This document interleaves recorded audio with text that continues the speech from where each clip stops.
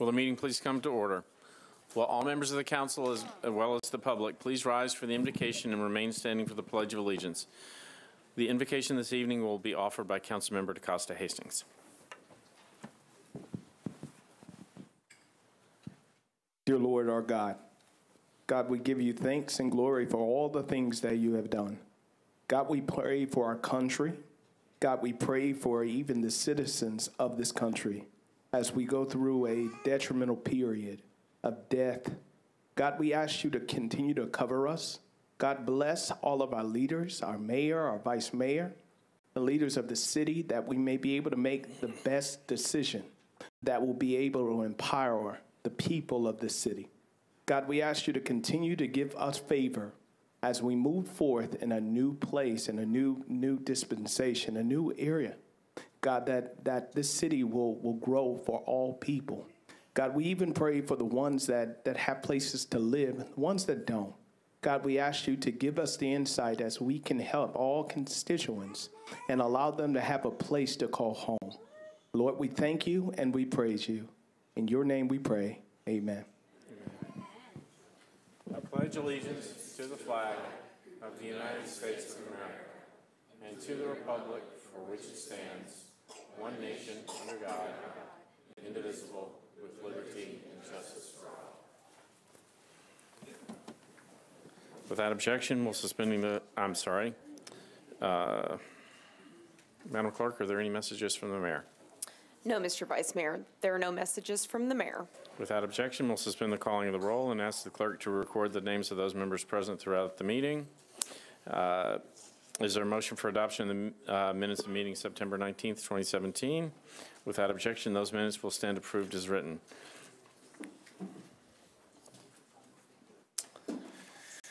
Is there a report from the Rules and Confirmations Committee? Councilor Haywood. Yes, uh, thank you, Vice Mayor. We have the Farmers Market Board, and we have the appointment of Mr. Tandy Wilson for a term expiring May the 17th, 2017. Mr. Wilson will fi- uh, will fill the unexpired term of Mr. Tyler Brown. And at this time, there was a vote by the uh, Confirmations Committee, and we voted seven for and zero against. And you've heard a motion to confirm Mr. Tandy Wilson to the Farmers Market Board. It's been properly seconded. All in favor? Opposed? Motion carries. Councilor I move to confirm. Uh, At this time, we have the Health and Educational Facilities Board, and we have several candidates. We have uh, Mr. Isaac Adai, we have Stephen Frozen, we have Sarah Hannah, uh, we have Sean McGuire, Chris Moth, Blake Wilson. They were all interviewed and all are qualified to serve. Thank you. This is subject to an election of the council. Uh, I'm going to ask Mr. Jameson if he'll explain the process. Per the uh, original intent of Councilman Rosenberg, Rule 43 will require you to cast two votes because of the two seats that are vacant. Um, We're uh, going to be distributing written ballots, so you can circle, not that anyone's handwriting can be a challenge to read, but you will circle your two votes. You will cast two votes on the first cast. Under the rules, if a member receives in excess of 21 and an additional person receives in excess of 21, the vote will be over. The two members will have been selected in first and second place if they both exceed 21. There are other exigencies that we can contemplate if necessary, but you'll be handed out written ballots. Upon circling them, the clerk will then ask you to verbally confirm the, the names that she reads back to you.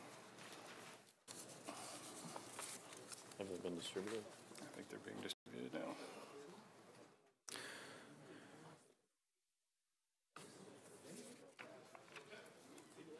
While the votes are being distributed,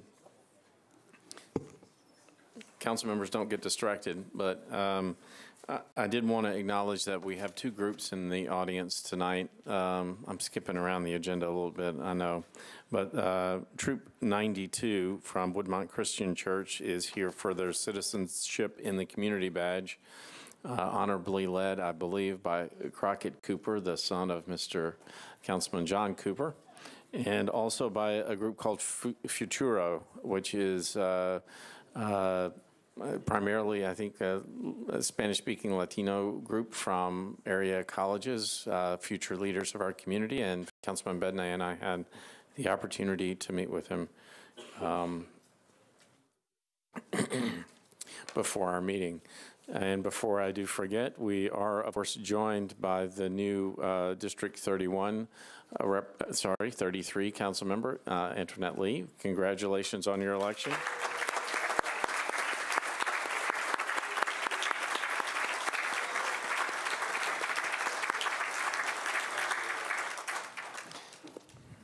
If only you'd known what you were in for. It is now too late. So just as a reminder, please circle two names on the ballot. Please circle two names on the ballot. Let's get them back in.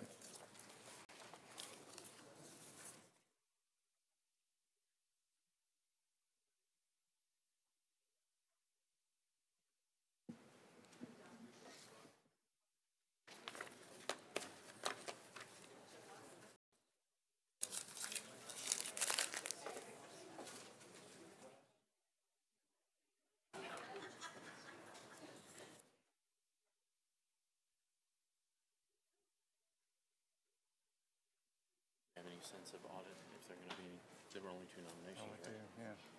So this is all the acclamation, all, all of them, right? Hopefully, I hope she knows to do it by acclamation, but yeah, we only have the number of Same with planning and traffic.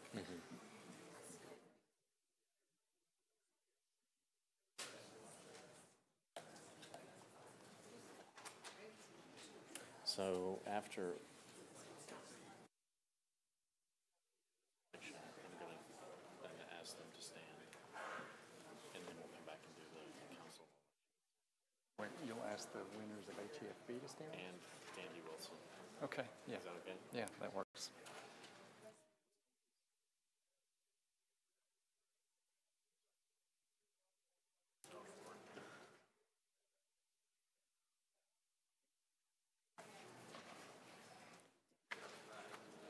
And do they have to acknowledge? Yes. They'll say yes, yeah. I don't need to do mics, do they?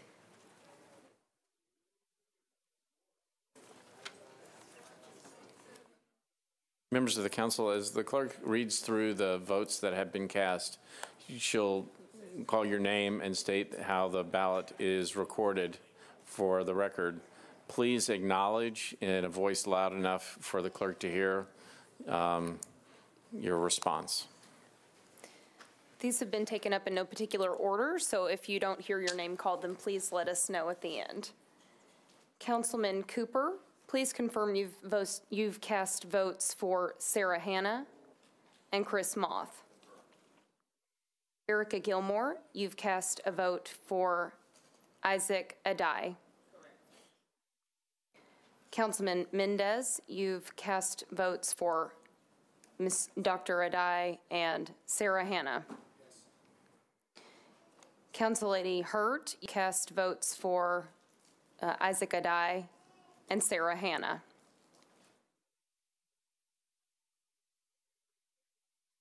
Coun- Councilman Shulman, you've cast votes for Sean McGuire and Chris Moth.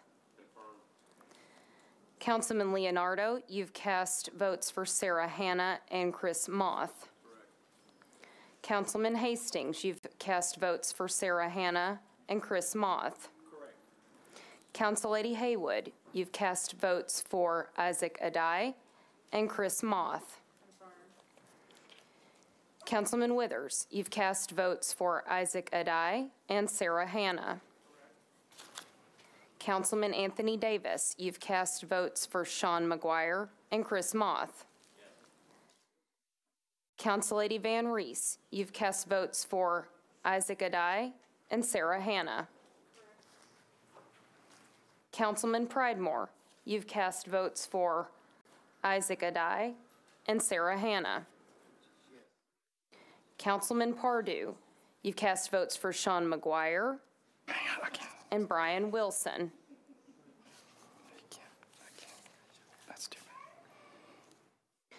Councilman Hagar, you've cast votes for Isaac Adai and Sean McGuire. Councilman Glover, you've cast votes for Sarah Hannah and Sean McGuire. Council Lady Waso, you've cast votes for Sarah Hannah and Sean McGuire. Councilman Roten, you've cast votes for Sarah Hannah and Chris Moth. Councilman Syracuse, you've cast votes for Sarah Hannah and Chris Moth. Councilman Freeman, you've cast votes for Sarah Hannah and Chris Moth. Councilman Sledge, you've cast votes for Sarah Hannah and Sean McGuire. Council Lady Allen, you've cast votes for Isaac Aday and Sarah Hannah. Councilman O'Connell, you've cast votes for Isaac Aday and Sarah Hannah. Hang on, what was that? Can you repeat that? Councilman O'Connell, O'Connell cast votes for Isaac Aday and Sarah Hannah. Okay. Council Lady Roberts, you cast votes for Isaac Aday and Chris Moth. Councilman Kindall, you cast votes for Isaac Aday, Adai, and Chris Moth. Council Lady Weiner, you've cast votes for Isaac Adai and Chris Moth. Council Lady Mina Johnson, you cast votes for Sarah Hannah and Sean McGuire. Council Lady Murphy, you cast votes for Sarah Hannah and Brian Wilson. Councilman Pulley, you cast votes for Sean McGuire and Chris Moth. Councilman Elrod, you cast votes for Isaac Adai and Chris Moth. Council Lady Blalock, you cast votes for Sean McGuire and Chris Moth. Council Lady Vercher, you cast votes votes for Isaac Adai and Sarah Hanna. Council Lady Karen Johnson, you cast votes for Isaac Adai and Sean McGuire. Councilman Bedne, you cast votes for Isaac Adai and Chris Moth. Council Lady Dow, you cast votes for Isaac Adai and Chris Moth. Council Lady Lee, you cast votes for Isaac Adai and Sarah Hannah. Council Lady Henderson, you cast votes for Stephen Frozen and Chris Moth. Councilman Rosenberg, you cast votes for Isaac Adai and Chris Moth. Councilman Scott Davis, you cast votes for Isaac Adai and Sean McGuire.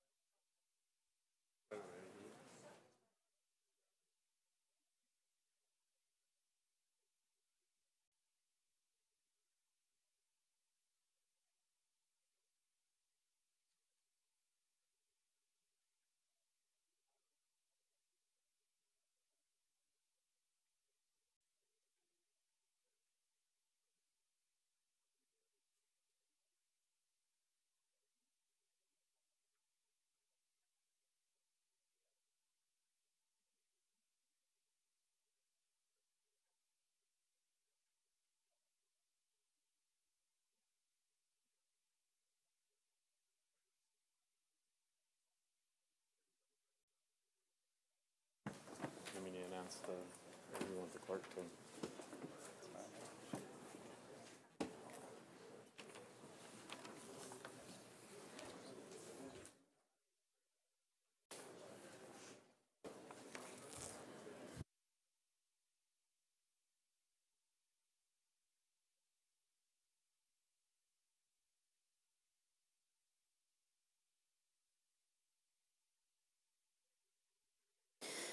Mr. Vice Mayor, the results of the election are 21 votes for Isaac Adai, one vote for Stephen Frozen, 20 votes for Sarah Hanna, 12 votes for Sean McGuire, 19 votes for Chris Moth, two votes for Blake Wilson. Con- uh, Pursuant to the rule, congratulations, Mr. Isaac Adai. We will then have a runoff, or a second round, with all the remaining candidates uh, available to vote, in- or to be, uh, receive votes in the second round. But congratulations, Mr. Adai.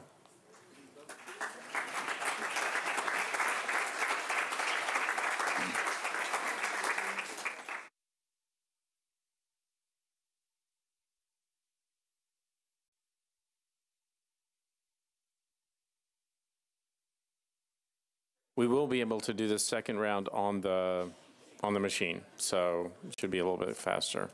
Apologies to the members of the audience. We're utilizing a new understanding of this rule and may need to change that rule.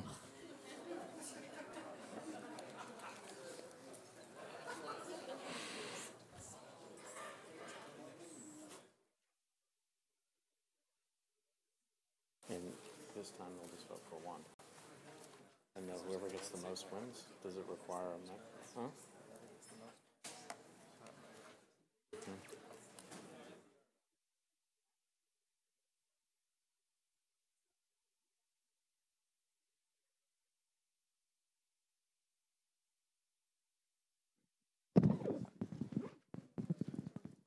Councilman Glover. Thank you, Vice Mayor. Just very quick, so everyone is back on the ballot, not just the top Correct. vote getters this time? Correct. Okay, I'm sorry, I misunderstood that. Thank you. He can't win twice.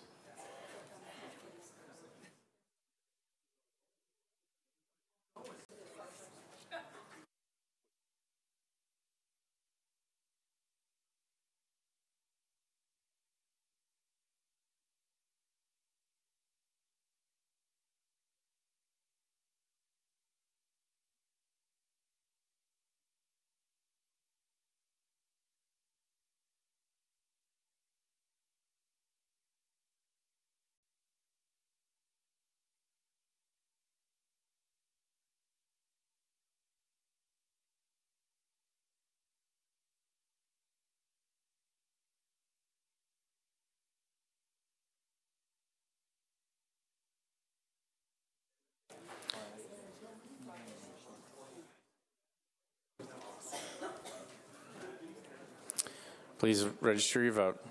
Machines are open.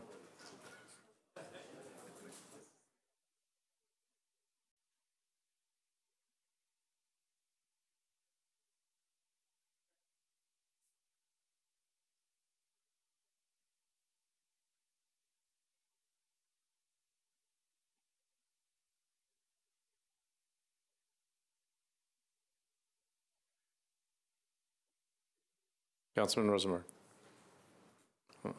Have you voted?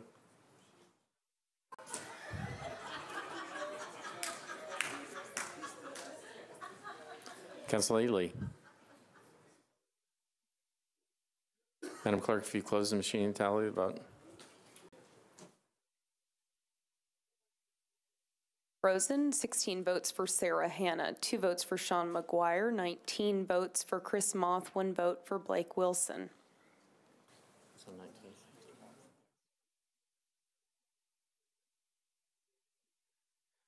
Congratulations, Mr. Moth.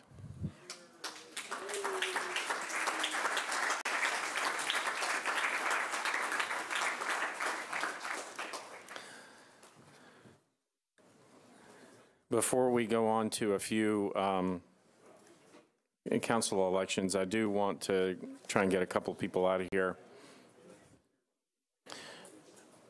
Oh, Hold on, Mr. Wilson. You're not free to go yet.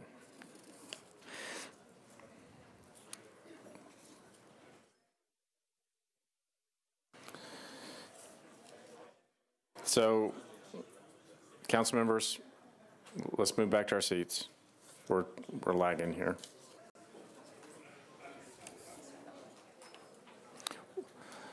We would like to recognize those citizens who were confirmed tonight. Um, Obviously, Mr. Moth and Mr. Adai have been confirmed to the Health and Education Facilities Board. Congratulations. In addition, uh, I'd like to personally congratulate uh, Mr. Tandy Wilson for his willingness to serve on the Farmers Market Board. For those of you who don't know, uh, Mr. Wilson's ancestor sat in this room, uh, suffered through meetings, I believe, in the past. Um, So he has got a strong connection and commitment to the city for which we thank him tonight. So on behalf of the Metro Council and the citizens of Nashville, we thank you, Mr. Wilson, you, Mr. Adai, Mr. Moth, for your willingness to serve. Thank you very much.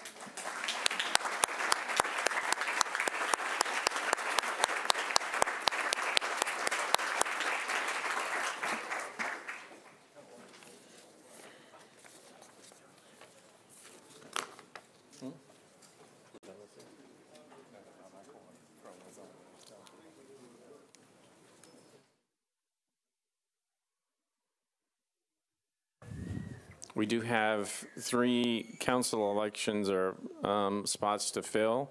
Um, All three of them, uh, I believe, are essentially unopposed, but I'd ask for a report from the Rules Committee.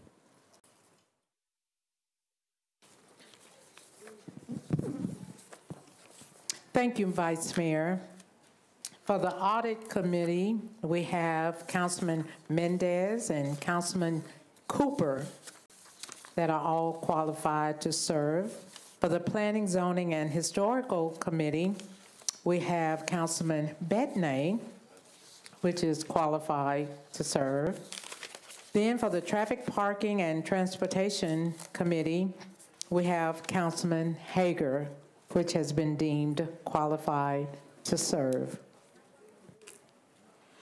Thank you, Council. If you would move for um, uh, approval by acclamation of those um, appointments, I think we can take them all together without objection. Okay, I would like to uh, move for approval by acclamation of the aforementioned council people. Without uh, objection, uh, Councilman Cooper and Councilman Mendes are uh, approved to the Audit Committee. Um, Councilman Fa- Fabian Bedne is approved to the Planning, Zoning, and Historical Committee, and Councilman Larry Hagar is approved to the Traffic, Parking, and Transportation Committee. Uh, Without objection, uh, they are approved by acclamation.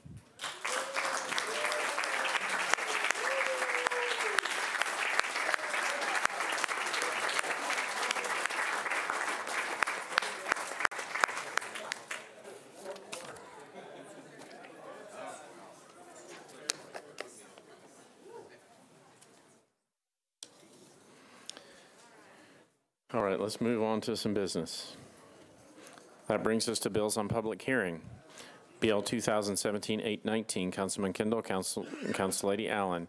Approved with conditions, disapproved without by the Planning Commission, seven and zero. Changes .49 acres from ORI to SP for properties located at 109, 111, and 113 29th Avenue North to permit hotel. Councilman Kindall. Call for a public hearing, please. All those in favor of Bill 2017-819, please raise your hands. Those opposed? Okay, Those in favor, please come forward to speak. Uh, I'd ask you to line up closely uh, at the microphone, state your name and address, and each person uh, speaking on each side would be, is given three minutes to speak. No necessity of using all three minutes. If you feel like you're being repetitive, um, just know that we are paying close attention. Evening, Council. Um, Roshan Patel, 4156 Outer Drive, Nashville, Tennessee 37204. I am uh, owner of the project uh, described um, earlier. Uh, I think everybody, all the councilmen, uh, all the council members should have uh, a copy of this letter um, that was just recently placed on your desk. So um, you have all the information I'm going to read out, um, but I'll quickly go through this. Before, before you tonight um, is a request to approve SP zoning for our project, a new hotel located in Councilman Kindall's uh, District. With Councilman Kindall's leadership, significant efforts have been made by our team to answer questions and to meet and address the concerns of the neighbors and the community surrounding the proposed project area. The proposed project has evolved during the planning and approval process, multiple community meetings, and through the assistance of Councilman Edward Kindall. A brief description of the compromises that were struck is below for your review. The spirit of compromise has been dem- demonstrated in several areas of the project design, uh, and this. And despite the significant costs that some of these compromises entail for our project, uh, we were uh, we still agreed um, in doing so. I won't go through each and every one of the bullet points down there. You can read for yourself, but some of the highlights of where we came from um, through DRC, through planning, um, and then now here at, at, the at the council. Um, originally, um, through the DRC and the planning, um, we had went for 130 foot uh, modification. Um, was requested, and it was approved with parking above ground and a parking count of 127. Um, and then you'll see through the dates from April, May, July, August, and so forth, um, all of the, the compromises we gave. Uh, we ended up taking all of the parking underground, four stories, which costs an additional $2 million uh, to our budget um, at the request of, of the neighbors and, and, and Councilman Kindall um, in order to um, to show some compromise. Uh, the FAR, which was approved through the Planning Commission, was at five. Um, the neighbors didn't want the bulk of the building that big, so we went back and were able to finally compromise at a bulk of four, uh, which um, is definitely necessarily in that in that in that area of West End Avenue uh, with intense development um, that belongs there. Uh, like I said originally, the parking um, was above ground. Obviously, that's uh, cost effective for us, uh, but it increases the height of the building. Uh, the neighbors um, didn't like that, so we compromised and uh, we went underground. And we actually added spaces. We added from 127 spaces to 155 spaces of parking, and also offered uh, uh, paid parking for any of the um, the, the, neighbors around um, and their family members or guests um, to park in our garage. Uh, we also compromised on the construction um, to where um, the workers won't park anywhere near uh, the site. They'll be shuttled uh, from one of our other sites um, in the downtown area um, to the site every morning. Um, then once our parking garage is constructed, um, they'd be there. But I'd like to thank the Planning Commission and, and Councilman Kindall especially for helping us through this process and uh, getting our compromises together. Thank, thank you, you, sir. Seeing no one else in favor, were those in opposition, please line up to speak. Again, you get three minutes. Please state your name and address. I don't need three minutes. My name is John Johnson. I live at 3000 Poston Avenue, a block and a half from this proposed location. I oppose this project. It's the wrong location on narrow streets. It's not on West End. We don't need to be granting exceptions in a residential and small office location. The density already is too great. We do not need the additional density. Traffic, safety, and parking, as well as noise, will be permanent additions to the area, which will not be welcome. Thank you for the opportunity to speak.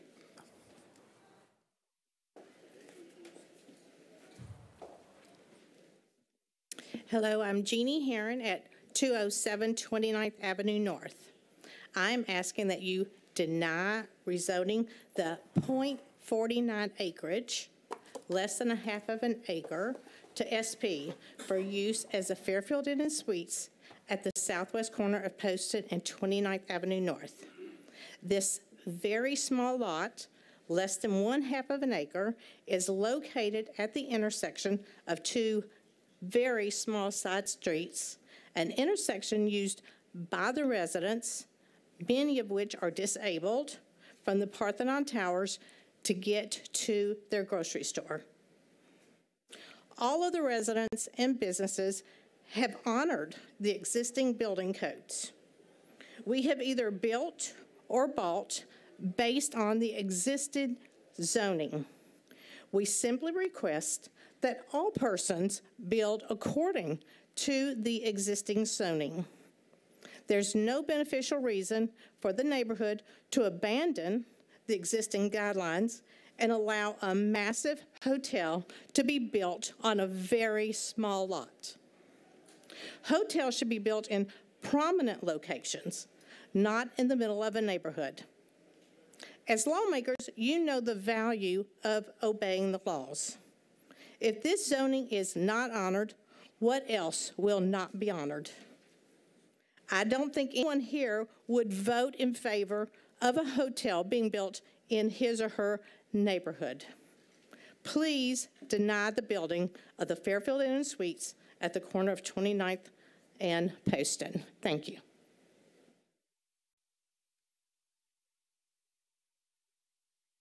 Uh, My name is Megan Cohane at 117 30th Avenue. I'm reading a letter for another um, person from that building.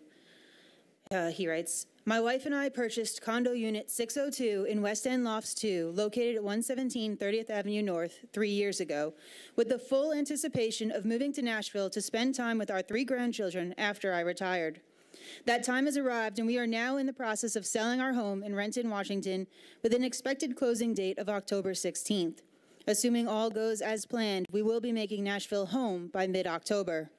We selected West End Lofts 2 for a variety of reasons, including nearby restaurants, grocery stores, pharmacies, and shopping that are all within easy walking distance. We also selected West End Lofts 2 because the zoning regulations limited development in the neighborhood to office and residential uses, with appropriate limitations on building size, something we considered an important factor to maintain the value of our property. We are adamantly opposed to the construction of a very large hotel at the intersection of Poston Avenue and 20th, 29th Avenue North. It is in direct conflict with the zoning regulations adopted by the Metro Council just a few years ago and will lead to the reduction of value of not only our property, but our neighbors as well. I'm sure I don't need to remind you that maintaining property values is a key purpose of Metro's zoning ordinance. I attended the hearing held by the Planning Commission last April and was more than a little disappointed to hear the planning staff tell the Commission that the proposed hotel meets the use standards. It does not. And that it complies with the size and height limitations. Again, it does not. And that, will, that it will not aggravate traffic problems in the neighborhood, which it definitely will, particularly on weekends and holidays when Centennial Park is crammed with visitors. That is something the traffic study completely ignored. I spent nearly half of my 45 year professional career working as a public servant for government agencies. I was always of the opinion that it was my duty to uphold and administer the rules and regulations of the agency, not undermine them. To watch and listen to the Planning Commission staff actively support this project was both baffling and troubling. They acted as an advocate for the developer, not as public servants whose role it is to point out to the Commission the inconsistencies between the proposed project and the zoning restrictions that are in effect. While we intend to move to Nashville next month, how long we remain as residents may well be decided by your actions on October 3rd. Um, just for myself and not um, the neighbor, it's, uh, it's less than a half acre, as the previous speaker said. Um, it's a very small area. They are right now planning on 90 foot buildings, so I figure about nine stories, eight stories of which would be hotel rooms. They want to have 155 rooms in this hotel. Um, I'm having a hard time just myself imagining how it's all going to fit, um, how all of those rooms are going to fit on that small lot. Um, we had been hoping for plans or something concrete that would show us what it was going to look like. And I just wish we had something that actually put it into a, a reality before any voting was going to happen on it so we understood exactly what it is we were talking about.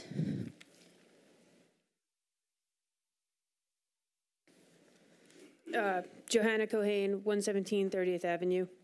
Um, Before I really start, um, my mom spoke at the last meeting when this came up, and it was implied that the residents were just concerned about their view. I took pictures, and I'd like to enter them to the record to show there is no view, that this is not about a view. It's about safety and a community. Um, You can't see downtown, you can't see the Parthenon, so I have pictures to enter for the record of that. I've got three points. First, on compromise. Um, our real wish would be no hotel, um, obviously. But if we're going to have a hotel, we would at least like it to follow the existing zoning and UDO. Um, it's gone from one compromise was stated to be 130 feet to 90 feet, and the FAR going from five to four. Um, That's bringing the hotel closer to acceptable uh, original standards. Those compromises are only possible because exceptions were being made earlier in planning commission meetings. Um, Also, the parking. Um, Originally, it was 127 spots, now it's 155 spots. That can be seen as a compromise or it can be seen as good business. If you use an 85% fill rate for the hotel, 155 spots gives room for 85% full and their workers. Um, That's not really a compromise, that's more of good business, making sure that the people in the hotel have someplace to park. If you want to add public parking um, or pay parking, you may actually need more spots, or else your hotel guests won't have spots. Um, The real concern here, though, is safety. This is not a large road, it's a small intersection in a residential neighborhood. Um, And now, talking about a hotel, you're going to be adding unfamiliar drivers to a intersection that has had troubles in the past. Again, last time we were here discussing this issue, my mom spoke, and she's talked about her fears of someone being hit by a car. She almost was hit by a car at that intersection. And I just want to stress that she was talking from experience. My family knows what it's like to be sitting in a surgical waiting room, waiting for news on a family member who's in an eight hour emergency surgery after being hit by a car. We know what it's like to try and plan a Thanksgiving dinner in the hospital because that family member may not be out in time. We know what it's like to see her go through six surgeries and a year and a half of physical therapy. And I don't think it's worth that potentially happening to another family for a hotel. That intersection is not meant for that kind of traffic. It will add traffic, and Uber and cabs count as traffic. Um, and my last point is about the community. When a new business is offered, you wonder, what does it do for a community? Does this hotel add to the neighborhood? It doesn't. It's going to add people who have no ties and no ownership to that area. They won't care for it like residents do. Let's be honest about Nashville. It has a reputation as being a bit of a party city. Those people that are coming to go to that hotel, some of them will be business people, and most of them will be looking to party in a residential neighborhood with a park and a playground where children play and lie down on the lawn in front of the Parthenon. This is not downtown. That's where you need hotels. Mr. Patel has even said that downtown has a shortage of hotels. At the end of the day, when the developer and the hotel guests have gone home, the residents, your constituents, are going to be the ones left with your decisions. Hi, I'm Julie Bianchi, 117 30th Avenue North. Uh, we retired to Nashville three years ago and picked this lovely neighborhood because we liked it. It was a neighborhood. You can walk your dog, you can stroll around, and it's a nice mixture of houses and low-rise uh, sort of condo buildings. Um, my concern, because I've worked as a theater designer and I know how to read plans. I haven't seen any plans for this hotel. And so I went around and I took pictures of the vicinity to, and I don't know how to enter this in, but I made 10 copies until my computer ran out of ink. Uh, but one thing that to me, it looks as if the ratio on the estimated area being used of this half acre doesn't accommodate any green space. All of the, all of the buildings in the area, even the, the tall Parthenon towers, it has an acre of land around it. That, the, that building doesn't even cast a shadow on the street because it has so much green space around it. And all of the other buildings, too, have nice uh, planted areas that sort of correspond proportionally with the size of the building. And because we can't see the plans yet, we don't know what we're signing up for. If we're signing up for a building, I was just in Manhattan last weekend and walking in those dark canyon corridors, and I don't think that's what we want in our community. That's not what I bought when I bought this place thinking, oh, a nice neighborhood that I can retire in. Thank you.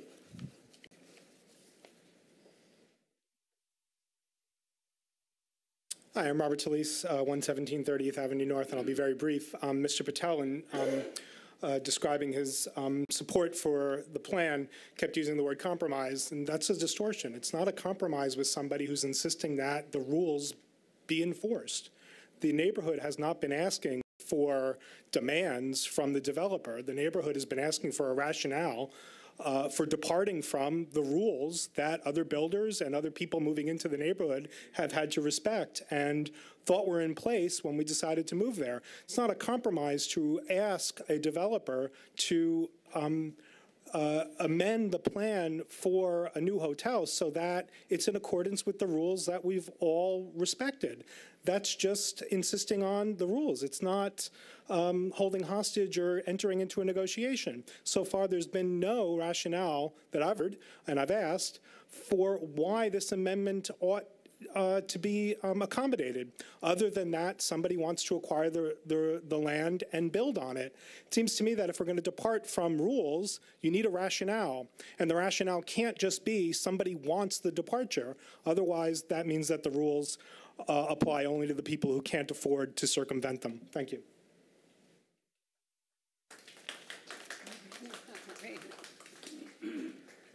Hello, um, distinguished councilman and Professor, whoops, Professor, I call everybody Professor. Okay, Councilman Kindall.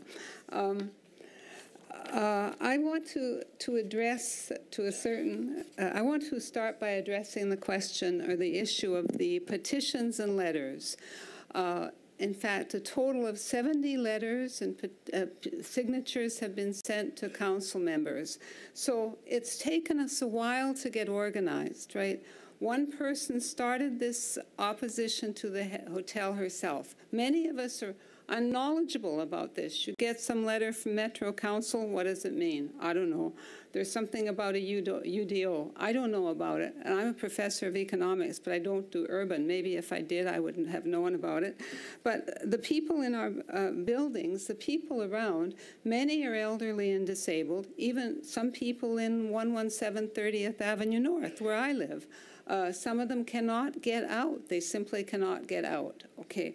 Uh, the people in the Parthenon Towers, I meet them on 29th Avenue and I talk to them and say, What do you think? There's a hotel going up there. And they think it's strange. They think it's an odd place to put a hotel.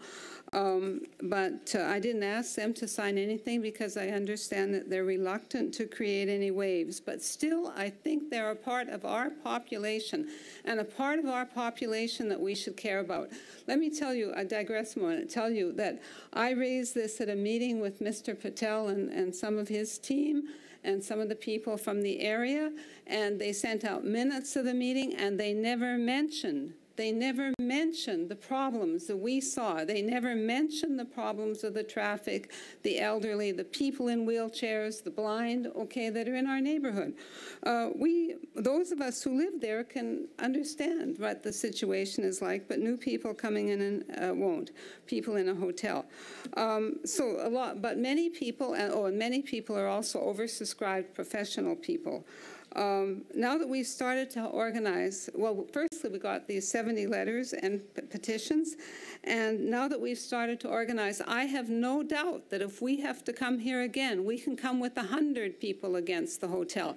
I don't think there's anybody in the neighborhood who wants the hotel. Anybody. Okay. Um, uh, yes. Yes, we want you to demonstrate that the people of Nashville, and in particular the people of our community, are, are empowered, that our voices count. Um, yes, now, I want to say that I'm going to read a bit from Randy Durham's letter. He's the uh, person who opposed, uh, one person who wrote a letter to council opposing this, who I don't think has been able to come. They were hoping to but couldn't. So what he writes is that our o, the ORI district is designed to provoke ad, provide adequate and suitable space in appropriate locations for high-intensity office use, mutually compatible with high-density residential uses, mutually compatible. A selective list of, leaving out a little bit, users are permitted if the principal purpose is to serve the reoccurring needs of the occupants or employers of these permitted uses. Thank you, ma'am. No, right. I don't see any use, anybody saying we really need this hotel.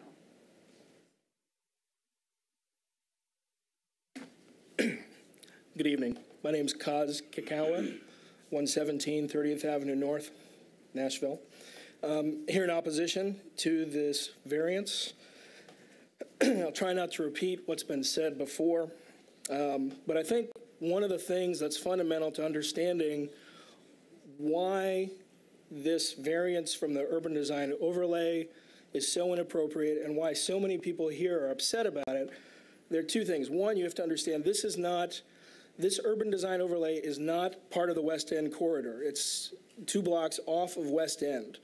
The urban design overlay was intended to protect that area as a residential area. And since the urban design overlay was enacted, that area has become only increasingly residential. There are more and more condos, apartments, buildings being built in that area. and most of the people who live in that area choose to live there because they want to be able to walk to all the restaurants and stuff on West End. So, you know, there, there's, a, there's a place where a hotel of this size is appropriate. That may be the West End corridor, maybe other areas that are not specifically protected by, by an urban design overlay. And I think another thing to think about is the intent of the urban design overlay. When it was passed, I think only 10 years ago, the idea was to protect this neighborhood of homes and to protect a community, create a walking community. And if you, even if you don't read the urban design overlay that this council passed less than 12 years ago, if you just look at the pictures, none of the pictures include nine-story buildings. It tries to create a common landscape of buildings that are maybe three to five stories in height in order to protect the community, to create a, a common streetscape, to help bring some cohesiveness to the physical environment, which helps bring cohesiveness to a community. I agree with everything else that other folks have said, and I hope you consider not just the, the location of the building, the appropriateness of it, but also the intent of the urban design overlay that this council passed only 12 years ago.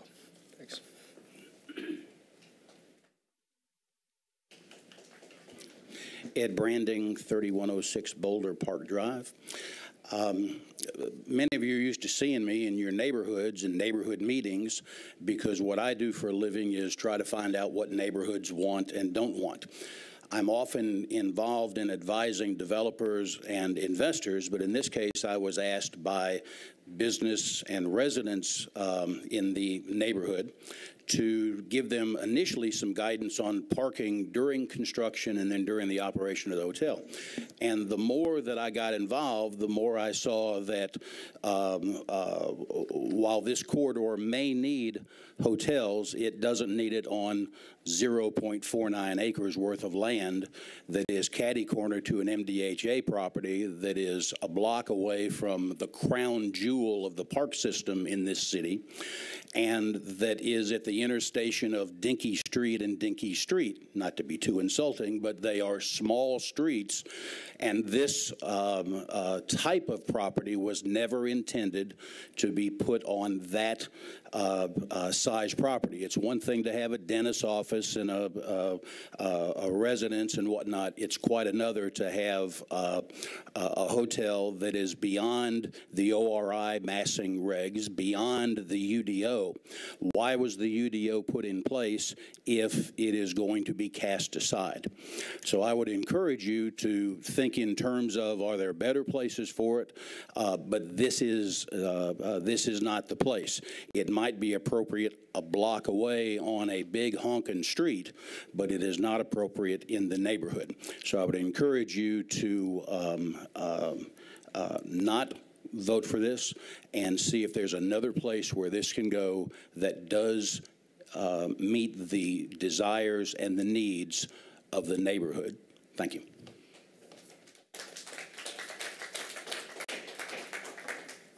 Hi, my name is Erin Bishop. I also reside at 117 30th Avenue North. I'd just like to say a couple things. First, Councilman Kindall, I really would like to thank you for all of the time and attention that you've paid to this and for your patience in hearing about our concerns with respect to the hotel.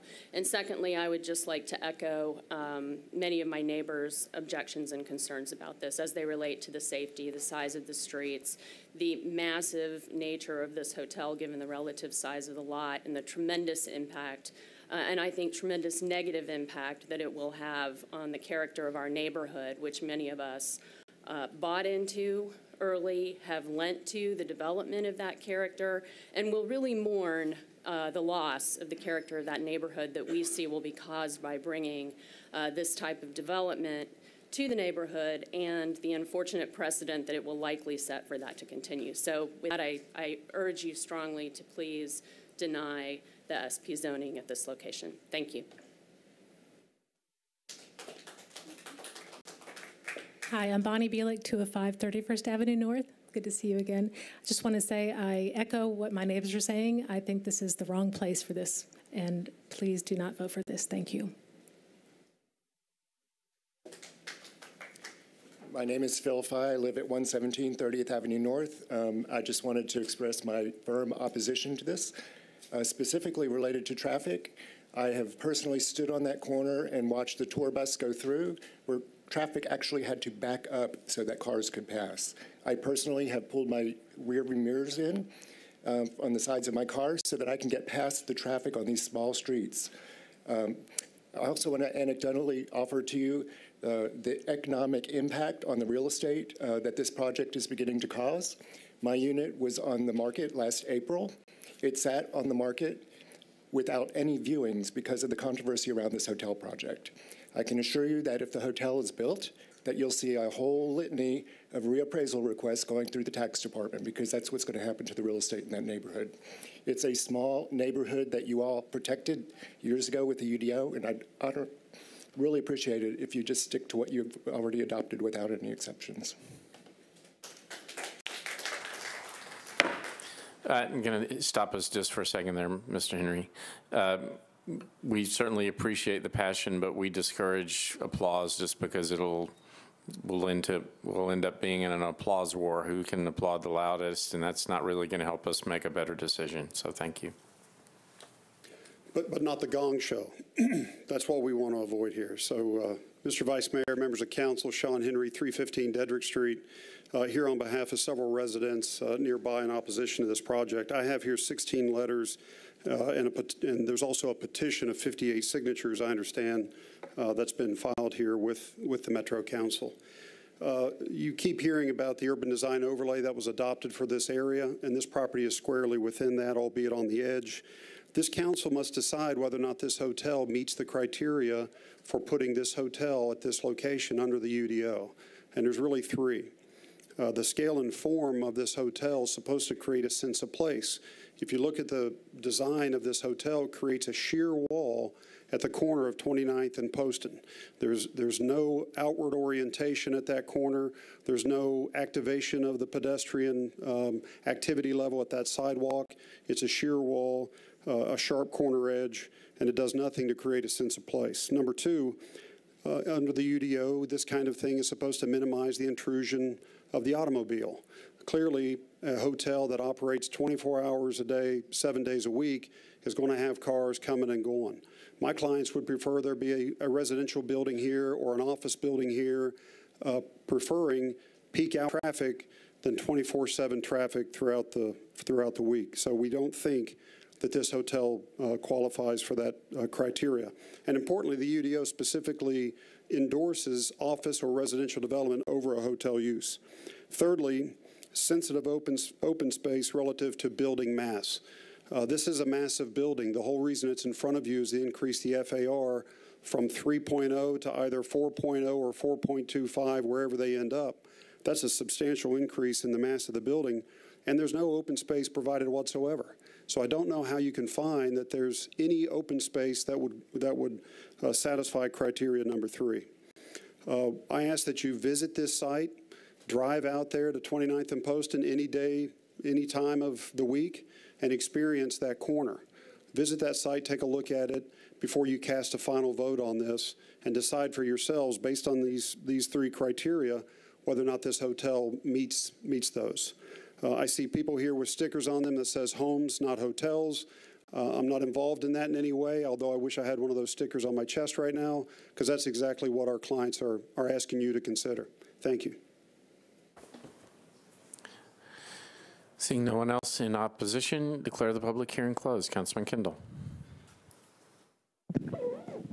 Thank you, Vice Mayor. Uh, What I want to do tonight is move approval uh, tonight, but defer the third reading to the first meeting in November if that's appropriate. And uh, I'd like to comment on that. First of all, I want to thank the people who came tonight. I've met with many of them on several occasions. I can say that uh, they have been very courteous. Uh, we have had discussions on negotiation of some of these items that are listed, such as the parking. Uh, The height of the building was one of the first concerns that we ran into because it, it, it did tend to block the view of some of the residents, and that was a concern. But I would like to encourage the uh, people who spoke tonight who said that they were not familiar with some of the plans. Attached to this bill is a very detailed uh, dealing with the FAR, with the height, with, all those uh, concerns that were raised. I heard some people mention the height as being nine stories uh, tonight. I believe it's seven stories. But at the same time, I just want you to take advantage of that. What I, the reason I want to defer to the first reading in uh, November, I want to have an opportunity to speak with the resident association there at Parthenon Towers. And I've heard a lot of people speak for them as it relates to the safety issue, which it appears that the safety issue is the one, the traffic issue and safety issue is the main concern that I'm hearing now from most people.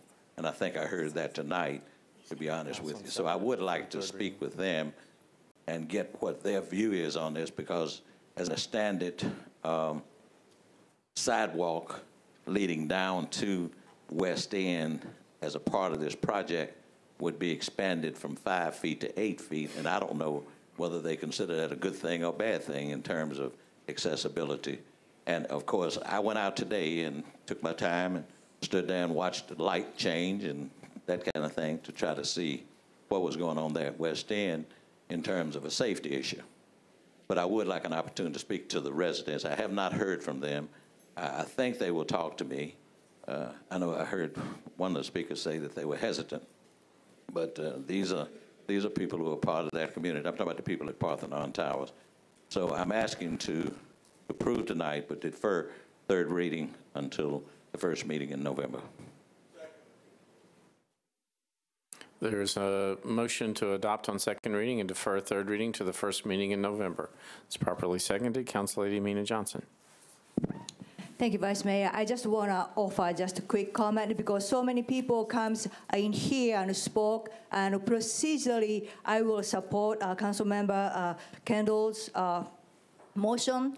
But sometimes if we uh, support his motion, uh, people who took time and hear, they may feel like their voice does not matter. Actually, it does matter. So before the third reading, uh, Planning and Zoning Committee will uh, really weigh on their comment and so forth and uh, hear from our lead sponsor, uh, Councilman Kindall, and then we will uh, make our decision and recommendation. So I just wanted to be sure, uh, I want to thank uh, people who come here to took time and express their opinion, and just wanted to be sure, even though I will be uh, supporting, but it does not mean uh, their voice not heard. So just wanted to make sure. Thank you. No one else seeking recognition?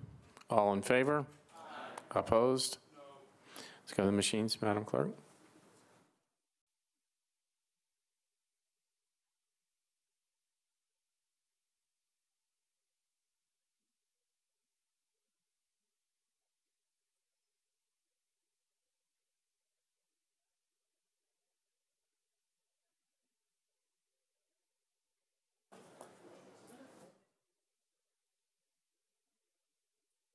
I believe that's everyone, Madam Clerk. If you want to close, hold, one moment. No. Oh.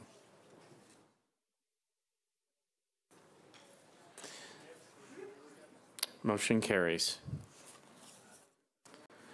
BL 2017-850, Councilman Sledge, approved with conditions disapproved without by the Planning Commission 10 and 0.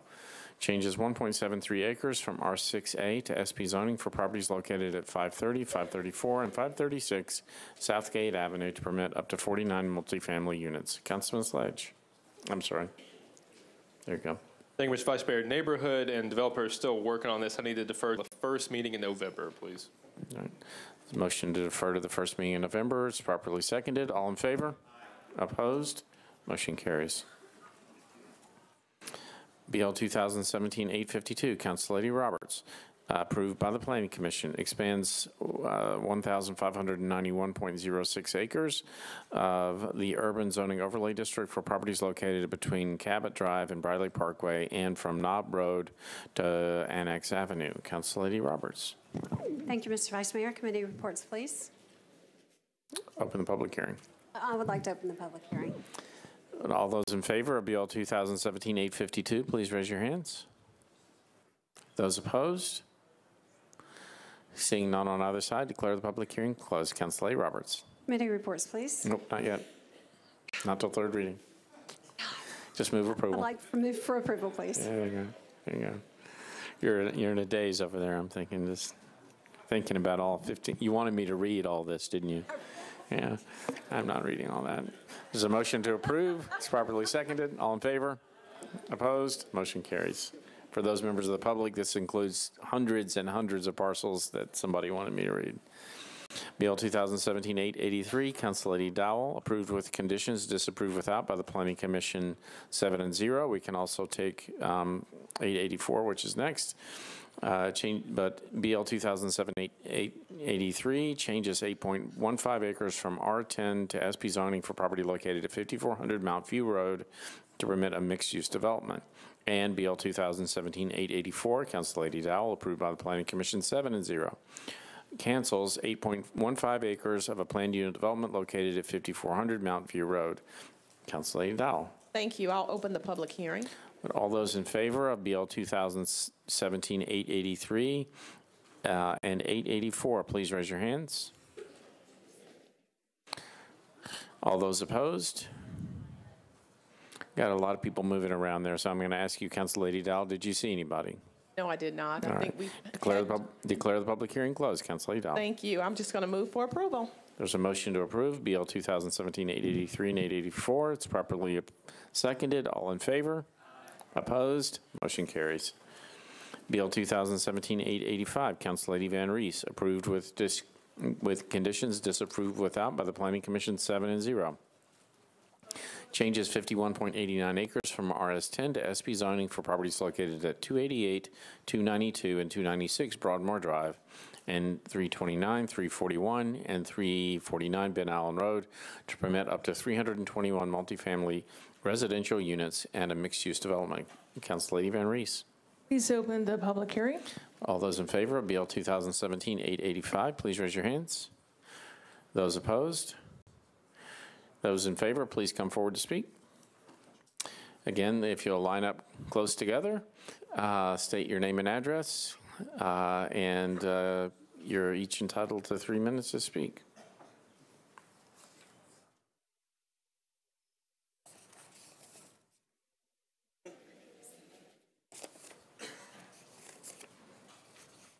Good evening. I'm Kim Hawkins with Hawkins Partners. Um, My address, 110 South 10th Street. I'm delighted to be here tonight uh, on behalf of Paro South for this development. Uh, This 53-acre development is actually one of the first that was a part of a trail-oriented development community policy in East Nashville.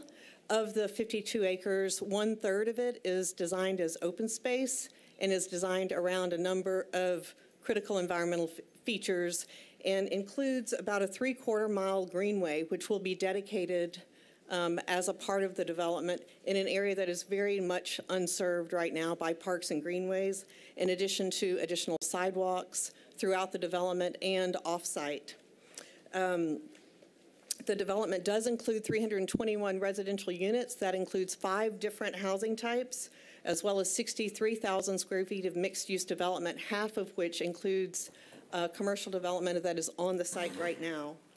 Uh, We really see this as a new model of development within Nashville that really does focus on trail-oriented development, one of the first projects of its type. And so uh, we really appreciate the efforts with um, our council lady, VanReece, and four different community meetings that have been held over the last 13 months, as well as um, the overall support for the trail-oriented development community policy change that was passed in February. Thank you.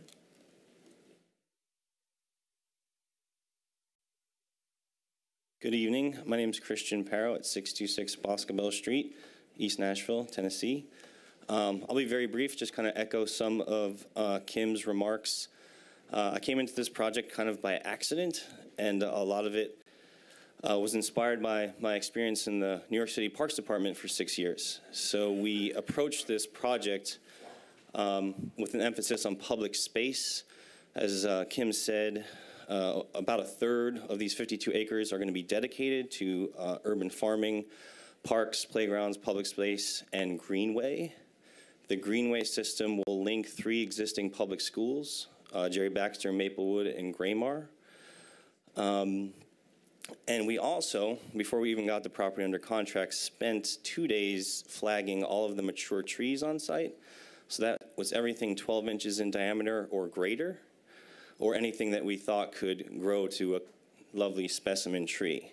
And we actually planned the residential and commercial development around the swath of good tree growth and our ideal pathway for the greenway system. So that's where I'm approaching this project from, um, something to engage the community, not just the residents that live in it, but those that live around it. And I just want to state that for the record. Thank you.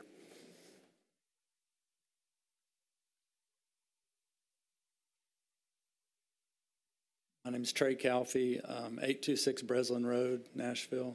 Um, I, I came into this property uh, per invitation of Chris, Christian, and um, my interest in it was uh, not from a strongly financial standpoint, but the fact that it was talking about a unique development uh, that had a primary emphasis on sustainable design within a community in a large, uh, you know, a relatively large tract of land. Um, with such expansive growth and growth in Nashville as a whole, um, uh, it was of real interest to me to see such intentionality associated with the development of, of a large community that specifically had an emphasis on um, really trying to be very proactive with uh, green space and then also just the elements of sustainable design uh, and the potential for this to be an example community um, for the region, the southeast region, as well as um, for future development in Nashville, just as something that's an alternative and really pushing us into the future as far as sustainability goes. Thank you. Seeing one, no one else in favor, those in opposition, please come forward.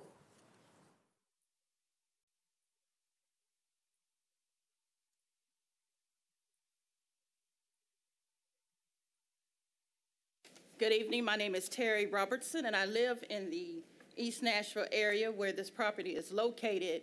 And I guess the question I have as a resident of this area is, why are you trying to overpopulate and overcrowd our area? There are three bills proposed tonight for public hearing, requesting a total of 656 units to be added, all within less than a three-mile radius. We're looking at 1,300 to 2,000 more people in an already congested area. Plus, these properties are priced higher than the people who live there. Nashvillians receive less pay than individuals who are relocating here. Residents within the East Nashville area already suffer displacement and find it difficult to find housing.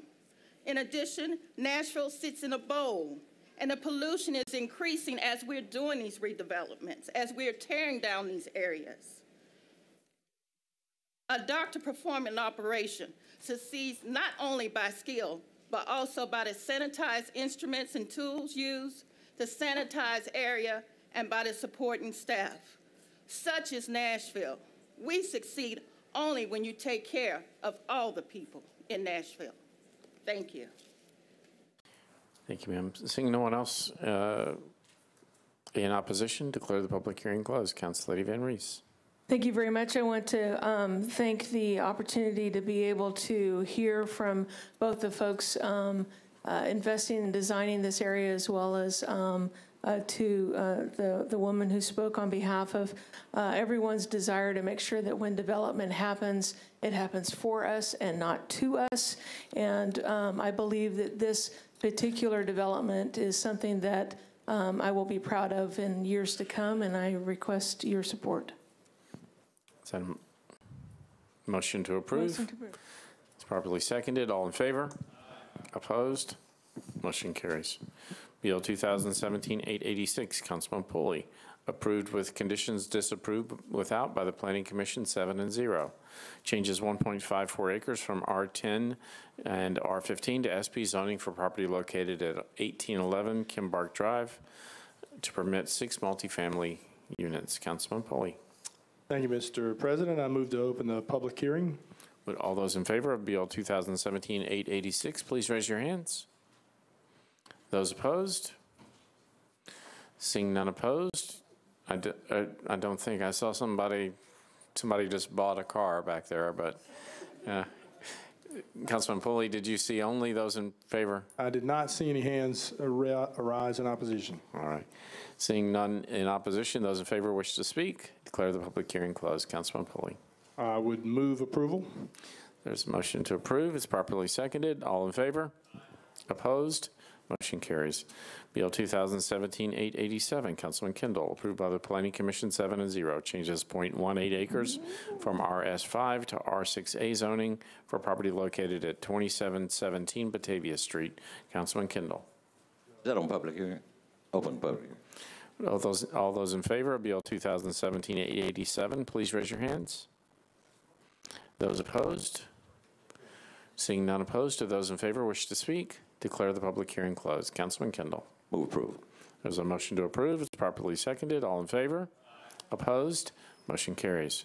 Bill 2017-888, Council Lady VanReece, approved with conditions, disapproved without by the Planning Commission, seven and zero. Changes 14.04 acres from RS10 and RS7.5 to SP zoning for property located at 2634 Bethwood Drive and Allenwood Drive unnumbered to permit up to 75 uh, multifamily units and two single-family units. Council Lady VanReece. Open public hearing? All those in favor of BL 2017-888, please raise your hands. Those opposed? Those in favor, please come forward to speak. Thank you, Mr. Chairman. I'm Roy Dale with Dale and Associates, 516 Heather Place, and I'm representing the applicant on this uh, proposal before the council. Um, We've worked uh, with Councilmember VanReece. Uh, She's a very diligent council member. She does her job very well. Uh, We've had, um, I think, adequate community meetings. This was a pro- uh, presented to the Planning Commission. It was unanimously supported, and we'll put this in her good hands. Thank you. Seeing no one else in, in support, those in opposition, please come forward.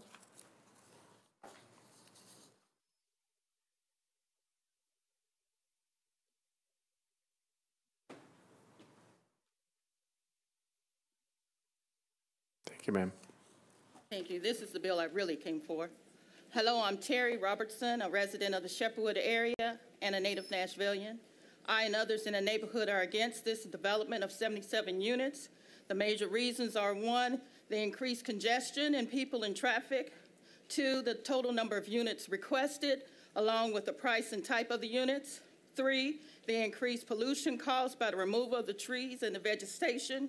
Four, the ill-equipped current infrastructure to handle the electricity, water, and sewage needs.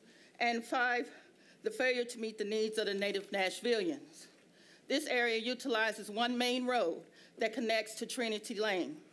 There are no stop signs here, no stoplights, adding an additional 150 to 250 people here would further add to the congestion in this area and the traffic.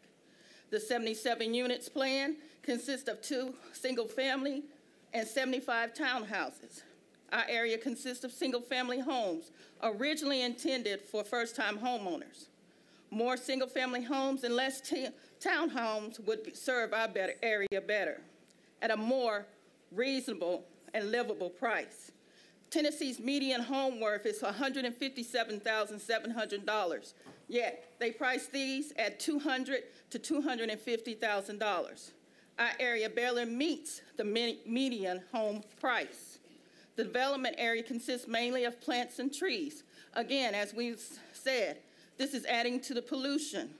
We have the worst air quality, and it manifests by the increasing number of allergy, asthmatic, and respiratory health issues in our area. We make ourselves sicker as we destroy Nashville. I'm sorry, destroy nature for development. Our current infrastructure and electricity, water, and sewage cannot support or address the people's needs. So much building occurs with an outdated system. Infrastructure failure is imminent. And lastly, the needs of the native Nashvillians. You plan for the people coming, but forget the people who live here. We are Na- Nashville's truest treasure. You meet the income needs of new people, but fail to increase our standard of living. Tennessee ranks 11th as the highest poverty rate. As such, we cannot afford the new homes. We're ranked 16th as the highest population. We're growing. We are the new fad or trend that is occurring right now. What happens when this wears off? Because it will. We elected you to take care of our needs, yet are you listening to our voices and to our needs? Man's greatest fear is not evil, it is doing that which is good and right. Thank you. Thank you, ma'am. Seeing no one else in opposition, declare the public hearing closed. Council Lady VanReece. Yes, I, I uh, again appreciate the comments of the uh, uh, constituent and uh, remind that this is actually another one of the trail-oriented development projects and is adding green space and connecting the streets. And with that, I ask for your approval. Motion to approve It's properly seconded. All in favor? Opposed? Motion carries. Bill 2017, Bill 2017-889, Councilman Pridemore, approved by the Planning Commission 7 and 0. Changes 64.12 acres from RS 40 to AR2A zoning for property located at 1890 Hudson Road and Hudson Road unnumbered and Menees Lane unnumbered. Councilman Pridemore. Thank you, um, Vice Mayor. Move to open the public hearing, please. All those in favor of BL 2017-889, please raise your hands. Those opposed? Can't imagine there being any opposed to that one, but seeing none opposed, those in favor wish to speak? Declare the public hearing closed. Councilman Pridemore. Thank you, Vice Mayor. Move for approval. A motion to approve. It's properly seconded. All in favor? Opposed? Motion carries. Bill 2017-890, Councilman Withers. Approved with conditions, disapproved without by the Planning Commission 7 and 0.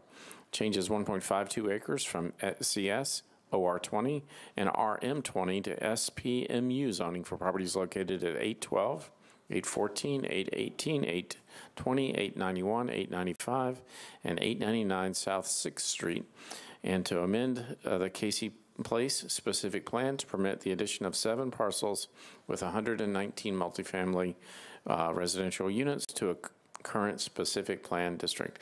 Councilman Withers. Thank you, Mr. Vice Mayor. I'd like to open the public hearing, please. Would all those in favor of Bill 2017-890, please raise your hands. Those opposed? Seeing none opposed, do those in favor wish to speak? Declare the public hearing closed. Councilman Withers.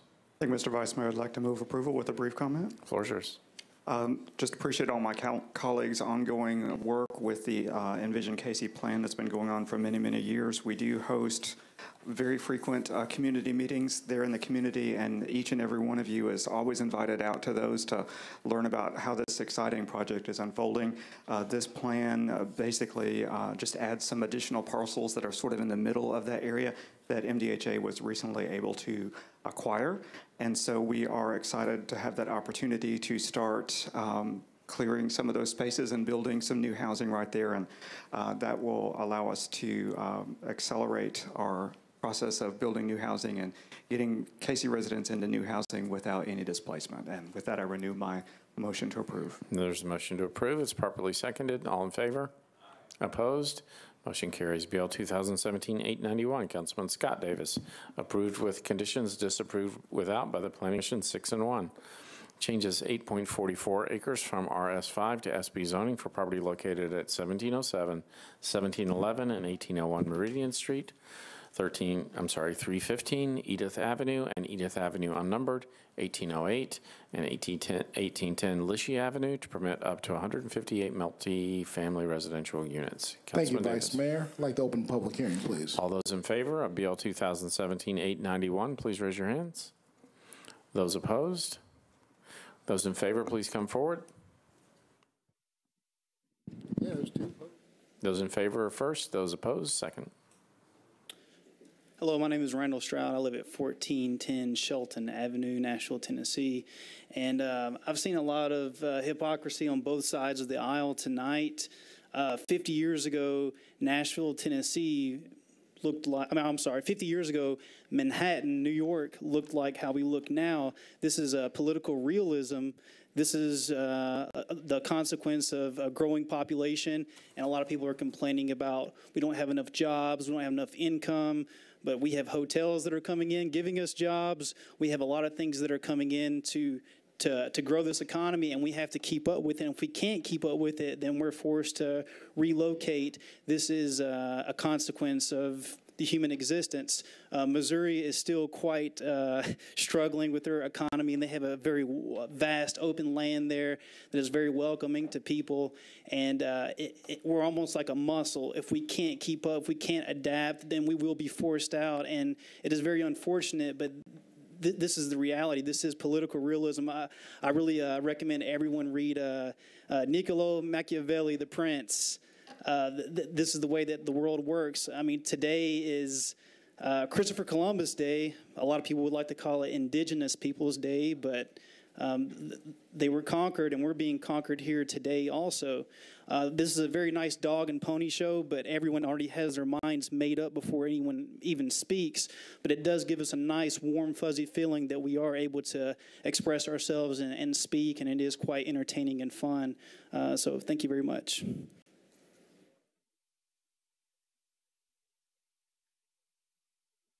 Thank you, Mr. Chair. Thank you, Council Representatives. My name is Greg Tidwell um, with Smith Gee Studio Architects. We're representing the applicant and the developer on this uh, exciting project. I uh, just wanted to say that we have gone through an extensive community process, meeting with uh, the Highland Heights uh, Development Committee and the Highland Heights Neighborhood Group. We had very um, favorable meetings with the Highland Heights Neighborhood Group, presenting the project to them and had very little uh, concerns expressed during that meeting and through Planning Commission. And I just wanted to explain a little bit about that process and that we have done, so to speak, our homework in meeting with the neighborhood organizations. I uh, also wanted to mention um, that there are aspects of this plan which um, are in keeping with the uh, Nashville Next vision for the growth of the city and that this plan, as far as the rezoning and the density and the building forms are concerned, meet the development pattern expressed in Nashville Next in the policy area. Thank you very much. Seeing no one else in favor, those in opposition, please come forward. If you'd like to speak.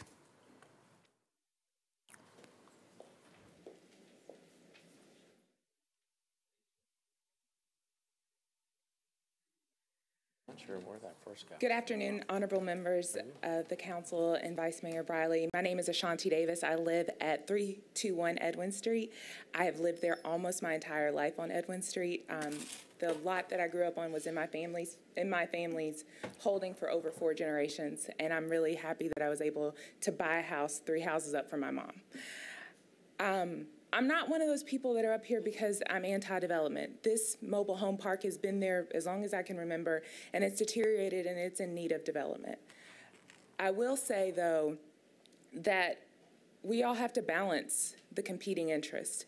That neighborhood is incredibly old with failing infrastructure, and the streets are very narrow. Both Edith and Edwin, you can take a regular tape measure that's 25 inches, and you could stand at one end and I could stand at the other, and it would cover it. That's how small these streets are. There's ditches on both sides of the streets, on both Edith and on Edwin, because we have a drainage problem. And all of these issues I know some people think that development can fix those issues, but a piecemeal approach to development doesn't solve those issues. Additionally, I would like to point out that the neighborhood engagement was minimal. I have letters from my neighbors who I talked to, who I knocked on their doors in the sweltering heat to ask them how they felt about it. The meeting in front of the Highland Heights Neighborhoods Association was perfunctory at best. It was about five minutes, and the development committee, until recently for the Highland Heights Neighborhood Association, consists of two members. Such a small population doesn't represent a neighborhood consisting of 1,100 people. I also ask that as you think about this particular proposal, I would like to remind you to think about development in the aggregate. This particular area, as you know, I live in District 5, has gone through a lot of overhaul recently. And by my count, in the last six months, there are over 800 units that have been proposed within a one mile radius. That's a lot of development for this little area. And I just ask that we reach some sort of compromise where we address density, where we add density to the area, but we also try to maintain the character of the neighborhood. All these homes in this neighborhood are single-family, small homes that working class to lower middle class families have lived in for over 70 years. And I'll reserve my time for the people behind me to speak. Thank you for your consideration. Thank you.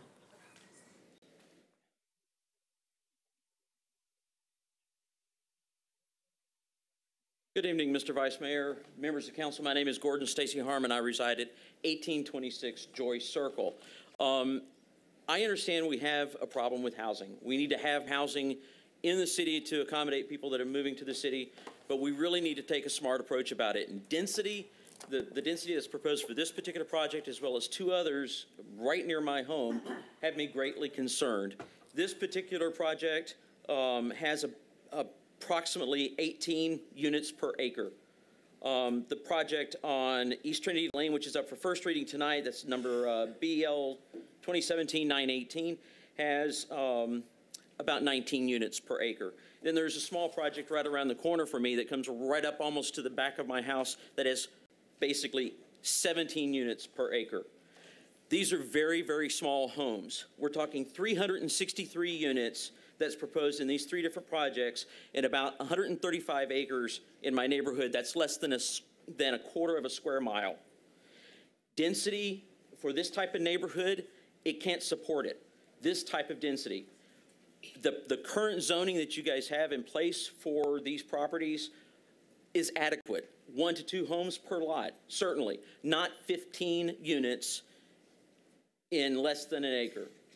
Uh, it, I, the impact to the infrastructure, like Ms. Davis was talking about, is going to be too great. The streets are very narrow. This particular project has a, a road that's being uh, proposed that will end where Joy Avenue, the street near mine, comes also, and there will be a four-way intersection. The amount of traffic that's proposed for that particular area will put an incredible strain on our neighborhood. Um, there are children that play in a park. Tom Joy Head Start is right there at that intersection as well. Parents come and pick up their kids. The amount of traffic from 158 units is, is going to be substantial.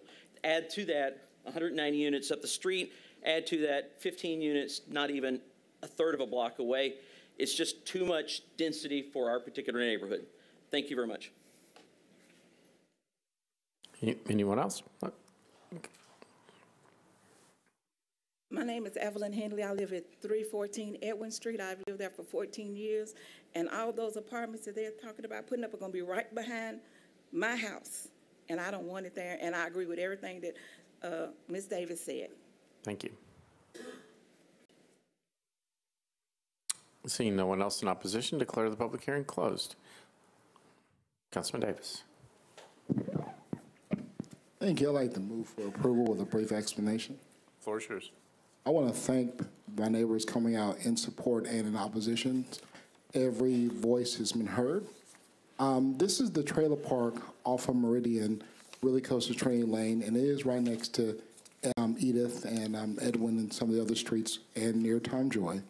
Now, on this property right now um, are over 50 trailers that are abandoned. This is the trailer park that was on the news for the abandonment, and also there were an additional 30 trailers dumped there after the May flood. Now, granted, I know we want the trailer park developed, and I know it's an eyesore, and everyone except for two individuals who, due to some other reasons, could not find another place to go. The relatives, not the relatives, the people have been placed in Shady Hills, which is a trailer park on the other side of Dickerson Road, which is still in the Fifth District. And this will clean up a huge blight in my neighborhood. And it's got planning commission and staff support. And the uh, infrastructure with the sidewalks and the other drainage stuff will be needed on the, in the area. So I'm asking the council members, planning staff support, commission support, move for approval. Thank you. There's a motion to approve. It's properly seconded. All in favor? Uh, One moment, one moment. Councilor Dow. I, so are you moving to approve this? I thought he said he was going to defer this. I, I, what I heard from the people is that they are, um, they want the development to happen, but they want someone to address the density in conjunction with the other development in the area. Is that not something that you're looking to do before third reading? I'll, I'll come back to Councilman Davis here in a second. I do want to, Madam Clerk, if you will, um, please note Councilman Mendes as abstaining on this one. Councilman Davis.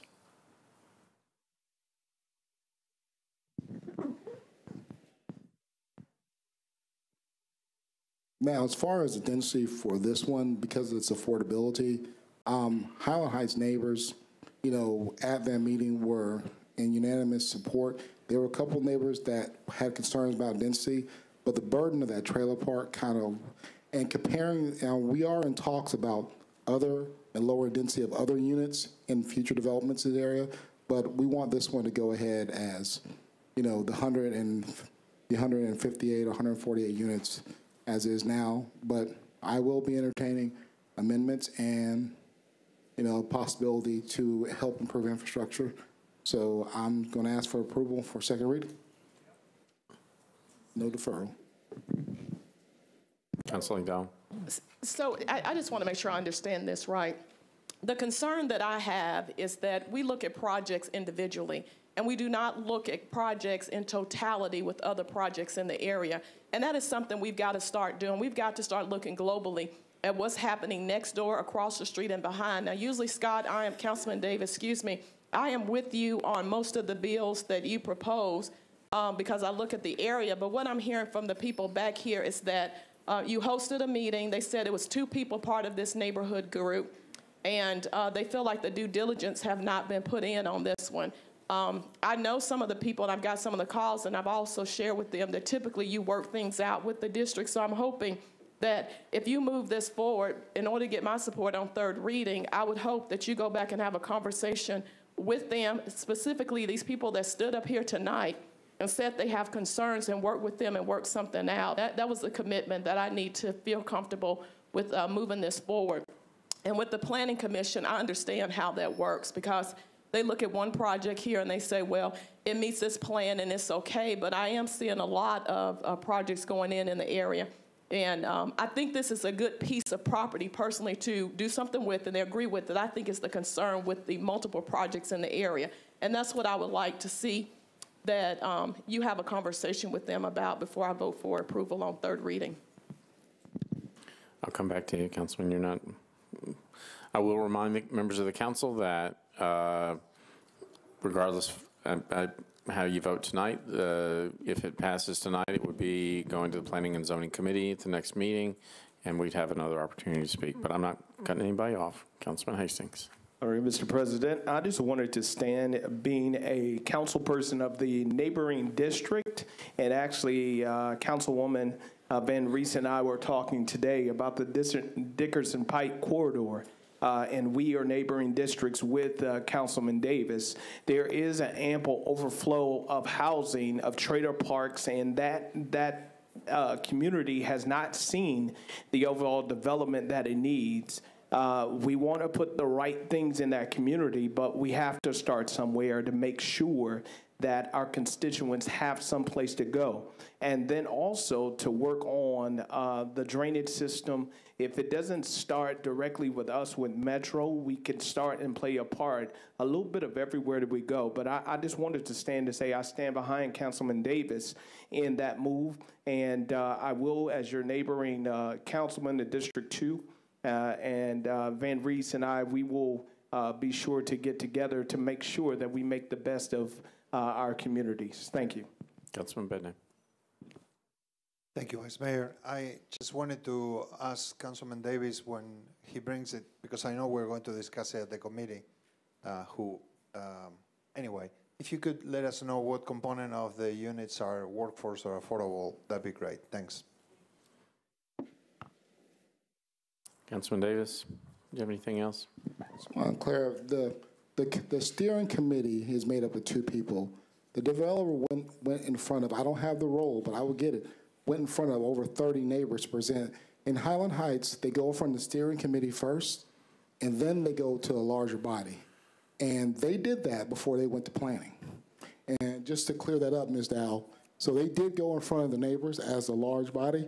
The steering committee, Ca- Councilman Davis. uh, I apologize, address Vice the Mayor. chair, Please, thanks. I was just clarifying that there was more than two people at the neighborhood association meeting. I appreciate it. No one else seeking recognition? All those in favor? Opposed? Motion carries. BL 2017-892, Councilman Kindall, approved by the Planning Commission, seven and zero. Changes uh, from RS5 to R- R6A zoning for property located at um, 1015 44th Avenue North. Councilman Kindall. I would like to ask for public hearing, please. All those in favor of RS 2017-892, please raise your hands. Those opposed? Seeing none opposed, do those in favor wish to speak? Declare the public hearing closed. Councilman Kindall. Move approval. There's a motion to approve. It's properly seconded. All in favor?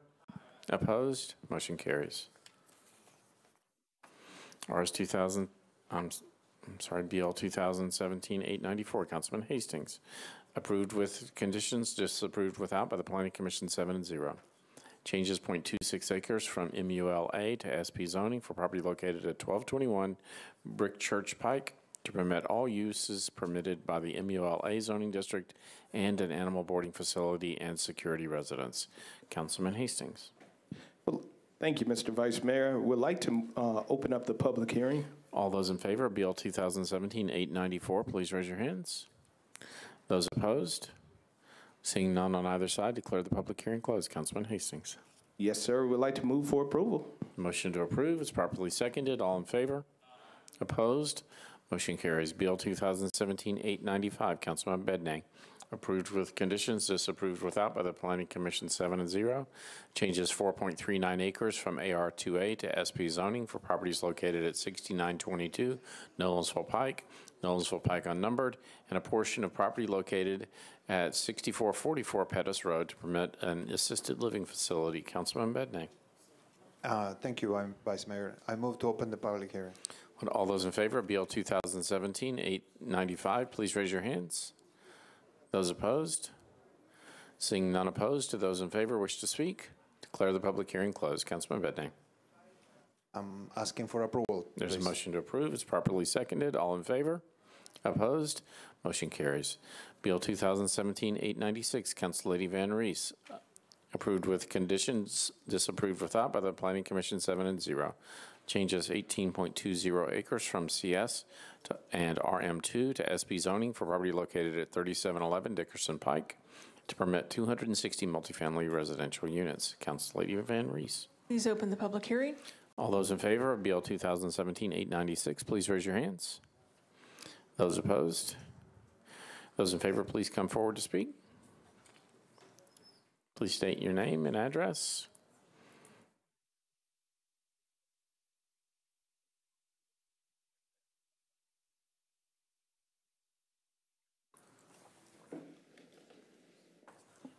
Mr. Chairman, members of the council, my name is Mac McDonald, and I represent LDG Development in their properties around the Nashville area. We're very happy that they have been able to uh, produce workforce and affordable housing in an area of uh, Trinity Lane. They're expanding their operations here. They're based in Louisville, Kentucky, and they've been very good to work with uh, in community meetings that I've been a part of, and we certainly appreciate uh, Council Lady VanReece's support and advice and counsel. One of the things that we always look at in terms of these particular locations is uh, how does it fit within the community? Is there community support? Uh, is there a design that would accommodate traffic, parking, congestion, access, accessibility to educational facilities, access to health facilities? We know that Nashville is growing north, and we are very much in favor of developing those corridors like Dickerson Pike and Trinity Lane that will support more housing opportunity. We know that a lot of these areas will support higher levels of use because of the presence of better sewers, better electricity, better transportation, and we want to encourage more activity, especially in the workforce housing area, and that's why I'm standing in support of this issue.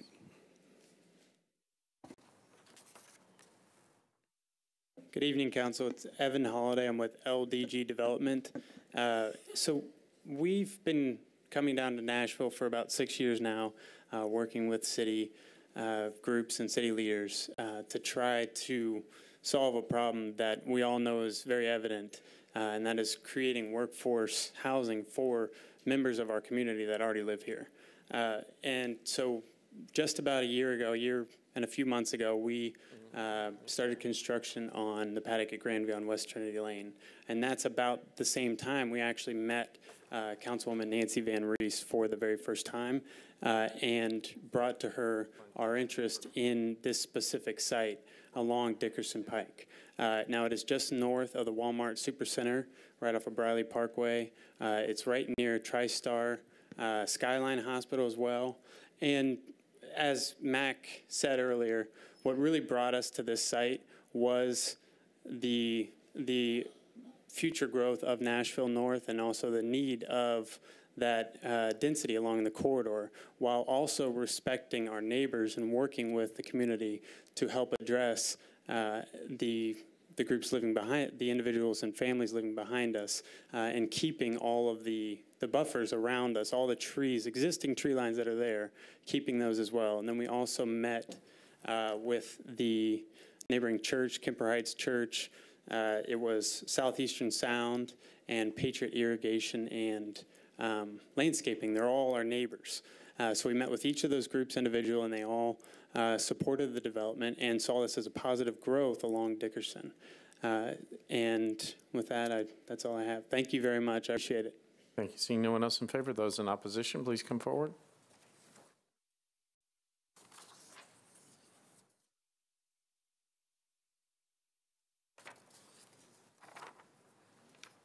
Hi, I'm Terry Robertson, and I'm back again. And primarily Ma'am, ma'am, because, ma'am, I'm sorry, I'm going to stop you and ask you to do two things. Will you pull the mic down a little bit? Sure. And will you give us your address, please? sure, I'm Terry Robertson, and I live at 2573 Sladen Drive in Nashville. I have been up here because all of these items relate to my area in totality. Uh, we are aware change is happening. We welcome change. It's not something that we can stop. But what we are asking is that we prepare and assist the people who are living there. There are people who are losing their homes. There are places that um, that are not making affordable, livable conditions for everyone. And that's our major concerns. I've lived in your Boston, I've lived in Atlanta, so I know about big cities. I'm not against the change, but I am against when we don't include the people in this process and making sure that we're looking at them and caring for their needs as well. Nashville is growing. I'm happy for it. As I said, I'm a native Nashvilleian. I've been here all my life. I've been to the public schools, and I've also worked outside of Nashville.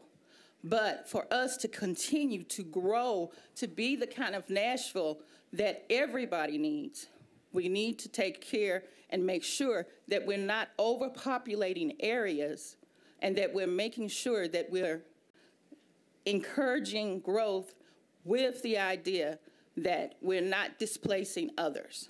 And I appreciate your time and thank you so much. Thank you very much, ma'am. Seeing no one else in opposition, declare the public hearing closed. Council Lady VanReece. Thank you very much. I will point out that this uh, apartment building is in Madison, Tennessee, uh, very near Old Hickory Boulevard, um, and uh, quite a distance away from Trinity. Um, It is 260 units of affordable apartments. Um, There, as you can see in the conditions on uh, this project, we'll actually be including a uh, a new transit stop in addition. And uh, as uh, was previously mentioned, uh, the surrounding area and the two community meetings were 100% positive. And uh, this goes to the point that Madison is a YIMBY location, and I'm very, very proud of this project and ask for your approval. There's a motion to approve. It's properly seconded. Coun- Councilman Sledge. Uh, Thank you, Mr. Vice Mayor. I wanted to speak briefly just because the folks who are doing this, who spoke in favor, they have come to the Housing Trust Fund Commission several times, which I sit on for the, to represent this body.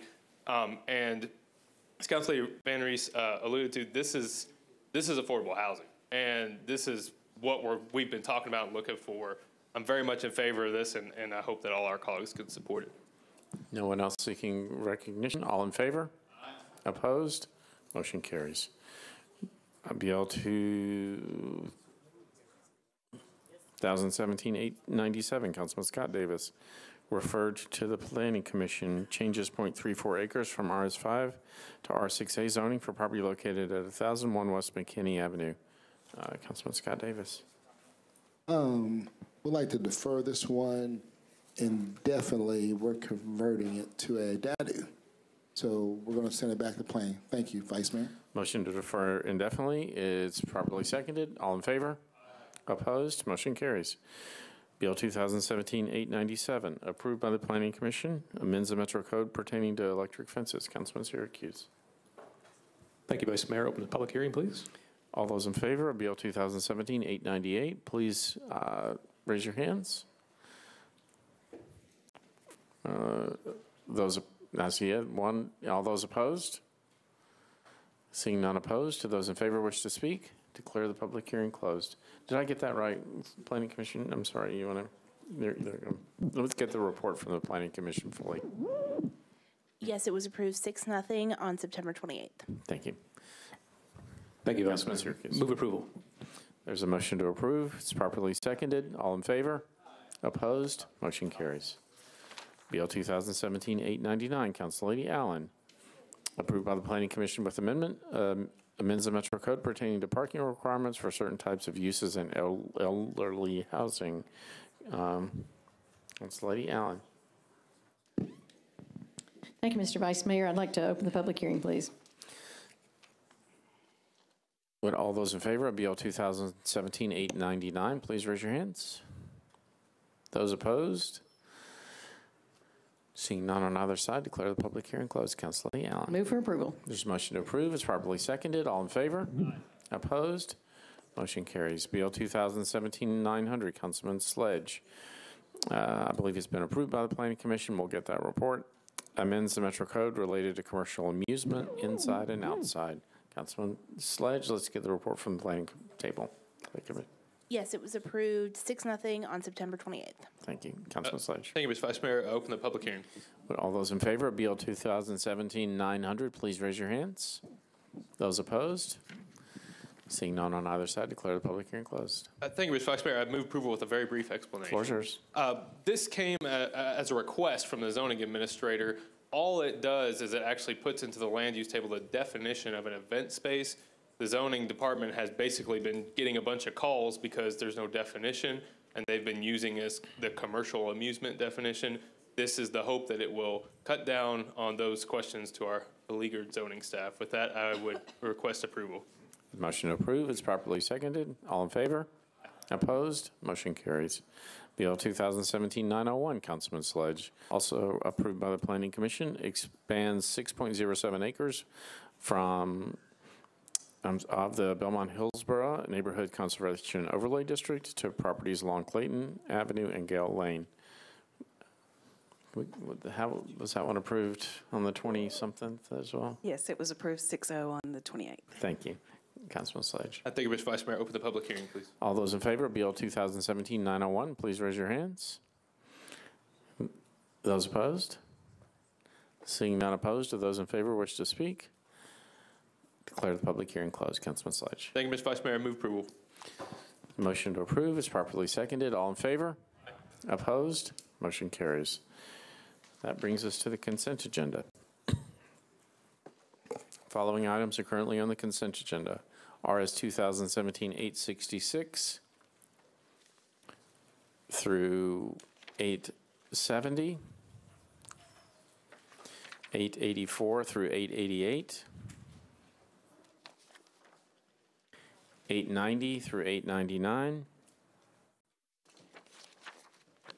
and 901 through 908, 906, I'm sorry. Is a Council Lady Weiner. We need to pull 906 because I'm withdrawing it. Okay. I'm sorry?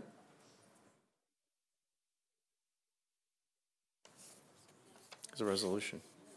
No, I'm sorry. That's not right. I looked at the wrong one. I apologize. You're pulling your bill on first reading? Yeah. Not your resolution? not exactly. resolution. Okay, thank you. Anyone else? All right.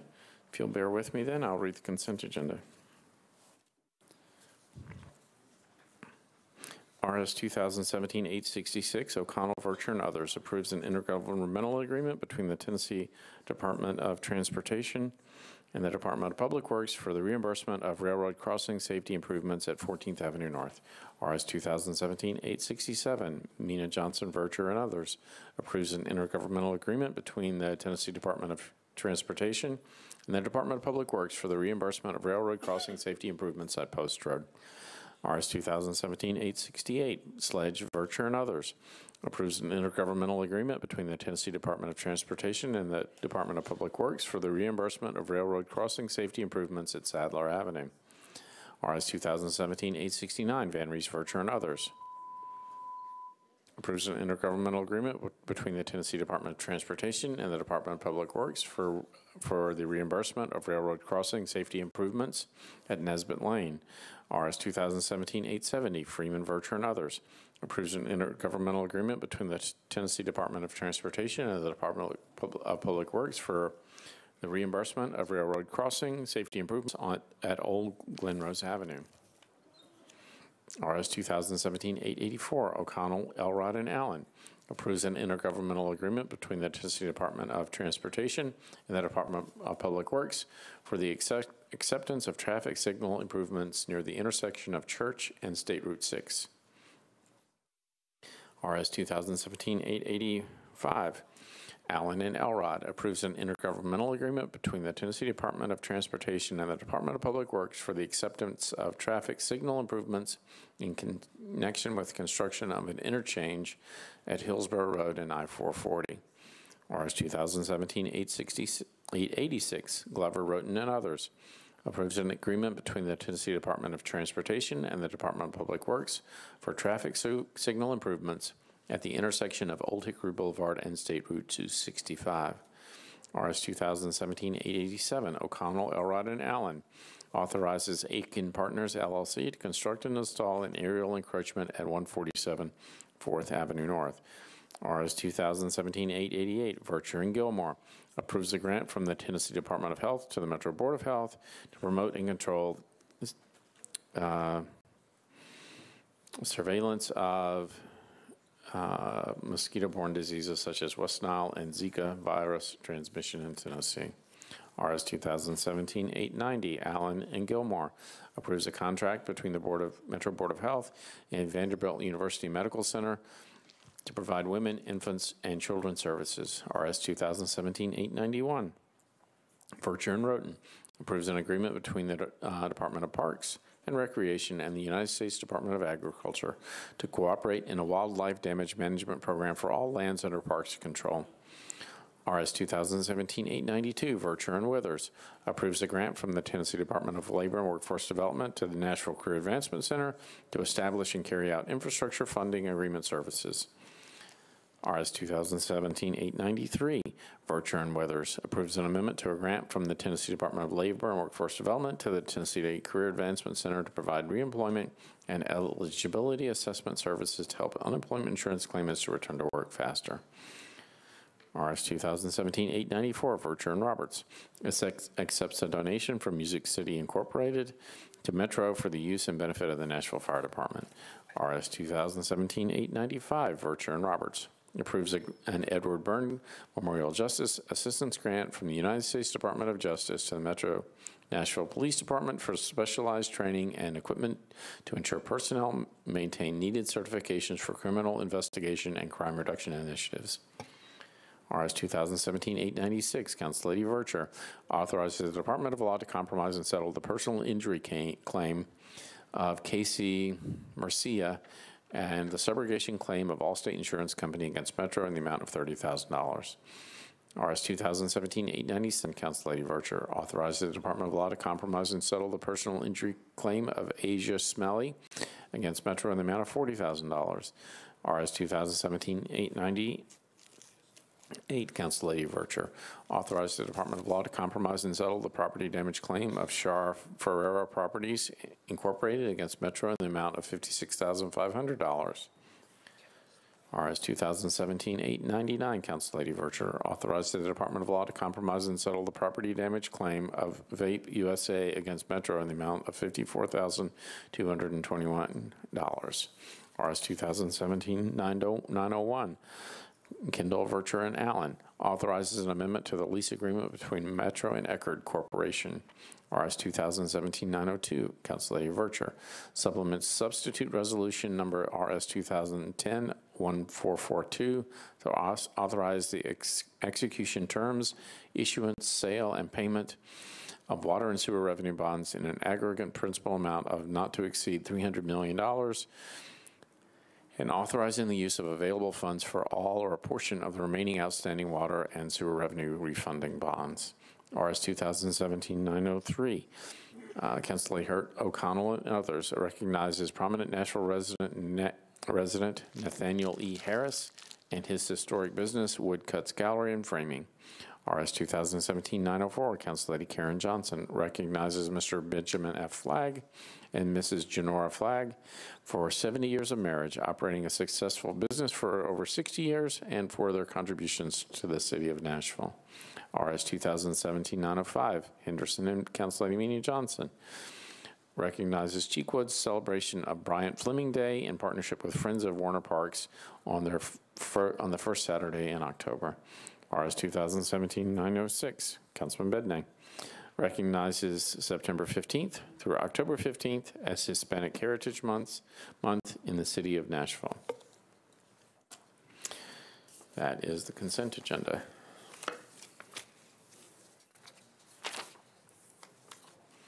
Committee reports, Council Lady Vercher.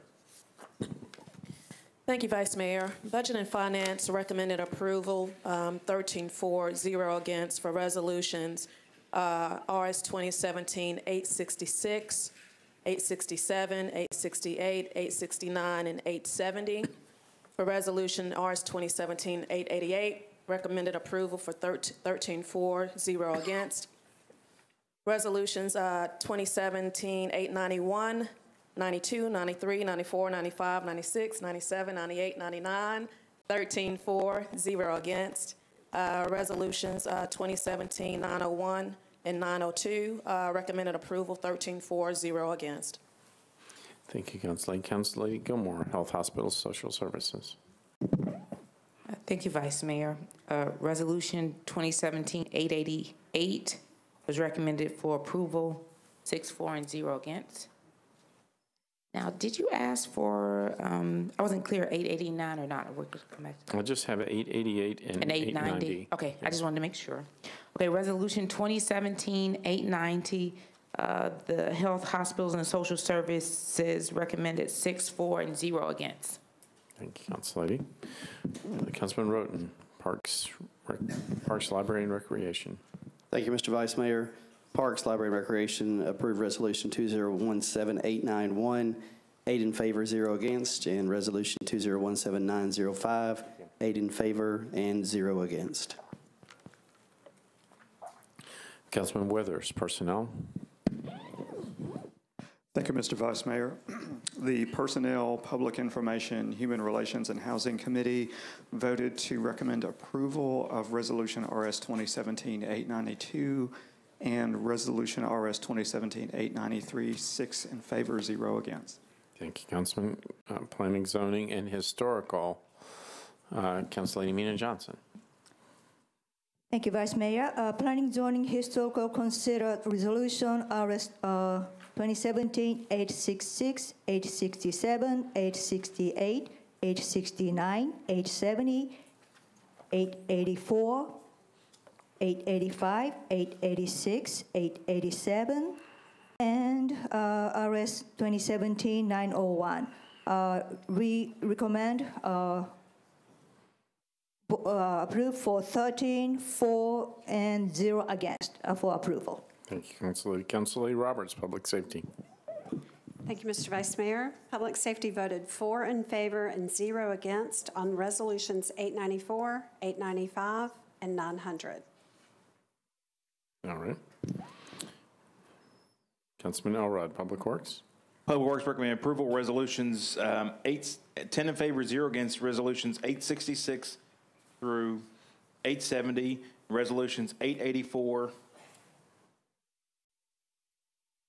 through 887. Thank you, Councilman. Councilway Haywood, rules confirmation. Thank you, Vice Mayor.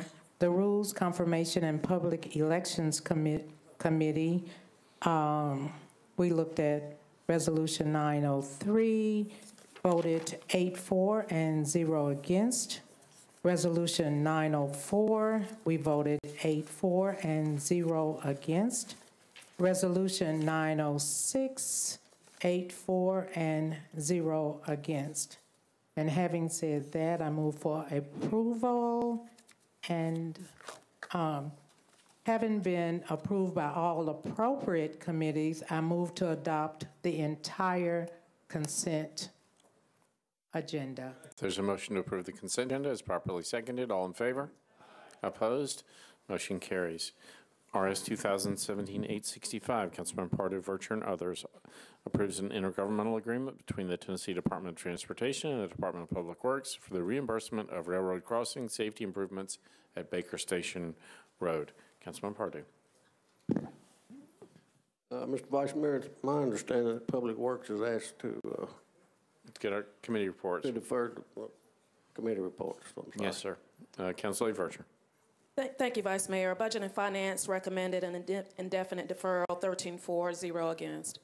Council Lady Mina Johnson. Thank you, Vice Mayor. Planning Zoning Historical, Historical recommended uh, indefinite deferral, 13-4, against. Uh, Councilman Elrod. Public Works recommend definite deferral, 10 in favor, 0 against. Councilman Pardue. Uh, I move, uh, deferral. There's a motion to defer indefinitely. It's properly seconded. All in favor? Opposed? Motion carries. RS 2017-889. Vercher and Gilmore approves a grant from the National Association of County and City Health Officials to the Metro Board of Health to provide programmatic activities to extend, expand partnerships to reduce HIV and other STDs amongst adolescents. Adolescents. Council Lady Vercher. Budget and Finance recommended approval, 13-4, 0 against. Uh, Councilor Gilmore. Uh, Thank you, Vice Mayor. Health and Hospitals uh, recommended a deferral, 640 against, and I would like to explain. Floor is yours. Thank you.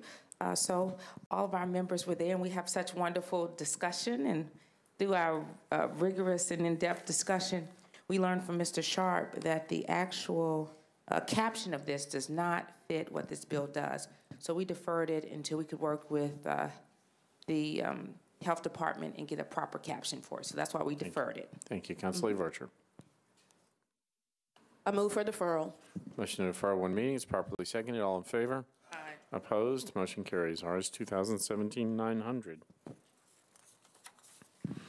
Roberts, Vercher, and others approves a housing incentive grant agreement between Metro and Mykin Development LLC for the conversion of workforce housing units located at 1211 51st Avenue North. Council Lady Roberts. Thank you, Mr. Vice Mayor. Committee reports, please. Councilman Mendes. The Ad hoc Affordable Housing Committee voted to defer this one meeting, 8-0. Council Lady Vercher.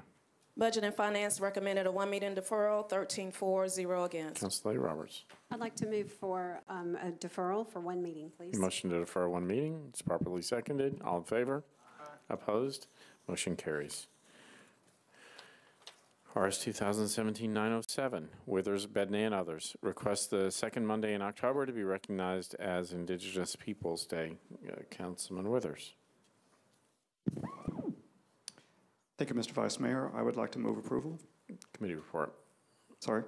Brent- Committee Council- reports, please. Councilor Haywood. Thank you, Vice Mayor. Uh, We voted five for, one against, and two abstentions. Councilman Withers.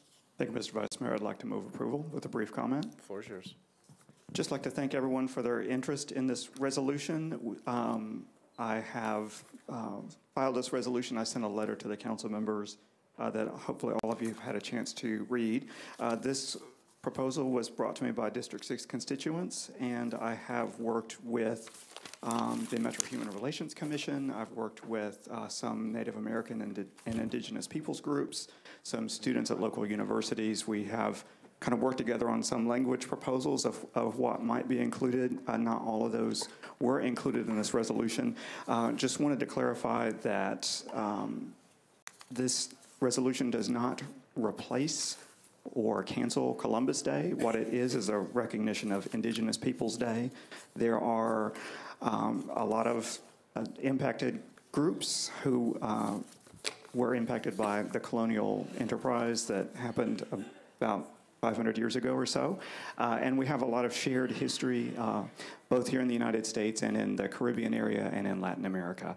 And really, what this resolution tries to do is to give uh, some of the populations whose cultures had been actively suppressed by governments over uh, historical periods at a time, and in some cases even today, opportunities to uh, celebrate their culture and all of the great things that, that they have to offer, uh, both in those original countries as well as the many of those individuals bring with them here into the city of Nashville that make us such a, a rich and diverse culture here. So those are my reasons for uh, filing this, and I would request everyone's approval. Councilor VanReece. Thank you very much. I uh, co-sponsored this um, uh, for personal reasons, uh, as both a Tennessean and an Oklahoman, um, with the uh, historic Trail of Tears markings going through District 8 up Oak- Old Hickory Boulevard. Uh, My aunt, uh, Betty Bell, uh, served the um, uh, Bureau of Indian Affairs in the state of Oklahoma for several years, and uh, I uh, find this uh, issue particularly passionate, and I urge your support. Councilwoman Bednarik. Thank you, Vice Mayor. Well, what can I say? This is uh, a long time coming. Um, I, oh, you know, I grew up in Argentina. Uh, we used to celebrate Dia de la Raza. Uh, for people from Latin America, La Raza doesn't mean the race, it means the culture, the background, where we came from, a shared ethnicity. And we used to celebrate El Dia de la Raza on October 12th. Uh, and that was a celebration of uh, the Spanish people coming to Latin America and uh, obliterating and uh, merging and creating a, a new reality for millions of people. Millions of people were disappeared, were killed, uh, were destroyed. Entire, entire communities don't exist anymore because of the expansion of uh, European uh, people that were coming to this country. I'm proud of being Latino. I'm proud of my heritage. But I also think that it's impossible to uh, build anything by denying or ignoring or not considering how did we get here. So I'm encouraging you guys to support this legislation.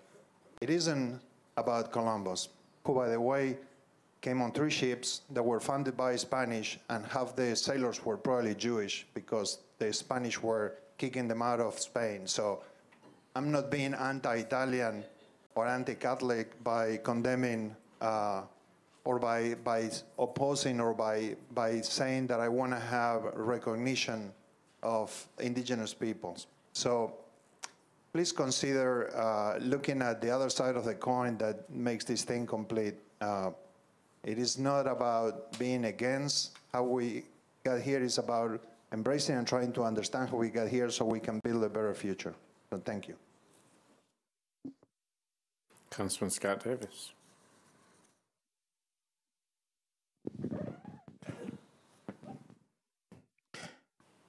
Being a son of a Bahamian immigrant, um, that was that that island of Eleuthera was impacted by um, Christopher Columbus. But more importantly, right now, we want to celebrate the culture of a people that have been forgotten. And I stand as the chair of the Minority Caucus in support of my colleagues that so eloquently portray and defend um, our indigenous brothers and sisters and having a best friend in high school that was a, that is a member of the Lakota Sioux Nation.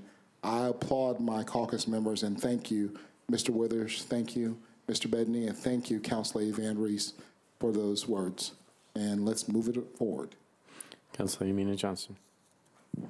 Thank you, Vice Mayor. I would like to also thank you for the uh, lead sponsor for uh, bringing this issue to the uh, floor.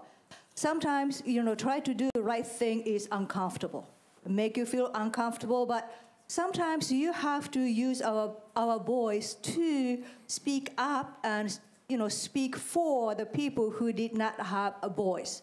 So that's why I am supporting this uh, resolution. So I uh, urge you to support because this is not against Columbus Day or we are not replacing any day. Just try to kind of speak up and speak out for the people who did not have voice so long. And I appreciate your support. There's a motion to approve. It's properly seconded. All in favor? Opposed? Madam Clerk, if you open the machine.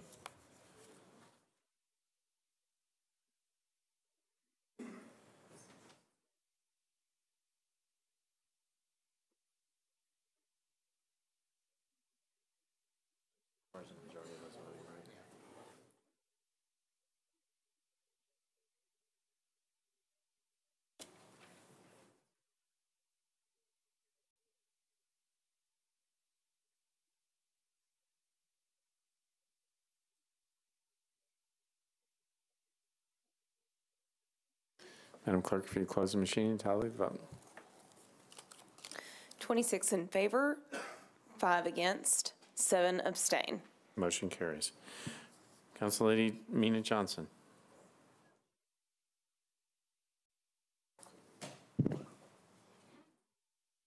Thank you, Vice Mayor. Uh, I would like to uh, ask for suspension of the rule to introduce uh, the late file resolution. This is to recognize Oct- Come on.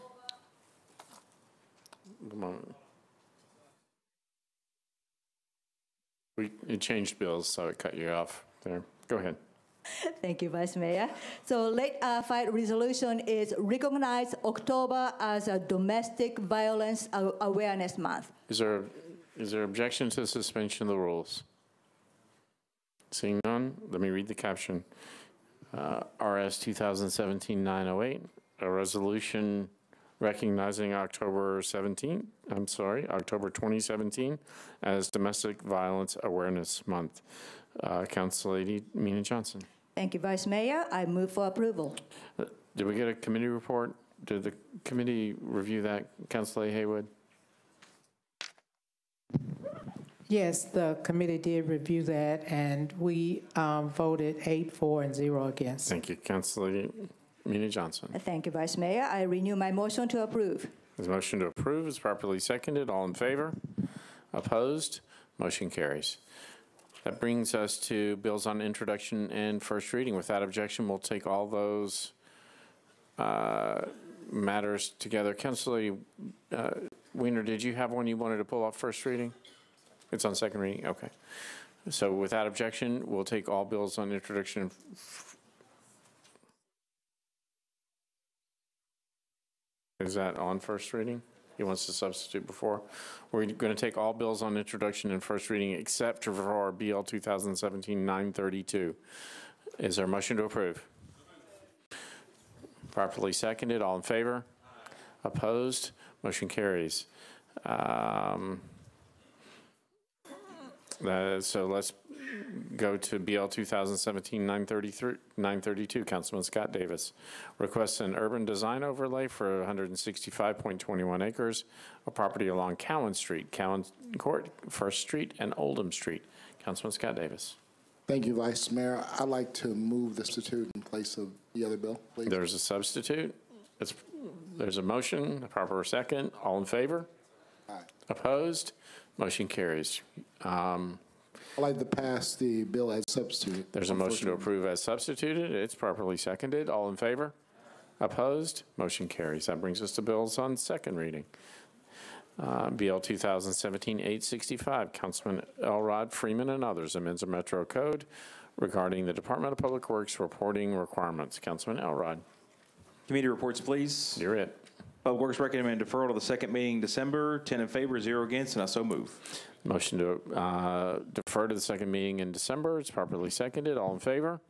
Opposed? Motion carries. BL 2017-870, Council Lady Vercher and Allen declares the property at 3410 Knight Road as surplus and authorizes the Director of Public Property to sell the property to KIPP Nashville. Council Lady Vercher. Thank, thank you, Vice Mayor. Do I need to give the co- committee report first or move the amendment? Well, let's get the other committee f- reports first. Councilman Rosenberg. 870. Thank you, Mr. President. Education voted for the bill as amended, six in favor, zero against, with one abstention. Council Lady Mina Johnson. Thank you, Vice Mayor. Uh, Planning, zoning, historical uh, voted as amended, 13 for, zero against. Thank you, Councilor. Lady. Council Lady Vercher, let's get your committee report, and then you can move the bill. Uh, Budget and Finance uh, recommended approval as amended, 13 for, zero against, and I'd like to move the amendment. There's a motion to amend, properly seconded. All in favor? Opposed? Uh, Councilman Rosenberg? Thank you, Mr. President. Which amendment is, are you moving, please? Uh, uh, There was two amendments. Um, We took them up at the same time. Uh, Mr. Jameson, would you, would it be appropriate for Mr. Jameson to articulate It both would be. amendments? First amendment is from Councilman Glover that would uh, dedicate the proceeds from the sale to the school's debt service fund. Uh, The second amendment from Councilman Mendes would essentially apply the right of first refusal and therefore change the exhibit to the agreement so that it reflects the right of first refusal with a condition that it is not applicable to lenders exercising their rights under a deed of trust, provided the lender gives us notice of those exercise options.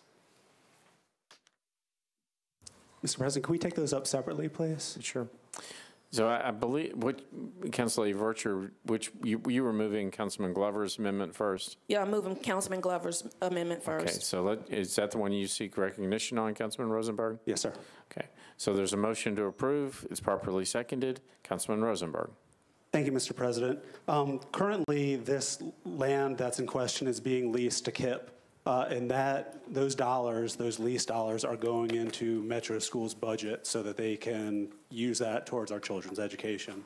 Um, And under the bill as filed, that $3.4 million from the sale would go to Metro Schools' capital fund so they could use it on the vast array of capital needs that we have. Um, Under this amendment, they would not be collecting the rent payments anymore, nor would they be able to use this money for our needs. Um, Last year, Metro Schools filed a $278 million capital needs request for year one, and we funded 85 million, leaving them with a $193 million shortfall. By doing this, we're pulling another 3.4 million out of it. Uh, Not only that, but we would like them to be efficient with what they're doing with the, the Metro Schools owned land. And by doing this, we would be discouraging them from surplusing land in the future simply because right now they are bringing in dollars that they can use via rent. But if we're saying, if y'all surplus land, we're just going to put the money towards debt service and you can't use it, that would be a big uh, uh, deterrent to doing that in the future. So I would ask that uh, the council vote no on this amendment. Thank you. Councilman Glover? Thank you, Vice Mayor. Understand, the taxpayers have already paid for this, okay? So all we're asking uh, them to do is merely put the money back towards debt service. Uh, Over the years, from the time I was on the board to the time of now and time before me being on the board, the city has always been extremely generous uh, with our capital dollars and, and what we've given to the schools. I, I don't want to speak on behalf of the administration, but we asked yesterday, did, did the administration, please, uh, you welcome to answer, did they have a problem with us doing this? And I'll let them answer, but I believe the answer was no, they didn't. This is a way for us to be responsible and to show the taxpayers in Nashville that all we're doing is paying down debt service because we continue to raise and raise and raise and raise the amount of money that we borrow. And we've been extremely generous with the schools. They represent over 40% of our budget. So this is just, um, this is a very small amount that we're receiving on a sale of a building that this city and this taxpayer base financed already for them for saying, go, let's go ahead and pay down your debt a little bit. That's not a bad thing. So I would ask for you support, uh, your support on this. Thank you. Councilman Mendes, are you on the amendment? No, I'm not.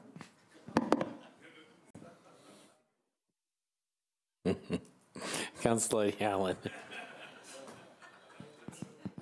I am on the amendment. I I just wanted a little bit of clarification. When we say pay down the debt service, does that specifically mean it's Metro's debt service in general, or, or is there a specific Metro Nashville Public Schools debt service? Schools debt service. So it is, it is still staying within the school system payment, it's, it's not going back to Metro in general? Right, by charter, we do have to keep it within the school's fund. This would further specify that it's when the school's debt service fund. Okay, which is separate from their capital fund, which is subject to our approval? Right. Okay, thank you for the clarification. Councilman Bedne. Yeah, I have a question for the administration. Uh, So why are we not using this property for affordable housing? I think we had a, created a conversation that we were going to use any surplus property to incentivize affordability in the city. How did this become a, a school property? I'm going to come back to you on the bill after the amendment. Oh, I apologize. Yes, thank you. Councilman Pridemore, are you on the amendment? Thank you, Vice Mayor. Yes, sir, I am. Uh, As stated yesterday, I I echo uh, Councilman uh, Rosenberg's thoughts and statement. Also, we need to consider that, you know, the school board has, um, has elected officials that, uh, that do the same thing we do. I know we approve the funding, but they are also elected officials representing uh, the people of this county for what is best for David, for the schools in Davidson County. Thank you. Councilman Rosenberg. Thank you, Mr. President. I agree with everything Councilman Pridemore just said. I also note that the administration is, does not have an opinion on this particular amendment. They're not, it's not that they don't have a problem with it. They presumably are leaving it to the school board because that's their purview, and I hope we'll do the same. Thank you. Councilman Mendes? Change your mind. I did change my mind. Um, Well, uh, the administration did say yesterday that they were okay with it. Metro Finance did and head nods affirmatively again right now. Um, And I, I see the point uh, that my, my colleagues are making.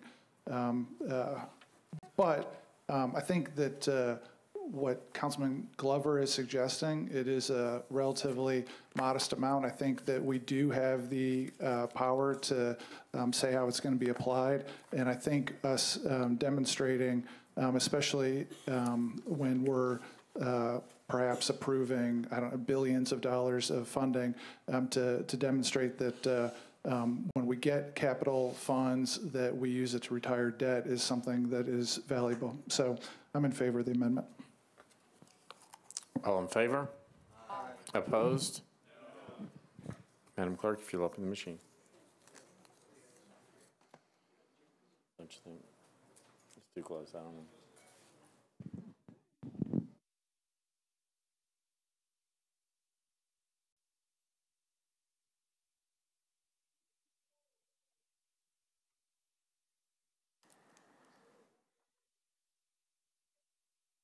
Madam Clerk, if you close the machine, tally the vote.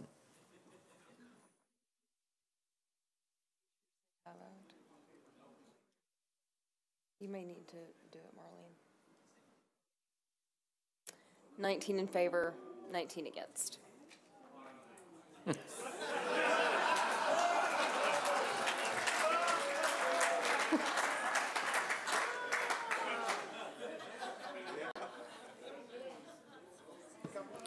Chair votes no.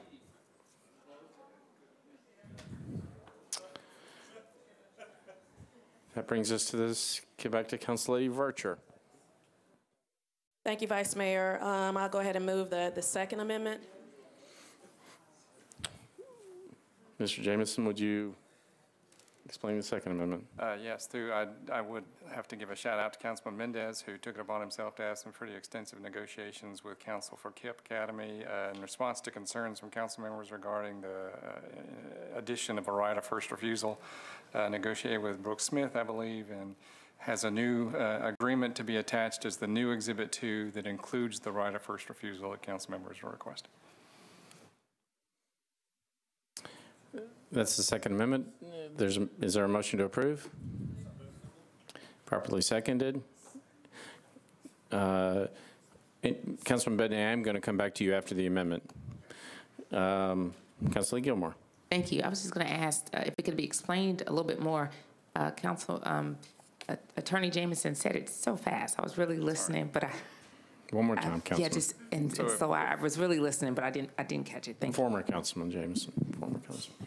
Should KIPP decide to sell, Metro would get notice of that first before others have the opportunity, and therefore we could exercise that right if we elected to. Um, If whoever uh, lends money to it has to foreclose, for example, they could proceed with that as long as we are given notice of their intent to foreclose, so we could intervene in that instance as well. No one else seeking recognition on the amendment? All in favor? Aye. Opposed? Motion carries. That brings us back to the bill as amended. Councilor Vercher. Thank you, Vice Mayor. I'd like to move approval as amended. There's a motion to approve as amended. Councilman Bedne. I'm sorry. It's been properly seconded. Councilman Bedne. Uh, Same question. Okay, th- this is um, a a school property. It was a school that Metro operated as a, as a school, and currently uh, KIPP is using it as a charter school, and the school board um, decided to dispose of the property for the purposes of selling it to KIPP. Yeah, so it's, a- it's the school's decision as to, yeah. So have you guys, uh, the, the staff that deals with affordable housing, did they consider this property for affordable housing? I mean, I'm an architect, well, I have a degree in architecture. I can build you houses in a school. It doesn't have to be necessarily a school when, uh, when you have a property like that. Yeah, it, it is a, it is a school property, and they specifically disposed of it to, to sell it to KIPP Academy to continue to use as a charter school. I have been to KIPP Academy. They're great. They do a good job. I have no problem with KIPP. I have a problem with not having enough, uh, enough affordable housing. So that should be our priority. If we dispose of any property, first should be, sorry, in my humble opinion, should be to uh, incentivize affordability. So thank you. There is a motion to approve as amended. Is properly seconded. All in favor? Opposed? Motion carries. With that objection, Councilman Rosenberg will be marked, marked as abstaining unless there's a no vote. Seeing none. Madam Clerk, if you'll mark Councilman Rosenberg as abstaining. BL 2017-904, Allen, O'Connell, and Henderson amends the Metro Code relative to economic and community development incentive grants. Councilor Allen. Thank you, Mr. Vice Mayor. Committee reports? Councilor Lee Archer. Budget and Finance recommended approval, 13 for, 0 against. Thank you, Mr. Vice Mayor. I move approval with the brief explanation. Floor is yours. Thank you. Um, This is uh, a a question that has come up when we do economic incentives. Um, We have, from the floor with each one individually, asked that they uh, try to utilize MTA's um, Easy Ride program, which provides um, that the owners would then provide IDs or badges that their, their employees could use to, to participate in, on the, riding on the, on the bus. This would simply formalize that process so that with every economic package that we have, this conversation is automatically part of that. So with that, I would ask for your approval. There's a motion to approve. It's properly seconded. All in favor? Opposed? I'm sorry, Councilman Sledge. Uh, Thank you, Mr. Vice Mayor. I just had a question of the sponsor. Uh, According to the analysis, the second question, the second, uh, I guess, requirement is a- an annual written report regarding participation. My, my question of the sponsor is if the uh, applicant rec- uh, looks at the program, says, no, we're not going to participate, are they still required to file an annual report and say, we have 0% using Easy Ride? I just wanted to understand the mechanics of it. Councilor Allen, can you offer an explanation? I may, I may defer to Mr. Jameson on that, but my, I would like to be encouraging them to use this. And so if it's a nuisance to them when they don't use it, I'm okay with that. But Mr. Jameson, maybe you can answer how it officially would work. Literally how it's written, I don't know if this was the sponsor's intent, but literally how it's written, they would write, we have no interest in participating, presumably just the one time. Okay, thank you, Mr. Vice Mayor. No one else seeking recognition? Recognition? All in favor? Opposed? Motion carries. BL 2017-905, Council Lady Weiner and Councilman O'Connell amends the Metro Code to establish a merit-based grant program. Council Lady Weiner. Thank you, Vice Mayor. I'd like to um, get committee reports, if you don't mind. Councilor Vercher. Thank you, Vice Mayor. Budget and Finance uh, recommended approval as amended, 13-4, zero against. So I'd like to move amendment and then move the bill with a brief explanation. There's a motion to amend. It's properly seconded. All in favor? Opposed? Motion carries. You're on your bill as amended. Floor Thank is you. yours. Um, I will be brief, I promise. Um, Among many of the other things that were asked of me when I was working on tweaking the budget process was this one. How do we address our support of nonprofits outside of the operating budget process? And how do we manage accountability and how do we manage vetting? So this is the culmination of other discussions with finance and administration to fix that problem. This allows us to consider support for nonprofits within specific guidelines, and since we're using taxpayer money for that, if for no other reason, it deserves the escalated examination and accountability. The mayor already had the uh, Community Enhancement Fund grant program discontinued in favor of this merit-based grant program that we'll be adopting. This is going to allow nonprofits to apply for those funds with measurable benchmarks and standards for accountability. I'll be withdrawing 906 and would appreciate your support of 905. Thank you. There's a motion to approve. It's properly seconded. All in favor? Opposed? Motion carries. BL 2017-906, Weiner and O'Connell, amends the Metro Code to reestablish the Community Enhancement Fund Grant Program. Council Lady Weiner. Thank you, Vice Mayor. Committee reports, please. Council Lady Vercher. Budget and Finance recommended withdrawal, 13-4, zero against, at the request of the sponsor. And I'd like to move to withdraw, please. That bill is withdrawn. BL 2017-907, Councilman Syracuse, amends the Metro Code regarding exemptions to the minimum distance requirements for obtaining beer per- permits upon the resolution, up- upon the adoption of a resolution by the Metro Council. Councilman Syracuse. Thank you, Vice Mayor. Committee reports, please. Council Lady Roberts. Public Safety voted four in favor, zero against. Thank you. Councilman Move approval Syracuse. with a brief explanation. Floor is yours. Thank you. Uh, This basically gives the uh, same pathway to a brewery uh, that a restaurant or bar does in getting the 100-foot variance. And so it basically just gives them the, the the same process. Thank you. Move approval. There's a motion to approve. It's properly seconded. Councilman Anthony Davis would like to be recorded as abstaining. Thank you, Council- Councilman Bedne. I was just wondering what the beer uh, board said about this legislation. Councilman Syracuse. Thank you. Uh, They are in support. Thank you. No one else seeking recognition? All in favor? Opposed? Motion carries. BL 2017-908, Councilman Leonardo, amends the Metro Code pertaining to the Department of Water and Sewerage Services. Councilman Leonardo. Thank you, Mr. Vice Mayor. Uh, Committee reports, please. Councilman Elrod. Public Works recommended one meeting deferral, not 10 in favor, zero against.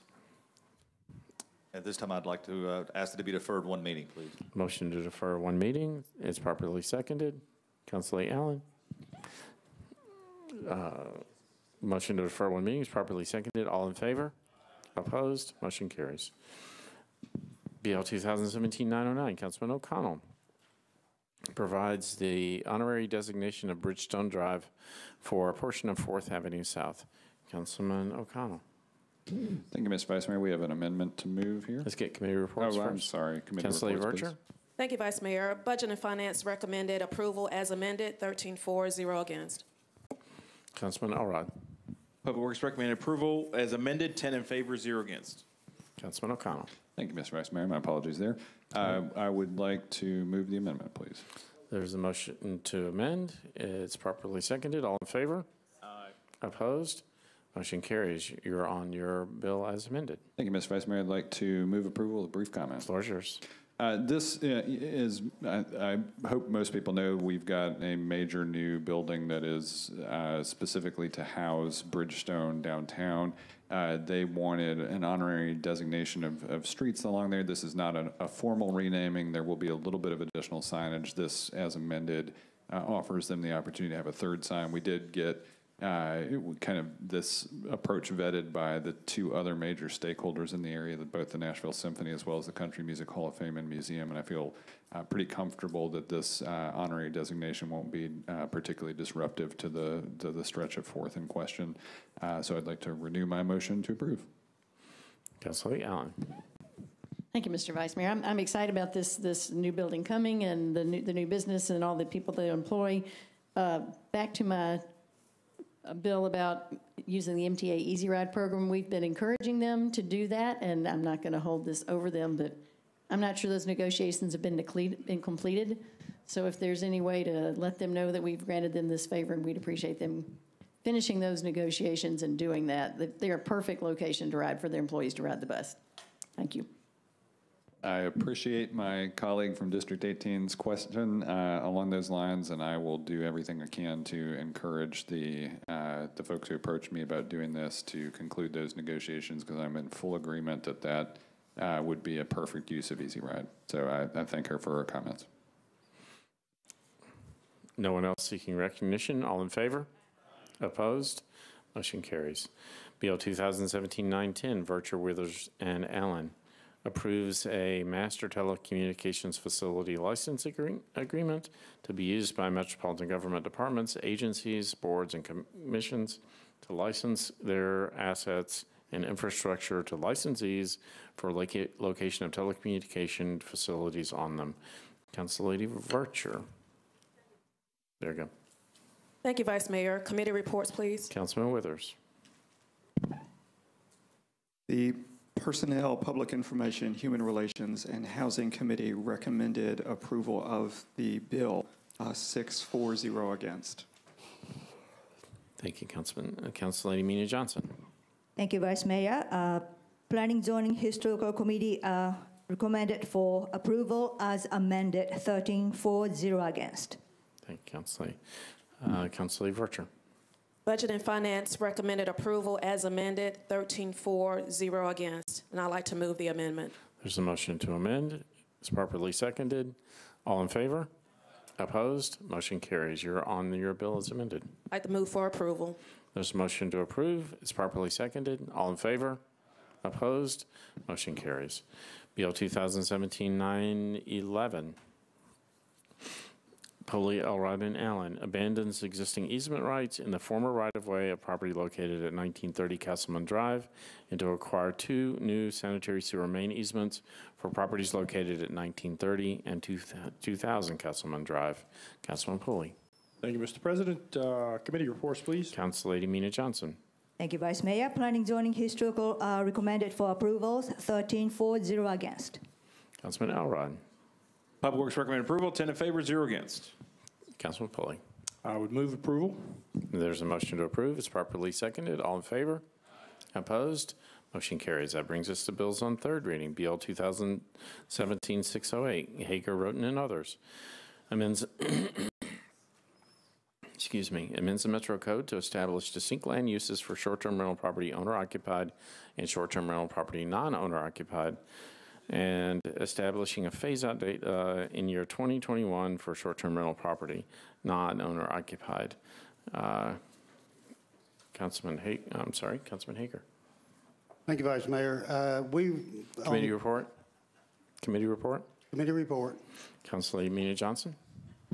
Thank you, Vice Mayor. Uh, After a lengthy uh, discussion, um, many uh, amendment was introduced.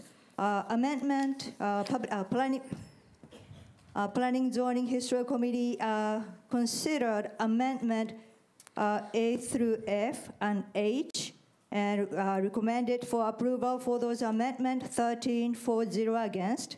And Amendment K and Amendment L was uh, withdrawn. Uh, And also, amendment, I- I I apologize, amendment JKL uh, was considered, and it, uh, motion was uh, failed. And so at the end, uh, Planning Zoning Historical uh, recommended uh, bill as amended, uh, 10 for, uh, 2 against, 1 not voting. So, like- I'm sorry, let me s- repeat the, the recommendation on the bill amended. Yes, uh, bill as amended, a final recommendation is 10 for, uh, 2 against, 1 not voting. Councilman Hagar. All right. I'd like to offer these amendments as substitute with this bill, and I'd ask Mike Jameson if he would to go over those amendments. We need a motion first. Motion to approve the amendments. Is a motion to approve which amendment? Amendments um, A through F and H. There's an objection to taking those amendments together. Seeing none. A through F and H, correct? A through F and H. Council, Mr. Jameson, you want to give a summary of those? Amendment A would change the date within the text of the bill to year 2020 instead of 2019, therefore matching the caption. Amendment B would eliminate the term $50 in front of the fee. There would still be a fee, but the exact amount would be set by codes uh, depending on a a fee study. Amendment C would require the change to be published in a newspaper of general circulation per our code. Amendment D would clarify that permits that are revoked for one year would be revoked for one year from the date of revocation. Amendment E uh, simply makes a grammatical correction. The, the word that is repeated twice, uh, makes that correction. Amendment E makes a correction to a numerical sequence order uh, in subsection 7. And Amendment H uh, would clarify that owner occupied is defined to refer only to natural persons. Move approval of the amendments. There's a motion to approve. It's properly seconded. Councilman Shulman.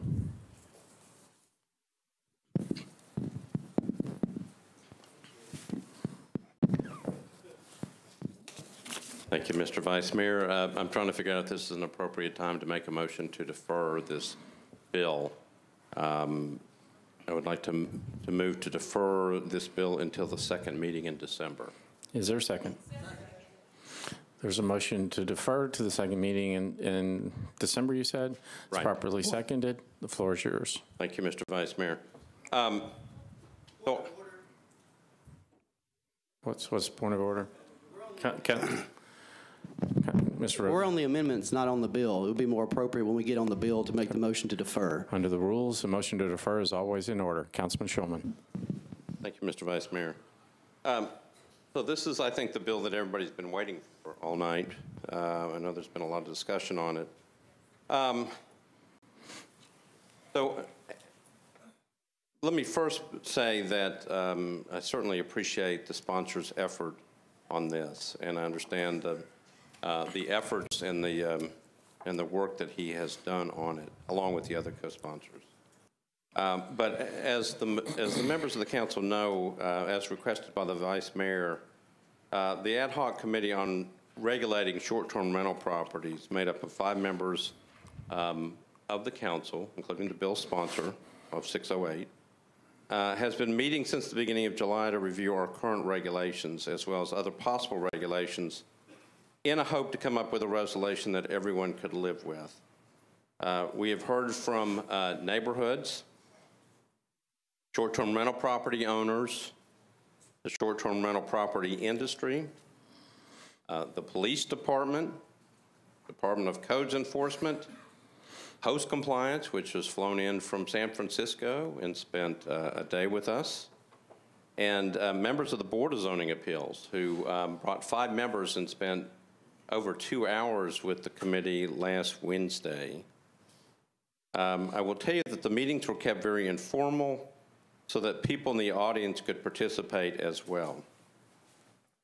So we have appreciated the efforts of everyone who attended, including members of the council. Uh, very helpful information, some very good ideas that might be utilized to craft an overall resolution, one that deals with the whole picture, including enforcement, which has always been, in my mind, one of the keys to dealing with this issue. So there was a reason that this committee was put together. Um, It was designed to carefully study the issues and work at resolution. And that is what the committee has been doing. Uh, Whatever happens tonight, uh, what I can say, at least as chairman of the committee, uh, is that we're going to continue to work on efforts to see if we can keep everyone around the table and work on measures that address this issue. I know it's complicated, I know it's difficult, but we are trying.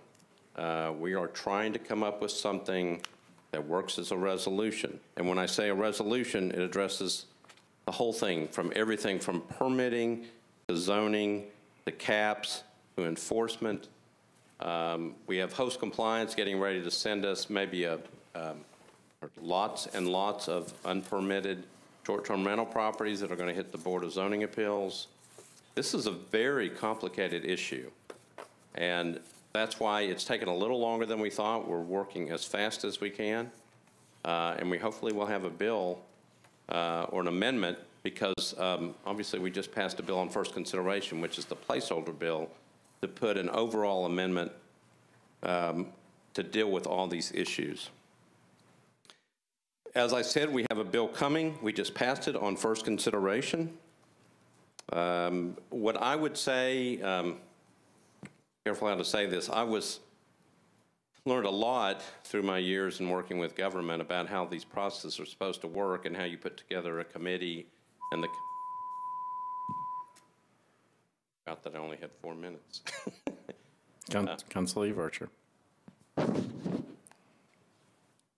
Thank you, Chair Shulman. Thank, thank you, Vice Mayor. I, I'll pick up. Um, as a member of the ad hoc committee, I will ask colleagues to, to support the deferral as well. One, at the charge of my vice mayor, our vice mayor, this committee was formalized. It was formalized so that we can work on this complex matter. All we're asking is for you to allow us um, that time to do such. We don't want the time that we've spent, and we're appreciative in, in, the, in the work and the efforts that the sponsor and the sponsors have done on this legislation, but allow us to do what the vice mayor, our vice mayor, has actually charged us with to do, and that's to come up with a comprehensive solution for this complex matter. I want to also mention, because it has to be said, um, currently there are no type 2 permits being issued. So a deferral uh, for this legislation um, um, um, doesn't hurt anything. Um, no type 2 permits are being issued because of this pending legislation. But more importantly, um, we have host compliance in place now. We just, this body asks for, for that solution as it relates to this matter. The ad hoc committee, we need time to be able to formalize the information that we've received so that we can compile the information and come up with a comprehensive solution.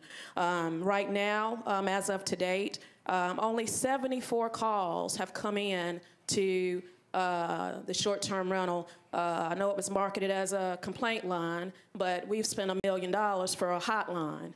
Um, that's what it ultimately is, is boiled down to.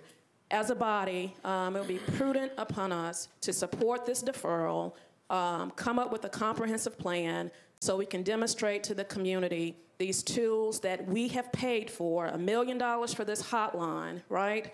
Um, we need time so that we can make sure that all these pieces connect together and we come up with a plan that both um, our neighborhoods and everyone can actually live with. And again, I encourage you to support this deferral at the charge of our Vice Mayor. Thank you. Council Lee Allen. Thank you, Vice Mayor. As- As, as a member of the committee, I would like to also um, ask for the courtesy of continued time to finish the work that we've begun. Many people attended those meetings. Um, I, I think out of respect for the time that they've spent with that, with us, um, it would, it would be appropriate to allow us time to, to finish. I don't think we need an inordinate amount of, uh, of time to do that, but certainly several more meetings would be required to do that. I'd also like to point out that um, I think what we would be shooting for is a proposed bill that addresses the neighborhood concerns, which are, which are very important. We do owe the neighborhoods um, the peace and quiet that they're asking for. Um, we do them no favor, though, if we, if we pass a bill that then uh, perhaps is uh, overridden by another entity. So I think we need to be very thoughtful in how we do that. Um, I think that there are ways to take the concerns into account um, so that we don't uh, produce a piece of paper that doesn't actually get the results that we need, which is to deconcentrate and to get rid of the party houses, to allow the 24/7 hotline to to uh, to begin to come into force, so that we can see that it that it is working. So, um, and again, I would would reemphasize that. Um, 608, as pending legislation, is currently doing what it's meant to do. It will continue to do what it's meant to do. Um, I believe that if it is passed tonight, that puts us in a different position that will make it difficult for us as the committee to continue to work on our work. As it, as it is pending now, it is, um, it is an excellent tool. It's providing us the breathing space that we needed, um, and I'm grateful to have it in place and would ask that we keep it in place, defer, and and I will yield my time to Mr. Shulman to suggest how long that deferral would be.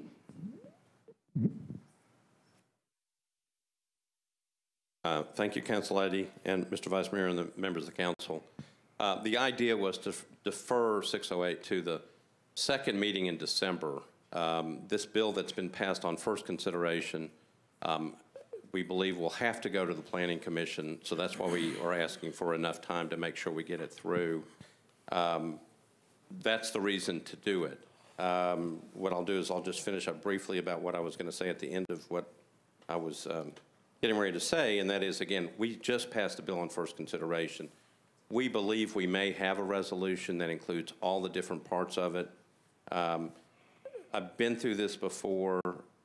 It just makes sense to me to, um, to defer 608 tonight um, until everybody has a chance to see what the committee comes up with.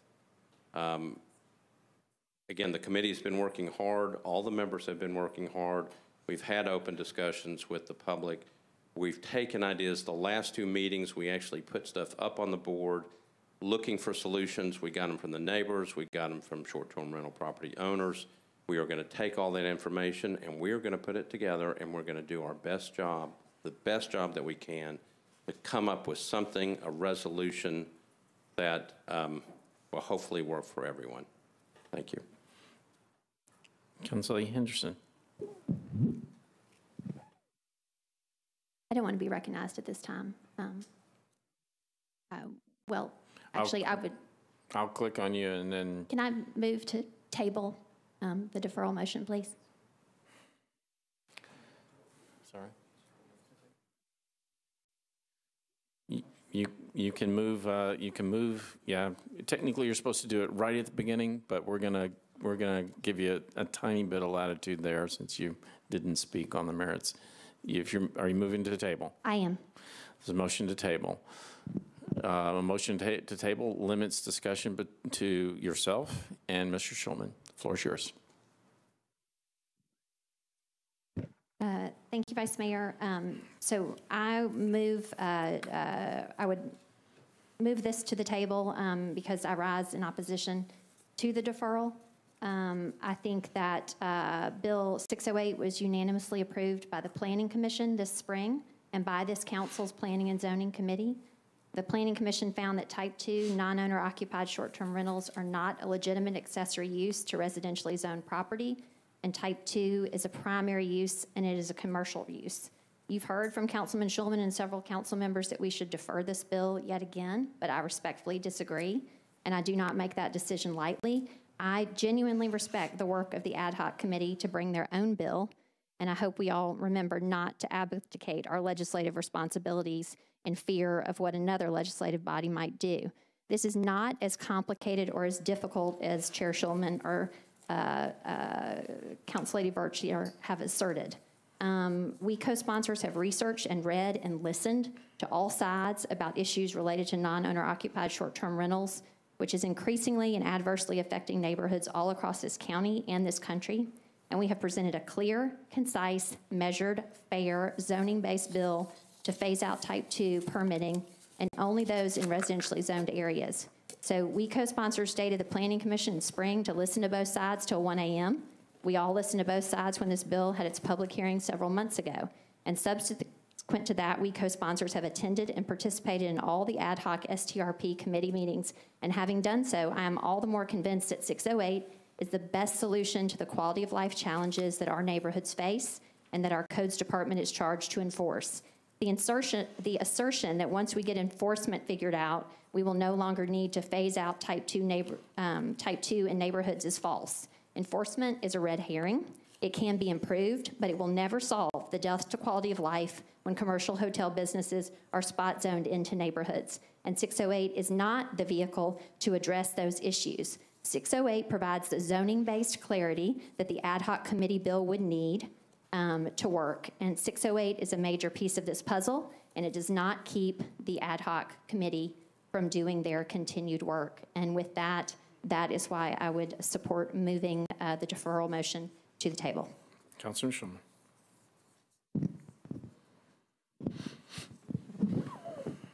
Thank you, Mr. Vice Mayor.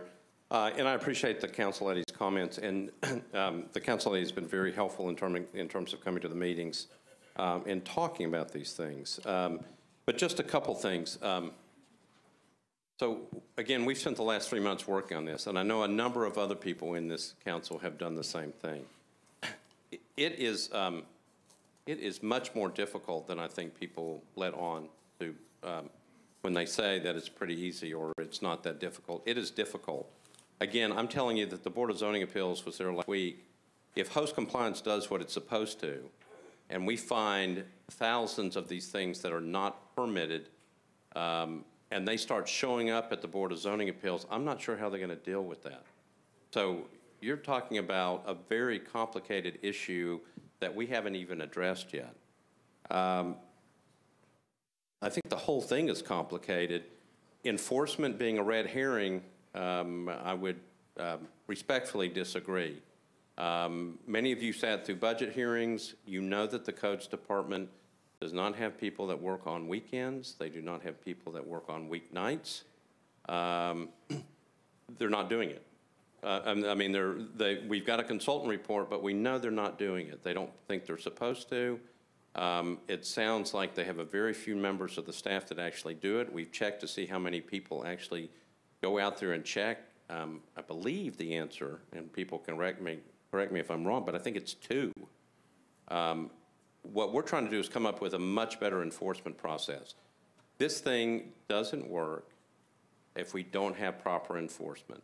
One of the things we're looking at is whether we have to move it, what do we do with it, but we have to put some teeth behind it, because if you have no teeth behind it, nobody's going to get, nobody's going to get the inspections, nobody's going to get the policing of the regulations that we require.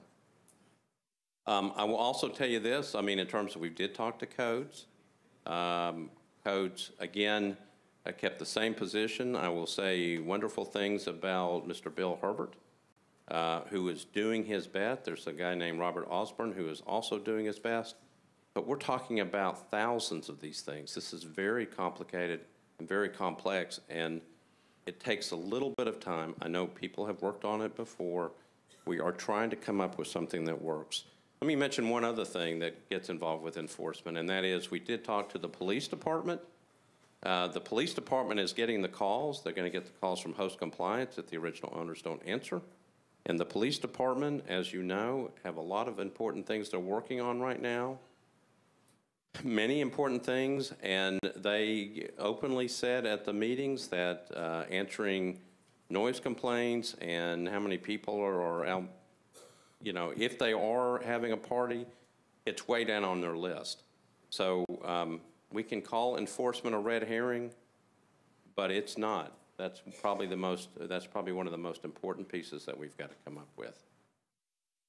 Again, I would ask you um, not to put our deferral motion to the table.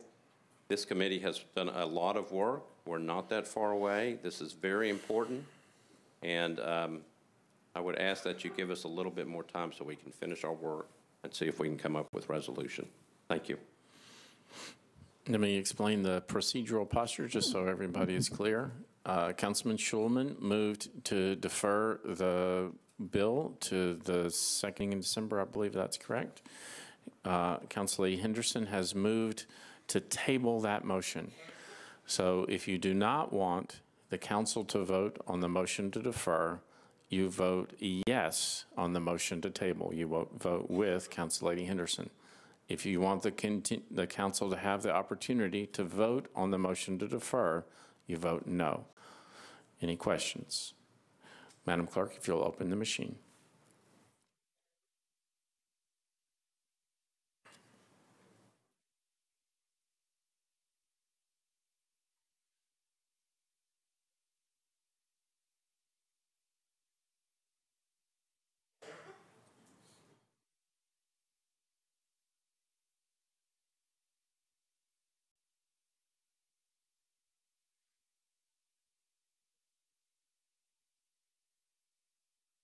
You'll close the machine and tally the vote.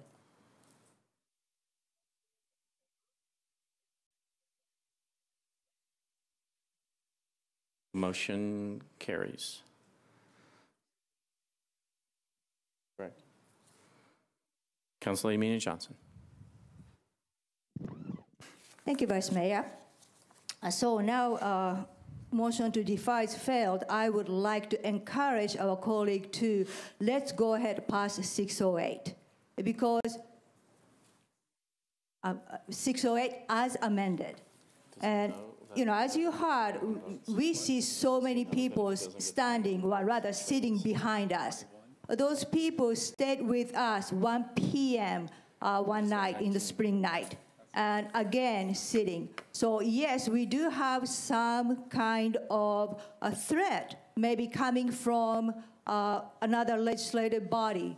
However, as a district council member, my first and foremost uh, responsibility is to answer my constituent, my neighbors who are asking to please consider give us quality of life and peace by slowly eliminating uh, investment type of uh, short-term rental from only residentially zoned area.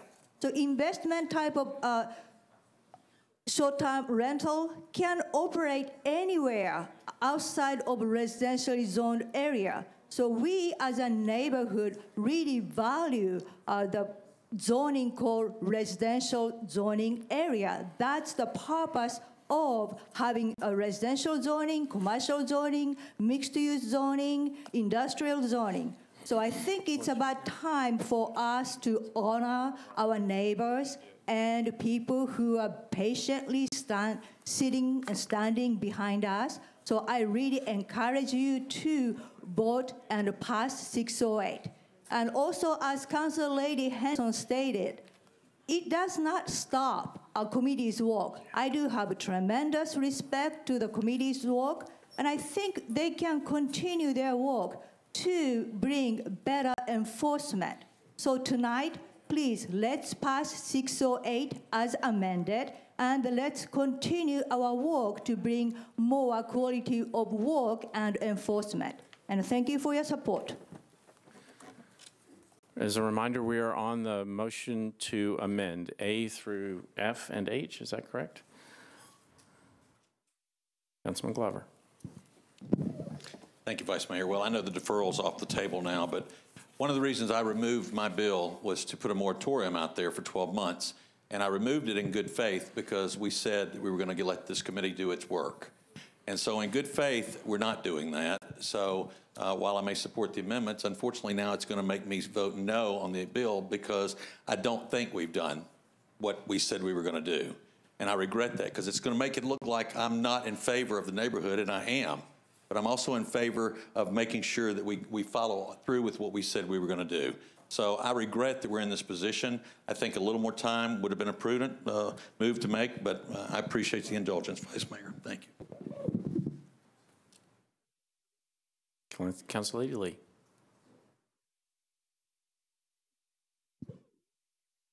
On the, on the amendments. Um, it was before the, the vote to put it to the table, so I don't have anything to say now. Thank you. Councilman Shulman.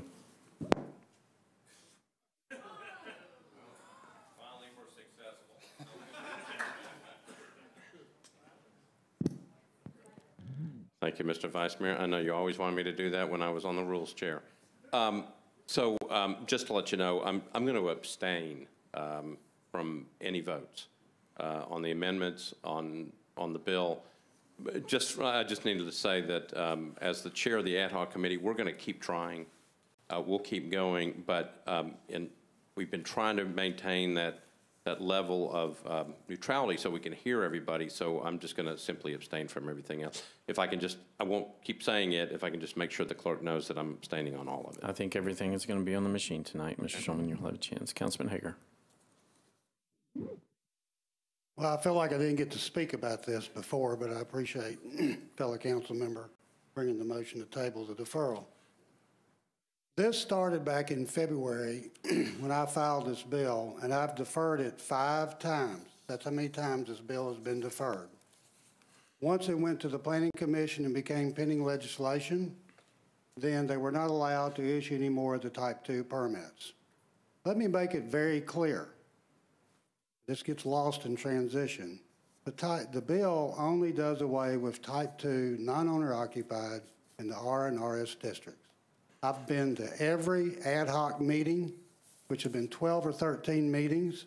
I've sat, I've listened, I've heard arguments both ways. And I'm committed to still work with Councilman Shulman on his bill for amendments to this. But at the same time, those amendments will have to probably go back to the Planning Commission. So what I'm asking to do tonight is pass 608, and then we will continue to work in the ad hoc meeting with Councilman Shulman's bill to produce a bill that will have some amendments to 608, and that's what I'm asking to do.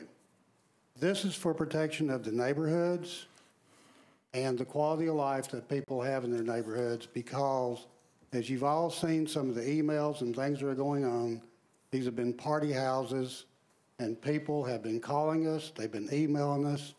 And don't get me wrong, I think host compliance is a great program, but it's not going to solve all the problems. If you go back and look at the paper that I put on your desk, there's about 24, 25 cities across Tennessee that have already disallowed the type 2 in the residential and the RS districts. So it's quite clear that people are seeing some of the problems that we're having here, and what they're doing is following suit and passing ordinances to disallow type 2 in the residential neighborhoods.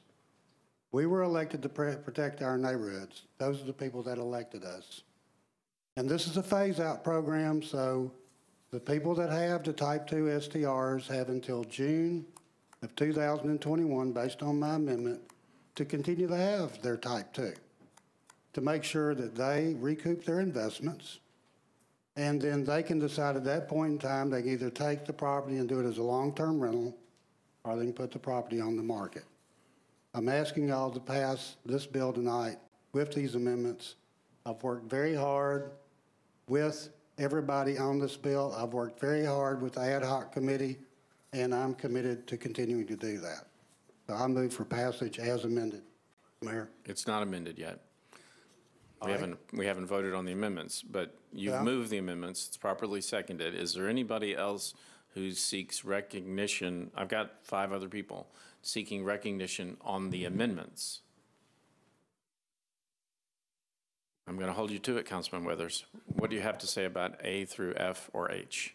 Uh, Thank you, Mr. Vice Mayor. Just wanted to say that these amendments that were proposed are housekeeping amendments, uh, and I think they are consistent with the intent of the bill. They do not require re-referral to Planning Commission hearing, at which we will have additional multiple-hour public hearings that will rehash issues. So these uh, items in the amendments that are proposed are simple housekeeping amendments, and I hope that regardless of your position on the final bill as amended, that you would uh, go ahead and apply these amendments uh, at this time. Anyone else seeking recognition on the amendments? Councilor Gilmore. Uh, Thank you. Last night I sat in the, um, the committee, and so it, it, this speaks directly to the amendments. I will be able to support the amendments, but I will not be able to support the bill. And I do understand that the council member has worked very dili- diligently on it, and I shared with him before. I do, I don't want him to personalize it, but I do think the bill needs to be worked on more comprehensively. And I know that he has put a lot of time into this. However, uh, I think there's some issues that we brought up last night that are of concern. And I think some of them have to do with how a DADU can be considered owner occupied and a duplex cannot. Um, I think we need to look at the fines. And I also think we need to look at, as Councilmember Shulman sh- uh, shared, a way to make it where codes uh, monitoring is a little bit longer. So therefore, I do support the amendments, but I cannot support the bill. I think it needs to be worked on more holistically. Anyone else on the amendments? Seeing none. Uh, Madam Clerk, if you'll open the machine. If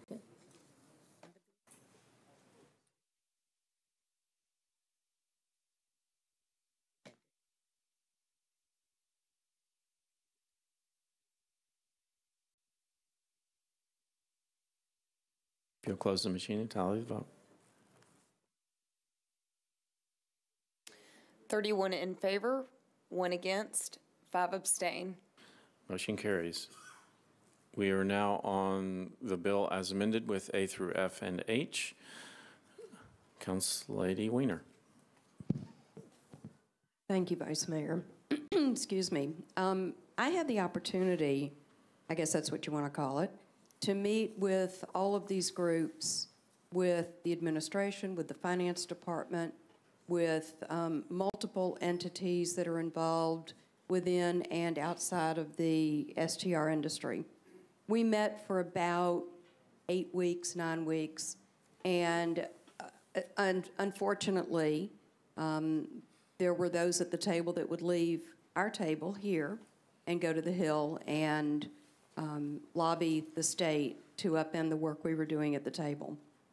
Did that leave me with a pretty bad taste in my mouth? Absolutely.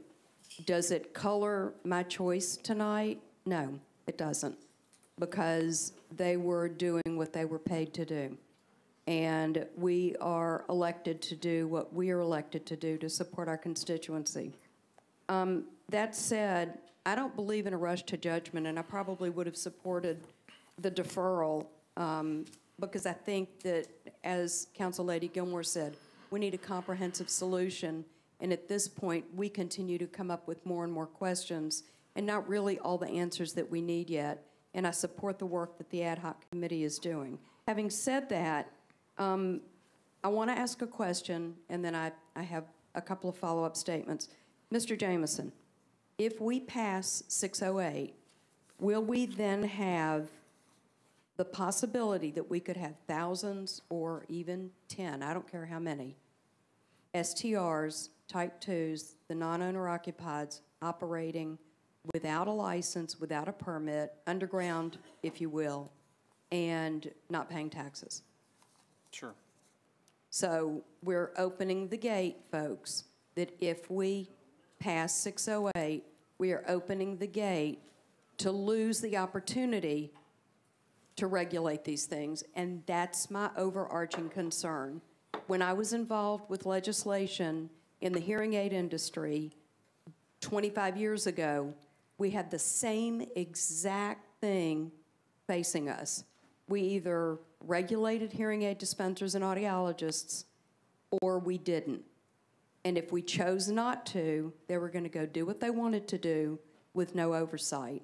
And I personally don't see this any differently.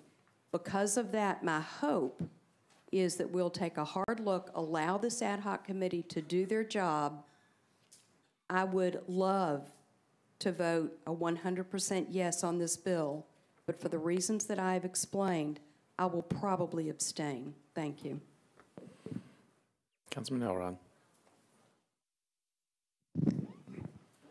Thank you, Mr. Vice Mayor. Uh, First, I want to thank Councilman Hagar, uh, Councilman Rhoten, uh, Council Lady uh, Henderson for their work on this. I know they've put a lot of blood, sweat, and tears into this, and the neighborhood groups that, uh, and other folks that have participated, and Chairman Shulman's committee, and I appreciate his work on this.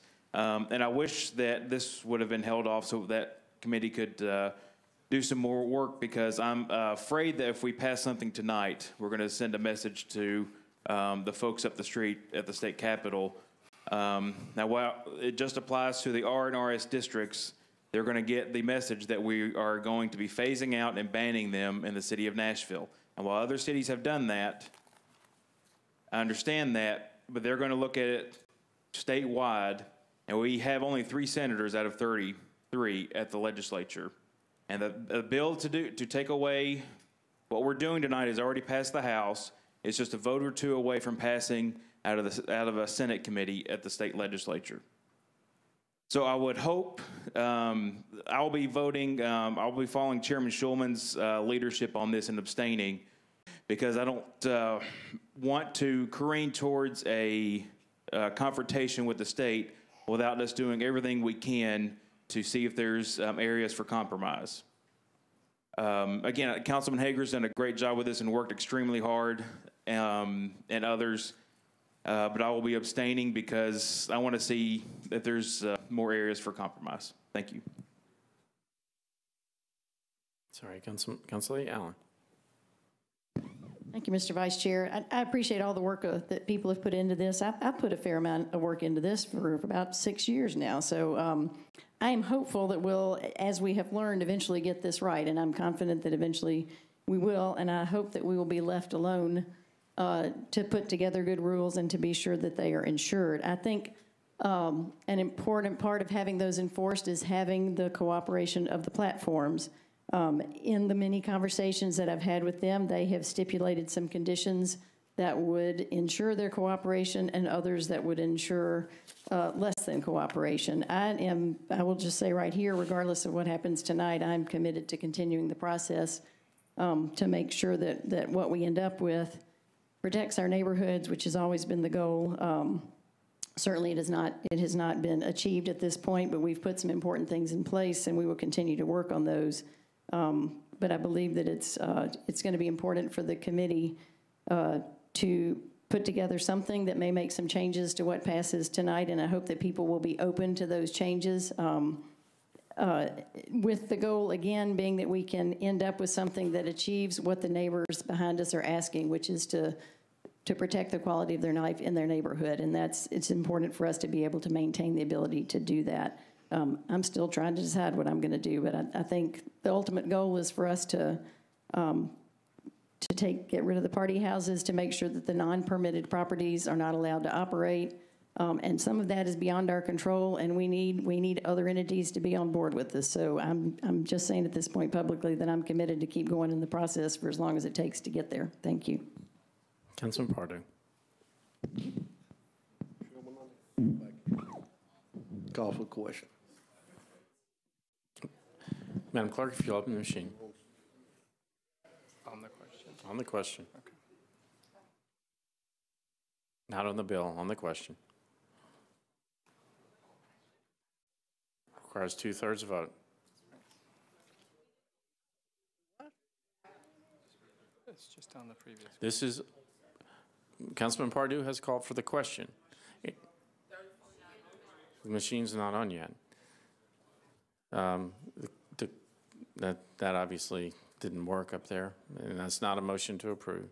The, the, the motion on the floor is the call for the question, which cuts off all debate on the, on the underlying bill as amended. In order for that to carry, it requires a two-thirds vote. Now's your opportunity to cast such a vote.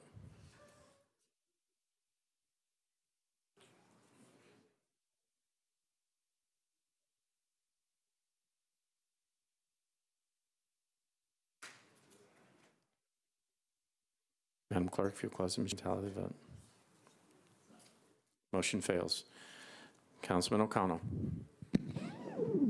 Thank you, Mr. Vice Mayor. Um, As one of the co-sponsors of this bill, uh, I rise to say that I don't think this is an either-or. I think this is a both-and. And I think that's true for both the work of the ad hoc committee. I think that's also true for our relationship uh, between this legislative body uh, and our friends at the other end of Deaderick Street and the General Assembly. Uh, This, this bill basically says what I think Nashvillians have long enjoyed, uh, which is the protection of our zoning code uh, with regard to uses. This bill functionally says and, and returns to the Metro Code the idea that residential zones are for residents. Uh, it doesn't do anything more complicated than that, uh, and I think I don't, I don't believe that anybody that is, is listed as a sponsor or that supports the bill uh, believes that this is going to be a panacea, and I believe that we all expect that the work of the ad hoc committee can and should continue because Councilman Shulman is exactly right. This overall issue is very complicated, but I think the interpretation of our zoning code uh, is not particularly complicated. I would also remind my colleagues that the industry that has lobbied hard against this bill did not start their lobbying effort with us. Instead, they started it as a preemptive effort at the state level. Uh, and I think that is, is tough for a lot of people working in this room. And with regard to Council Lady Weiner's uh, assertions that we are opening a gate, the gate is already open. I can pull up any of the platforms uh, right now and demonstrate hundreds of unpermitted uh, non-owner occupied properties throughout the city, and these are exactly the kinds of properties that are, are already operating in the shadows and frequently uh, out-of-area operators that are creating the very problems that all of my neighborhoods in my district have encouraged me to work to more stringently regulate. I think if I look at the correspondence that we've received just in the past 24 hours, the power of the actual residents of Nashville is speaking strongly that 608 is not only important but necessary. And I think that we have demonstrated from the ad hoc committee that their work is also important and necessary. And I, I fully expect that a bill will emerge from that process as well that should work in tandem with 608. And I encourage my colleagues to support it as I will. Thank you. Councilor Henderson.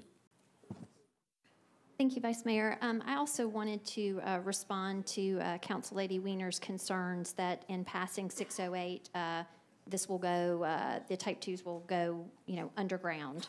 Um, uh, already, um, there, Councilman O'Connell's point, are hundreds operating unpermitted without paying taxes, and we're paying host compliance to catch those folks. So We've addressed that. And further, in somewhat of a counterintuitive way, I want to point out to colleagues that 608, um, I, I don't think is a vehicle for most of the enforcement issues that we need to address, but in kind of a major way, it does serve as enforcement because if you live in a residential only zoning neighborhood, and um, once uh, the three year phase out is in effect for 608, and you see this sort of operation happening around you, and it is not a type one, it is not a place where you know your neighbor lives um, and uh, can hold their, uh, their occupants or guests accountable in the true spirit of home sharing. If you see that activity, then you know it is a violation. Enforcement done. Action clear, action easy, rather than these three um, uh, strikes type situation, which does not work because, as we have seen in ad hoc committee, in planning commission hearings, in our public hearing here, a lot of the uh, issues um, that make this uh, a challenge to quality of life are, um, they don't rise to the level of enforceability, frankly, right? It's not necessarily, this is not a knee jerk reaction to the bad apple big party houses. Um, you know, over and over, weekend after weekend, having someone in the house next door to you whom you do not know, entering out of the Uber, maybe not even that loud at 2 a.m. and waking up your baby or whatever. Those things happen persistently and consistently and will never li- rise to the level of enforcement. So when colleagues point to, or advocates in favor of this point to, oh, well, look, on the website, there's not even that many uh, negative uh, reports or enforcement actions. That's because this is death to quality of life by a thousand cuts. Nothing ever rises to the level of three strikes. And thus, with 608 in place, if you see this activity transpiring adjacent to you or on your street, once 608 is in place, then you know that that is a legal activity and is enforceable in that single moment once reported. So I would just point that out to you that that is another uh, merit of 608, which is a very simple zoning based bill. I think the work of the ad hoc committee can continue on other enforcement matters, but 608 is a key, big piece of the puzzle that helps with that overall enforcement as well um, as the zoning. Thank you. Councilor Blalock.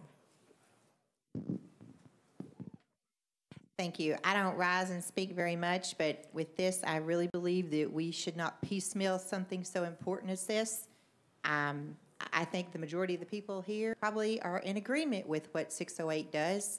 You know, we are for the people. We are for, um, you know, probably not having these uh, type twos in residential. However, I believe that a lot of people that are going to vote no tonight are um, just wanting a more, um, I guess, collaboratable bill. So I just would ask for you to give a couple more months so that we can have something that is actually um, good for everybody and will look good on us from the state. And also, um, I, I just think that this bill is already stopping anything from coming on for no matter how long we defer it. So we should definitely defer it. We have nothing to lose. Councilman Scott Davis. Just as a point of clarification for the folks back at home, um, uh, Mr. Jameson or Mr. Jameson, just for just for clarity for the folks at home, the special ad hoc committee was assigned by this body. Is that correct? By the vice mayor. By the vice mayor. Okay. And Mr. Shulman is the chairman that was assigned to that committee. Is that correct? Correct. And Mr. Shulman, and I don't want to put words in his mouth, the committee still has work to do. Um, that's what was voiced, correct? Correct. I stand to tell the folks at home, let's honor, you know, what this body and the vice mayor asked, and let Mr. Shulman finish his work, and I stand in support. Thank you. Councilman Withers. Thank you, Mr. Vice Mayor. Just wanted to um, say that District 6 now has over 600 short-term rentals, um, and of all types. And uh, until and, and until very, very recently, District 6 had the most, but I believe that Councilmember O'Connell's District uh, 19 now surpasses mine. But uh, as the district that until very, very recently had the most, I've had the most opportunity to hear from constituents on both sides of this issue. And many of you, my colleagues, uh, have filed bills trying to sort of tweak things with regard to short term rentals, which has generated uh, a really large amount of correspondence for and against. Um, so I've, I've had a huge amount of constituent engagement and correspondence and conversation on this particular topic. What I am here to tell you is that there is no one bill that will ever be the be all and end all bill. That is not going to happen, whether you vote for six or eight or not. That bill is not going to happen. What Bill 608 does, um, and I'm not a co sponsor, but the co sponsors filed it as a zoning bill. It narrowly looks at zoning and land use. We had a multiple hour public hearing on that uh, at the Planning Commission as well as at the uh, Metro Council, as many of you recall. Um, and I want to go back to Councilmember O'Connell's point. The platforms themselves, both here locally in Nashville and in other uh, states, typically are have been advocating for preemption from the beginning and not for negotiation. And yet we're, we keep being told that, you know, we're, we're supposed to try to find this compromise with the platforms. And I'm all for about about that, but I've been pretty vocal that I have a lot of really good neighbors who are type 2 owners. Um, I'm not mad at my, my neighbors who are type 2 owners, but I am frustrated and perhaps even angry at the platforms who are mega corporations who do this to cities all throughout the world, have all these resources. They could easily have adopted from the beginning, well, we're just not going to list people that don't have permits. That would have been an easy decision for them to do. There were easy steps, if that's what the issue is, that the platforms could have taken from the beginning that would have possibly resolved some of these issues. But rather than having uh, good faith efforts from the platforms to come to Nashville and see what we can work out to maybe address enforcement, we've had efforts from them at preemption. And so I just want to get back to that. There's no be all and end all bill that we're going to have. Um, I uh, really respect Councilmember uh, Gilmore and Council Lady uh, Sharon Hurt that spoke yesterday. Let's talk about DADUs. 608 is, is neutral on that topic. If this body wants to take up uh, how we treat day, uh, versus duplexes as owner occupied, I would be more than happy to co-sponsor that bill with anyone in this, and 608 doesn't change that. So again, 608, however you vote for it, um, is does not stop debate on enforcement. It does not stop debate on future amendments. Uh, what it does do that I really do appreciate is it gives people who have permits three years that they can still do that. So for, for those who, like myself, were originally for a moratorium, just to say let's stop issuing these permits until we can get enforcement uh, underway, that basically is the effect of 608 because we will continue debating this topic forever. I mean, I just think that that's, that's a reality that we're in. And at some point, you have to decide for yourselves, how many of your constituents have you heard from on this topic? Where are they at on that topic? And specifically, uh, if they are uh, uh, opposing uh, this bill, if they, you know, are they owners or not? I mean, what I can tell you is that, with few exceptions, the people who uh, own Type 2s want to operate them in perpetuity, and I don't blame them for that. And if we need to have a discussion about grandfathering of existing people, we can still have that conversation.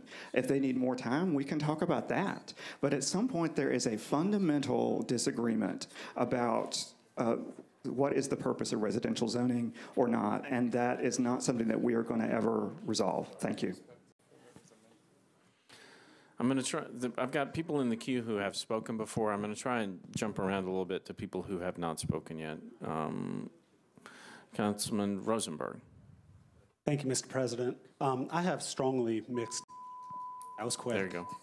There you go. Okay, he's, he's strongly mixed. Uh, Council Lady? No. Go ahead. I have strongly mixed feelings on this. I could make a pretty effective argument, I think, uh, against type twos.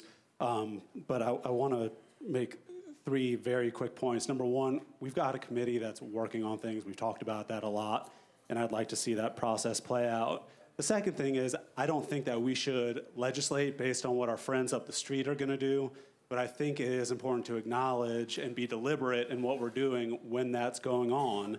And that's the case because of the third thing, which is this piece of legislation is in effect right now. It's pending legislation, so it's being enforced. If we vote on it tonight and it fails, it's back to square one. And based on that tabling motion earlier, it could be a very close vote. So I think it's risky to vote on the bill tonight and risk it going away and starting the whole thing over with nothing in place because that is, there is that protection in place right now. Uh, so for that reason, I would make a motion to defer the bill as amended to the second meeting in December, please. You, you'd have to pick a sec, you'd have, you can't defer it to the second meeting in December. You can defer it to a different date. The- Is that the case even though it wasn't amended earlier when the previous motion was made? I don't know. Uh, It was on the bill before it was amended, though.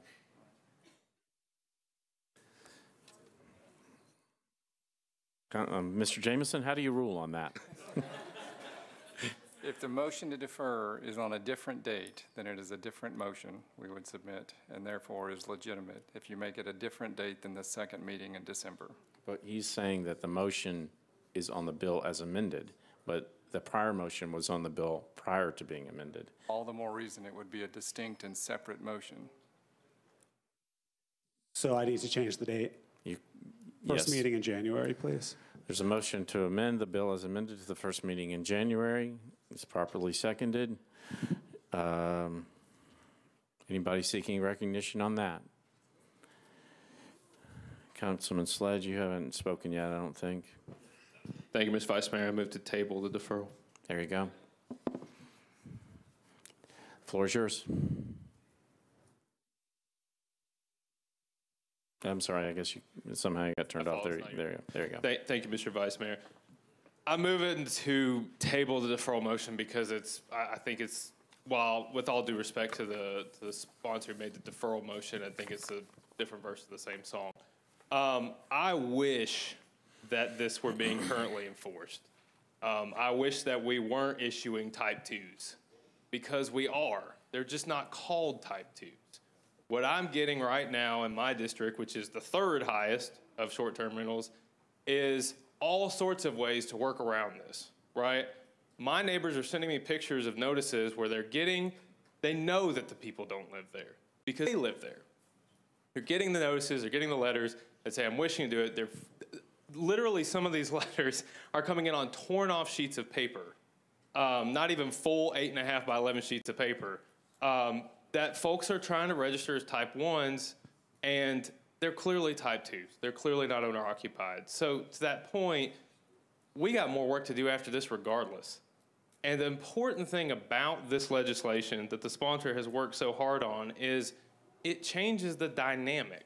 We have been talking a lot about the dynamic between our body and the state legislature, but I feel like we haven't fully addressed the dynamic between this legislative body and the actors who have tried time and again, as Councilman O'Connell said, to circumvent the work of this body.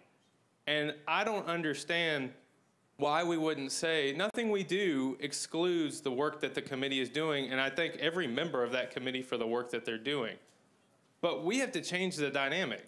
We have to change the dynamic to say there is there are certain things that we hold as priorities. And one of those priorities is ensuring that our neighborhoods are remaining neighborhoods. Now, I can tell you, and I said on this floor before, my personal experience with the type 2, which I think many of you have had as well in this body. And after going to court multiple times, finding our department had issued had issued permits incorrectly, and then going back again, watching an owner get through one legal loophole after another, and the only way that I was able to find a resolution is quite frankly because Metro was bringing the action against the person. If one of our residents and one of our constituents tries to bring that same action, it's on them a lot of the time. It's on them to keep documentation. It's on them to do all the work. And again, it goes back to dynamics. Why are we putting the dynamic on our residents to govern these type twos? That's our job. And so if we take out this bill, then what we have said is we relinquish voluntarily our ability to govern. And I think that's a terrible precedent. I understand, look, we've done stuff that's got preempted all the time. We had a we had a piece of legislation that was almost unanimous. And what happened? It got preempted immediately. So we know that there's that problem, but what we have to do is say we've got 3 months left in the year. This is where we want to start our conversation and we want to start it with the fact that we're keeping our residential neighborhoods residential and we do that by passing 608 tonight and continuing the diligent work that this committee and this full body have done. And that is why I would ask that you please vote to, to affirm to table the deferral motion. Councilman Rosenberg. Thank you, Mr. President. Respectfully, if 608 is not being well enforced tonight, and I have no problem believing that, that's not going to change tomorrow. Sleep 608 is law right now. It's pending legislation. It's being enforced as well as it's going to be enforced tomorrow, except we're facing the, oppor- the option of gambling it away if this bill is voted on and passed tonight. In my mind, the most prudent thing to do is not risk gambling away 608, vote against the tabling motion so we can defer the bill, keep it in place, and move on with what comes next. Thank you. Madam Clerk, if you open the machine.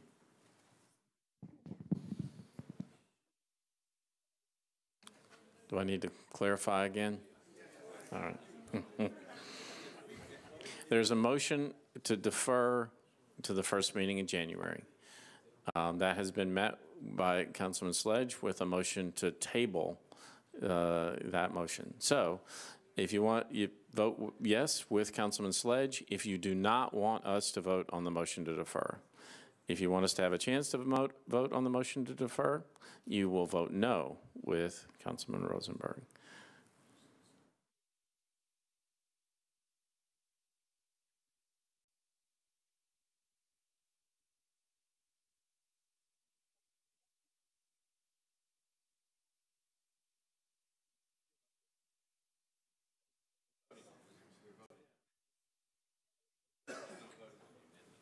Madam Clerk, if you'll close the machine tally the vote.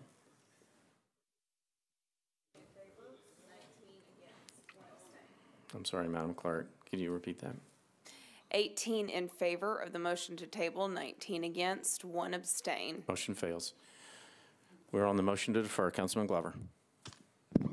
Thank you, Vice Mayor. I, I just want to stand and say, because I've, I've heard the argument made on the floor, good faith.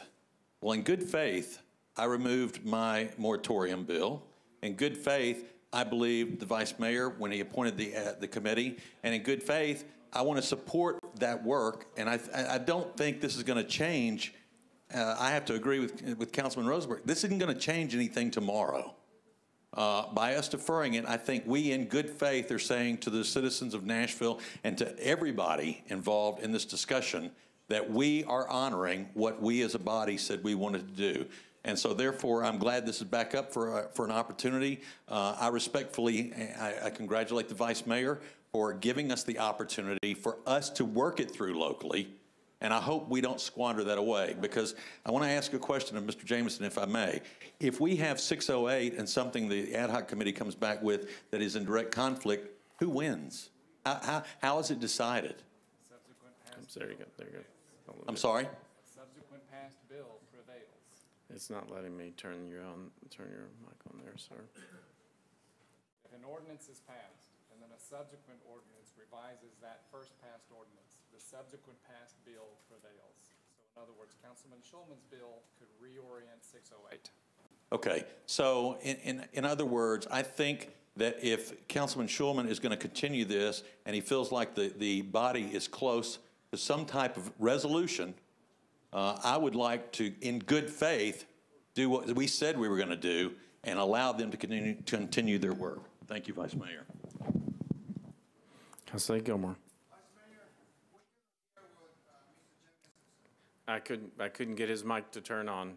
Councilman Jameson, we, Mr. Jameson, uh, excuse me. Mr. Jameson, will you repeat what you said? The question from Councilman Glover was that if 608 passes, and then the, the bill being worked on by Councilman Shulman in the committee passes later, which one prevails? And to the extent, well, to any extent that it revises or amends or tweaks what 608 passed, the subsequent bill prevails. Councilor Gilmore. Uh, Thank you, Vice Mayor. I was going to say, I stand in support of uh, Councilmember Rosenberg's motion to defer in January, and I'll tell you why. It has nothing to do with the state legislature at this point. It has nothing to do with good council member, bad council member, because we have to go beyond that. It has to do more with, we are not on the same page.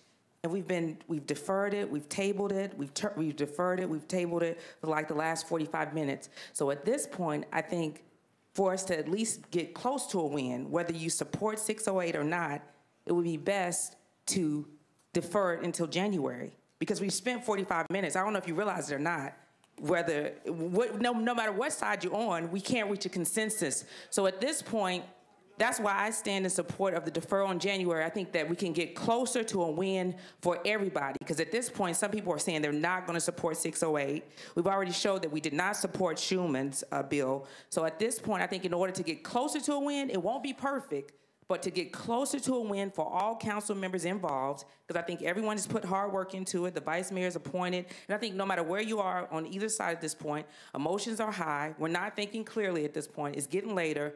So we should just defer it into January and everybody get all hands on deck.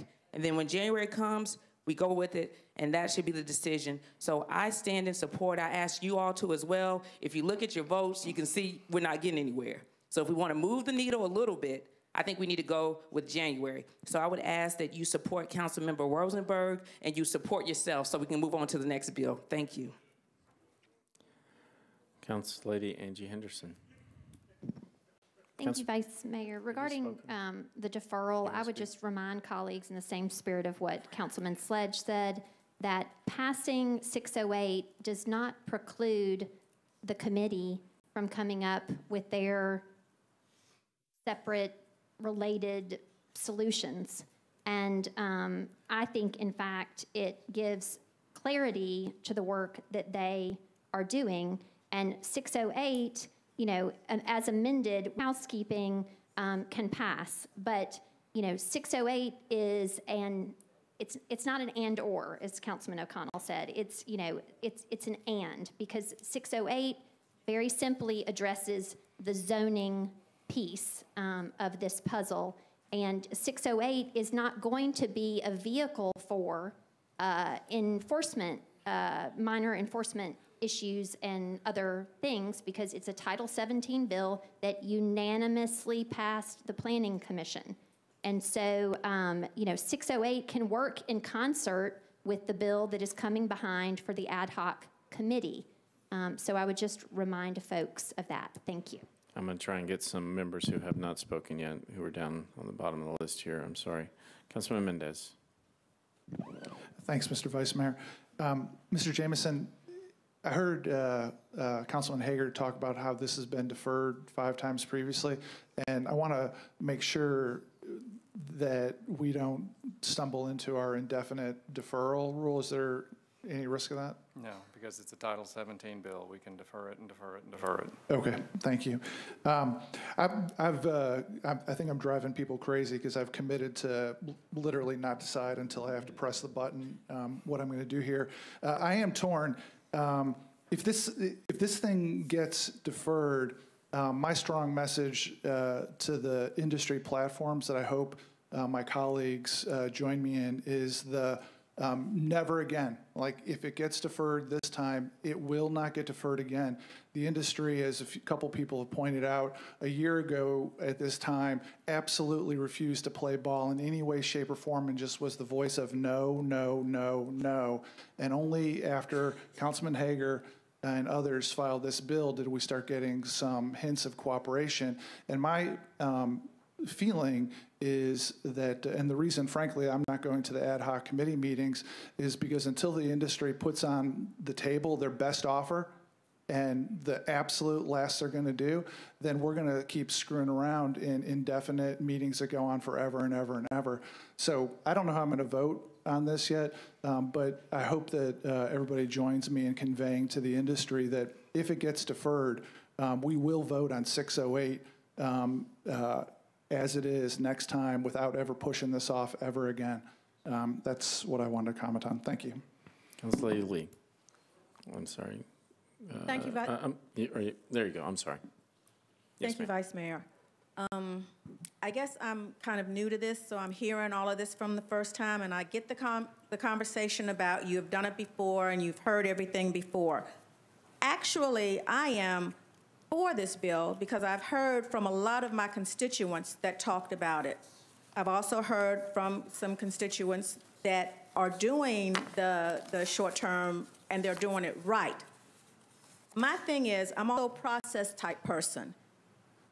And I have, a, if we have had a committee, and the committee was supposed to do certain things, I'm saying, let them do that. And I do agree with the gentleman just said about if we do defer it, that that's the last time, because to me, that that gives the committee a chance to do something. So I am speaking in favor of deferring it, so hopefully we can get some things. I've heard a lot of people bring up some different problems um, that are happening. Maybe we can get some things in place that will help with those problems, and we come out with a much better bill. So I'm standing hoping that it will be deferred. I'm not sure how I'm going to vote for it because I do have people um, who have talked about this bill, and, and it is a it is a good bill. Something needs to be done, but I think we need to have, have some more information before that is done. Thank you. Thank you. Everybody else on the list has previously spoken, so I'm just going to let the machine pick, pick, pick and choose. We tried to cut him off, Councilman, and, and you, you, you did not prevail, if I remember correctly. Council Lady Vercher. Thank you, Vice Mayor. Um, I really don't have much more to add than, than what I stated previously. Um, just want to implore my colleagues, allow this committee to do what Vice Mayor charged us with doing, and that's coming up with a comprehensive solution. It's not, um, it's not, it's, it's not an unreasonable uh, request um, to ask for, for this additional time to allow us to do this work. Um, I encourage you, I will be supporting um, um, Councilman Rosenberg's uh, deferral, and I'm asking you to do such also. Thank you, Vice Mayor. Council Emini Johnson. Thank you, Vice Mayor. Um, I know everybody's talking about this uh, 608 deferral, not to defer, and so forth. So let me remind you, this 608, y- everybody's trying to make it so complicated. It is simple. It's just simple zoning bill. 492, the existing short-term rental bill is more complicated because it has type 1, type 2, type 3. This 608 simply make it owner occupied or non-owner occupied. And if it's non-owner occupied, let's phase out within next three years from R and RS zoning. That's it. Very, very simple. Just try to protect residential zoning area. And this, passing this will not preclude any committee work because the committee work, the bill uh, Councilmember Shulman introduced is everything and lot to do with enforcement. Because right now, what we are missing is enforcement.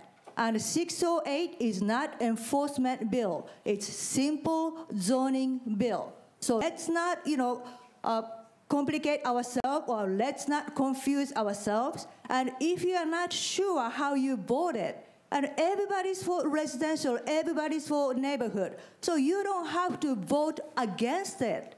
You just simply abstain it.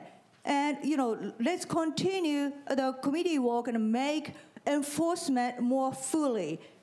So just remember, neighbors want simple, keep, you know, very peaceful, quiet neighborhood in a residential zone. That's what they are signed up for. So neighbors don't want a party house or a mini hotel in your neighbor. So six, passing 608 will give them peace of mind and give us peace of mind as well. And while we are working with uh, Vice Mayor and committee to further enforce quality of life by introducing further amendment or something to offer on top of 608. But just remember, this is simple zoning bill.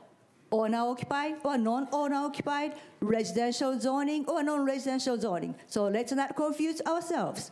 And please not defy it. I have 11, oth- 10 other speakers, all of whom have spoken at least once. Councilman O'Connell. Thank you, Mr. Vice Mayor. Um, As we look down the agenda, the very next bill is BL 2017-719. This is a single property bill that has invoked almost as much discussion because it relates to a very similar topic, home-based business.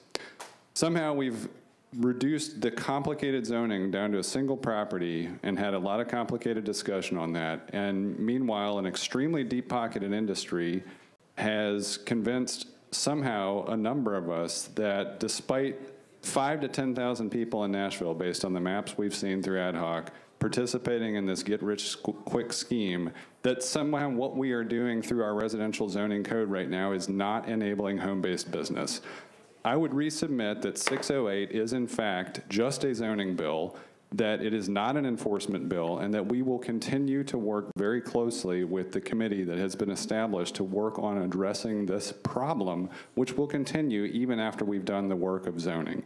So I will not be for deferral. I will be for an up or down vote tonight in an effort to restore the important fabric of our zoning code for residential zones. Thank you. Has Freeman spoken yet? No. No, he has not. Councilman Freeman, have you spoken yet? Here you go.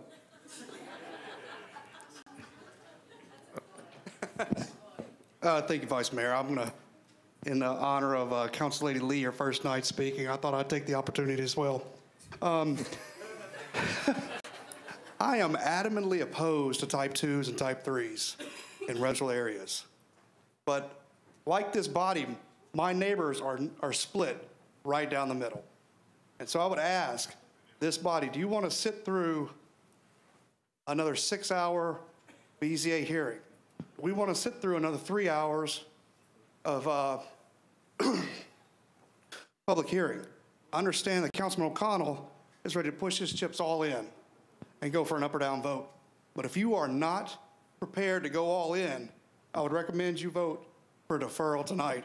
Because if it fails, that's what we're going to have to do. We're going to sit through those BZAs and sit through those public hearings. So I would recommend for a deferral.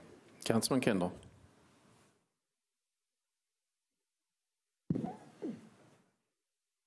What's on the floor?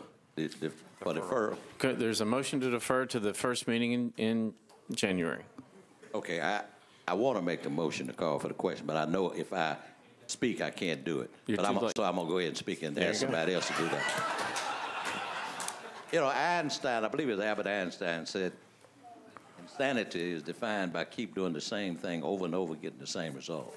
we keep voting, and we keep getting 19, 18 every time. Uh, So uh, I hope we go ahead and vote and, and, and and see where we stand. So uh, whoever wants to call for the question, I encourage you to do that. Councilman Hagar. No, I'm sorry. I'm just going to go back. Hold, hold on. There you go, Councilman Kindall. If, i- if there's a concern about what the public thinks we think, I think the public knows that all of us are opposed to these party, these hotel type. I, I think they know that. I don't think we need to stand here and try to convince our constituents that we are opposed to it. The issue now is how do we, how do we best accomplish what we're trying to accomplish? And from what I've listened to tonight, either way this goes, we're still going to have that opportunity to uh, either amend 608 if we pass it, or if we don't pass it and pass the deferral, we've still got this opportunity. And I don't think we have to go back and tell our constituents, well, we deferred it because of this. I think they, they know that we are opposed to these type 2 and type 3 uh, STRs. Councilman Hagar. Did I push the button? Apparently. I didn't mean to. All right, I'll, Councilman Elrod. I'll make two, I'm just going to make uh, two uh, process uh, uh, comments. One is that if we um, pass 608 tonight, um, yes, it can still be worked on, but um, I think, I would imagine that it would be very difficult to undo prohibiting STRPs in residential areas. And which is if I'm like Councilman uh, Kindall and that, or excuse me, Councilman Freeman, I don't want them in my neighborhood. I don't want them in my district. I know folks in this room that have them on three sides of them, uh, potentially more. Um, however, I'm worried about that if we uh, make this step, that the state will take out of our hands the ability to regulate them the way that we can best do it locally. Um, so if we pass 608 tonight, we can still work on it, but the heart of the matter is the prohibition and the moratorium, excuse me, the phase out in residential areas, and that I do not think will get worked on. So that will be decided tonight if we vote up or down on 608. So that will not be worked on, I imagine, going forward. Second, Councilman Kindall alluded to it's 18, 19 both ways. Uh, we're going back and forth. And um, uh, Mr. Jameson, correct me, but I think we need 20 votes to pass this. Is that right? Incorrect. I'm sorry, 21. So unle- if this bill does not get 21 votes up or down, which I don't know if we have that tonight based on our, our votes, then right now, if we defer it to January, then this moratorium on new permits stays in place. If it goes up for up or down vote tonight and fails, then those immediately come back into effect. And I would imagine there will be a flood at the codes department tomorrow of people applying for short-term, re- for type two permits. So that's why I would like for this to be deferred, and I'm in favor of the deferral motion so we can keep this process going and keep that moratorium of new permits in place. Thank you. Councilman Scott Davis. Stay on subject, sir. I- Previous question. Thank you, sir. Uh, Called the question. All in favor? Opposed? Motion carries. Motion carries. That brings us on the motion to defer. Madam Clerk, if you'll open the machine.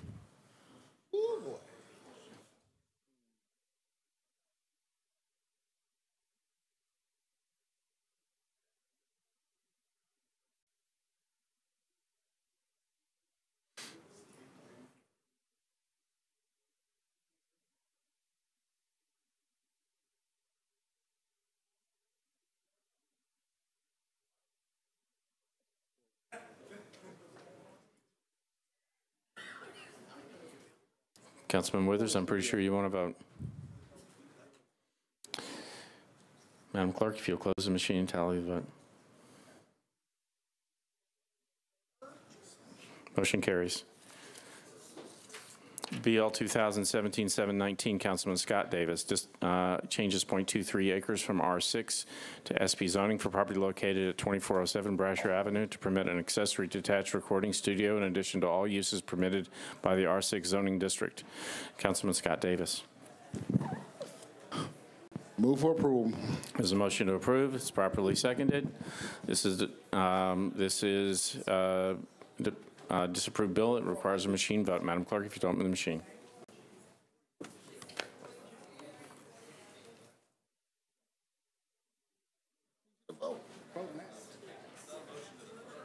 I'm sorry, this, did you move to defer, sir? No, to vote. Yeah, yeah, you moved to approve. This is a, it's a motion to approve. It's been properly seconded. Yes, ma'am, I know. I'm, I'm, we've had a lot of votes here, so we're going to have to give our, this is two, seven nineteen.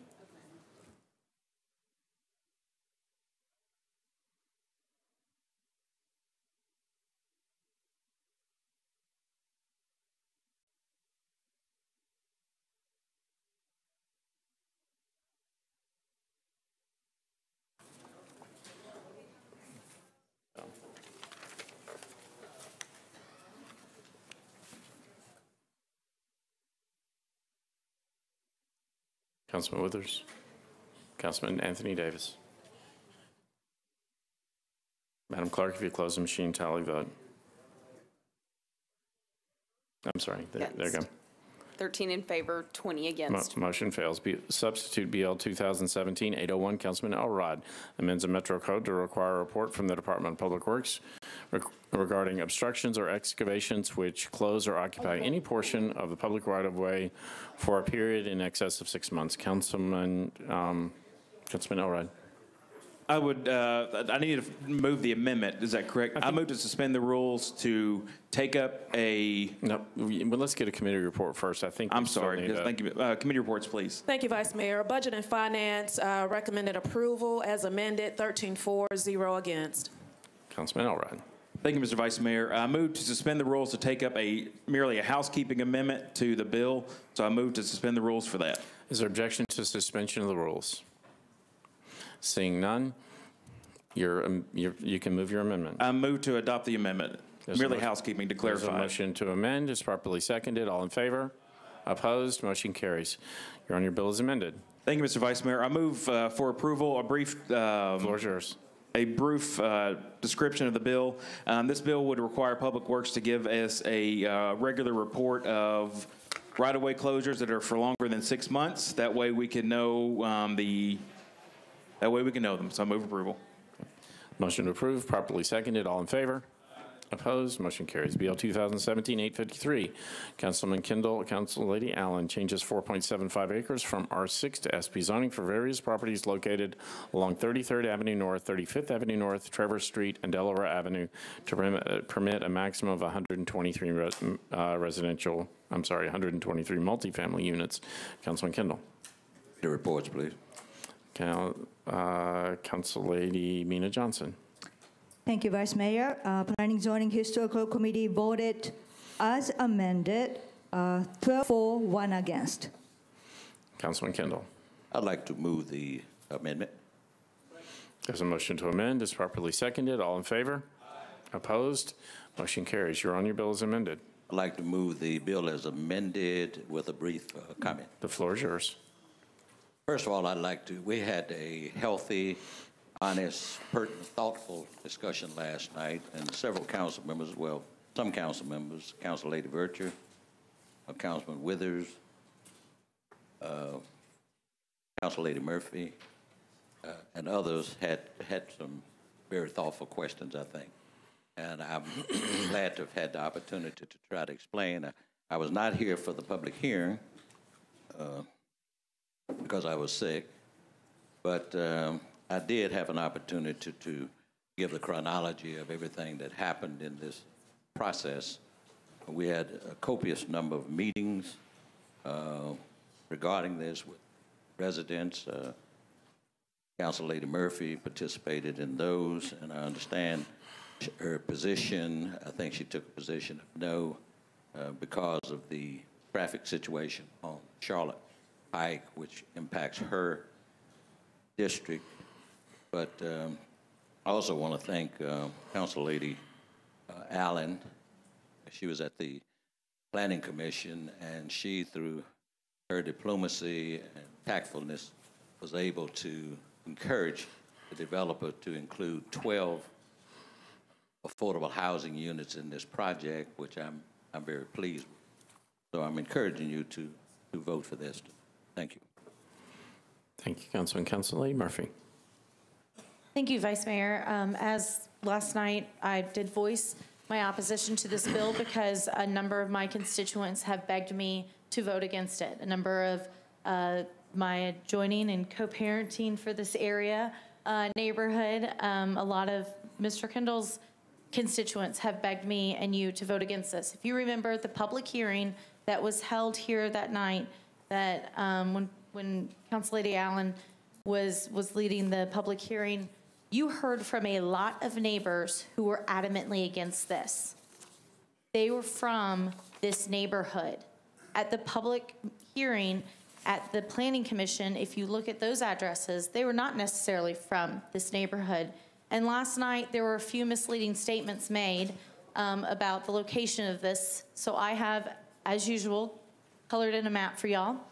Um, so you can see my map is the orange and red is, is part of my district. How close this is to my district, to Sylvan Park, to Sylvan Heights, to Sylvan Summit, and Charlotte Avenue, and the very few outlets from this extreme density going up on the top of the hill where a dump truck fell over during construction already just a year ago this past September.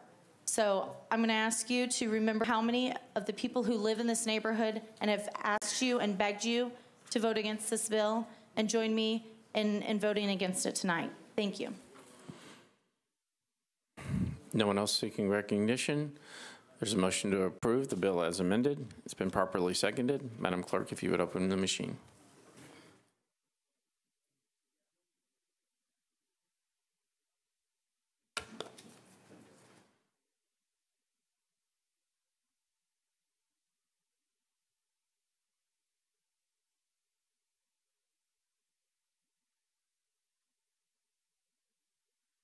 I think that's it. If you'll close the machine and tally the vote. 31 in favor, three against, two abstain. Motion carries. BL 2017-854, Councilman Scott Davis. Changes 1.04 acres from RS5 to MUNA zoning for properties located at 1233, 1310, and 1314 Lischey Avenue. Uh, Councilman Scott Davis. Approval. I'm sorry? Okay, let's get a committee, committee report. Councilor Amina Johnson. Committee report, please. Thank you, Vice Mayor. Uh, Planning Zoning Mayor. Historical uh, voted to approve, 13-4, against. This Motion to approve, it's properly seconded. All in favor? Opposed? Motion, motion carries. We're now on to a whole list of stuff that's, does not require committee reports. I'm going to try and go relatively fast. If you guys will stick with me and pay attention to your bills. Bill 2017-860, Councilman Cooper, amends the Metro Code to modify the eligibility requirements for the Blighted Property Grant Program to establish an historic preservation grant program. Councilman Cooper. Move for approval, Mr. Vice Is there an amendment? I think there's an amendment. Oh, uh, move for the amendment? There's a motion to amend. It's properly seconded. All in favor? Opposed? Motion carries. You're on your bill as amended. Um, Move to approve. There's a motion to approve. Councilor Gilmore. Uh, Thank you, Vice Mayor. I I had a a quick question about this eligibility. Is this the same program that's tied for small businesses? Can someone? Okay, it is. So are we allowing now individuals that live in communities to compete with small businesses if they have a historic house? If you'd use the microphone, please, Mr. Cooper. This creates a new program modeled after the one for the small business that is just for historic preservation. Okay, but they would have to be businesses, they could not be individuals? Uh,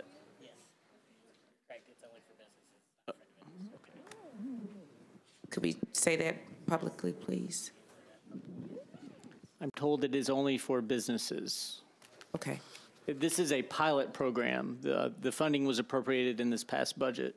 Okay, and I just want to make sure that it is, in fact, for um, businesses, and we're not allowing people just because they have uh, historic houses to compete with funding that we have for businesses. Thank you. No one else seeking recognition. There's a motion to approve the bill as amended. Is properly seconded. All in favor? Opposed? Motion carries. BL 2017-866, Councilman Anthony Davis and Councilman O'Connell amends the Metro Code pertaining to the presence of intoxicating beverages from a distillery on the premises of a permittee. Council- Councilman Anthony Davis. Thank you, Vice Mayor. I'll move for approval. There's a motion to approve. It's properly seconded. All in favor? Opposed? Motion carries. BL 2017-867, Councilman Syracuse, Councilman Rosenberg amends the Metro Code to address the control of excess vegetation. Councilman Syracuse. Thank you, Vice Mayor. Move approval, please. There's a motion to approve. It's properly seconded. All in favor? Opposed? Motion carries. BL 2017-868, Council Lady Vercher, Council Lady, uh, Council Lady Murphy amends the Metro Code regarding the prosecution for repeat violations of the Property Standards Code. Council Lady Vercher. Council Lady Vercher. 867, Council Lady Vercher. Apologize, Vice Mayor. Uh, With all committee reports in, I'd like to move uh, with a brief explanation. The Floor is yours. Um, This bill simply that just clarifies the language uh, for our codes department, um, uh, expressing that they do have the authority um, to to expedite habitual offenders. So I see this as an additional resource for them. Um, I think it'll benefit um, the conversations that we're having also as it relates to short-term rental properties as well. And with that, I renew my motion. This motion to approve is properly seconded. All in favor? Opposed? To motion carries. Bill 2017-869, Council Lady Vercher, Allen, and VanReece approves a contract between the Mayor's Office of Economic Opportunity and Empowerment and the United Way of Metro Nashville to provide one-on-one financial counseling and other financial education activities at no charge to low-income residents. Council Lady Vercher. With all committee reports in, I move for approval. There's a motion to approve. It's properly seconded. All in favor? Opposed? Motion carries. Stick with me, Council Lady Vercher. BL 2017-873, Councilman Hagar, Vercher, and others. Authorizes the acquisition of certain right-of-way easements, drainage easements, temporary construction easements, and property rights for the purposes of the Andrew Jackson Parkway sidewalk improvements. Council Lady Vercher. Thank you, Vice Mayor. I move for approval. There's a motion to approve. It's properly seconded. All in favor? Opposed? Motion carries. Bill 2017-874, Council Lady Roberts, Vercher, and others, authorizes the acquisition of certain rights of way easements, drainage easements, temporary construction easements, and property rights for the purposes of the Annex Avenue sidewalk improvements. Council Lady Roberts. Mr. Vice Mayor, I move for approval. There's a motion to approve. It's properly seconded. All in favor? Opposed? Motion carries. Bill 2017 875, Councilman Hastings, Vercher, and others, authorizes the acquisition of certain right-of-way easements, drainage easements, temporary construction easements, and property rights for the purposes of the John Millett Drive sidewalk improvements. Hastings, Councilman Hastings, I'm sorry, Councilman, Councilman Hastings. All right, Mr. President. There I'd we like go. to, uh, having all committees approved, I'd like to move for approval. This motion to approve is properly seconded. All in favor? Opposed? Motion carries. Council, thank you, Councilman. BL 2017-876, Council Lady Dow, Vercher, and others authorizes the acquisition of certain property, certain right-of-way easements, drainage easements, temporary construction easements, and property rights for purposes of the Mount View Road sidewalk improvements. Council Lady, Council Lady Dow. Thank you. Just move for approval since all the committee reports are in. There's a motion to approve. It's properly seconded. All in favor? Opposed? Motion carries. BL 2017-877. Councilman O'Connell, Elrod, and Allen authorizes Nashville Music Row Hotel own- owner LLC to install, construct, and maintain underground encroachments in the right-of-way located at 1 Music Square- Square West. Councilman O'Connell. Thank you, Mr. Vice Mayor. I'd like to move approval, please. There's a motion to approve. It's properly seconded. All in favor? Opposed? Motion carries. Bill 2017-879, Councilman Withers, Elrod, and Allen abandons, uh, com- did I skip one? Huh? No, I did? no, he's on A7. Oh, I'm sorry. 878. BL 2017-878, Councilman O'Connell, Elrod, and Allen abandons existing sewer main and easements and accepts a new sewer main, sanitary sewer manhole, fire fire hydrant, and easements for property located at 700 Fourth Avenue North. Councilman O'Connell. Thank you, Mr. Vice Mayor. I'd like to move approval, please. There's a motion to approve. It's properly seconded. All in favor? Opposed? Motion carries. BL 2017-879, Councilman Withers, Elrod, and Allen abandons an existing combined sewer line and easements and accepts new combined sewer and water lines, sewer manholes, fire hydrant, and any associated easements for property located at 809 Main Street. Councilman Withers. Thank you, Mr. Vice Mayor. With all committees recommending approval, I would like to request uh, approval. There's a motion to approve. It's properly seconded. All in favor? Opposed? Motion carries. Bill 2017-880, Councilman Scott Davis, Elrod and Allen, abandons a portion of Richardson Avenue right-of-way. Councilman Scott Davis. Um, Committee reports, please. Well, They're all in, sir. Move for approval. There's a motion to approve. It's properly seconded. All in favor? Opposed? Motion carries. Bill 2017-881, Councilman Kindall, Elrod, and Allen, abandons a portion of alley number 925 right-of-way in Eastman. Councilman Kindall. That does not require committee report. It does not, sir. All right, I'd move approval. There's a motion to approve. It's properly seconded. All in favor? Opposed? Motion carries. Bill 2017-882, O'Connell, Elrod, and Allen, abandons a portion of Lee Avenue and alley number 114 right-of-way. Councilman O'Connell. I'm sorry, there you go, sir. Thank you, Mr. Vice Mayor. I'd like to move approval, please. There's a motion to approve. It's properly seconded. All in favor? Opposed? Motion carries. Councilman Elrod. Thank you, Mr. Vice Mayor. I'll be very quick. Uh, next Tuesday night here in the council chambers at 5:30, we're going to hear a presentation from Metro Water on the flood preparedness plan. And we're going to begin the discussions of not just the downtown flood wall, but a county-wide um, investment and flood protection infrastructure. So I would ask those that are interested in it, please come and so we can start that, those discussions. I know we have a lot going on between stadium, transit, and, and other things, and short-term rentals. Um, but that's an important discussion we need to have. Also, I've asked Mr. Jameson to uh, prepare a timeline of what is required by us by statute. Uh, I know the administration uh, for on transit, the administration is working to get put together their plan, but there's a reason that we haven't gotten the plan yet. So, Mr. Jameson, I've asked him to put that, that together, and we'll be sending that out soon. So we know why we haven't heard anything yet, and what will be the next steps that we have to go through over the next several months. Thank you. Councilor Vercher. Thank you, Vice Mayor. Just want to remind colleagues uh, wi- real quickly um, to make sure that you submit your CIB requests by October 15th. Thank you, Vice Mayor. Councilman Bedne. Thank you, Vice Mayor. Uh, I want to remind people that the Minority Caucus is having the Hispanic Heritage Month celebration at Salsa on October 12th. You are all invited. This is also a fundraiser for Puerto Rico, so let's show Puerto Rico that Puerto Ricans living in the city that we care about them. Thank you very much. Councilman Scott Davis. Is there a motion to adjourn? Properly seconded. All in favor? We are adjourned.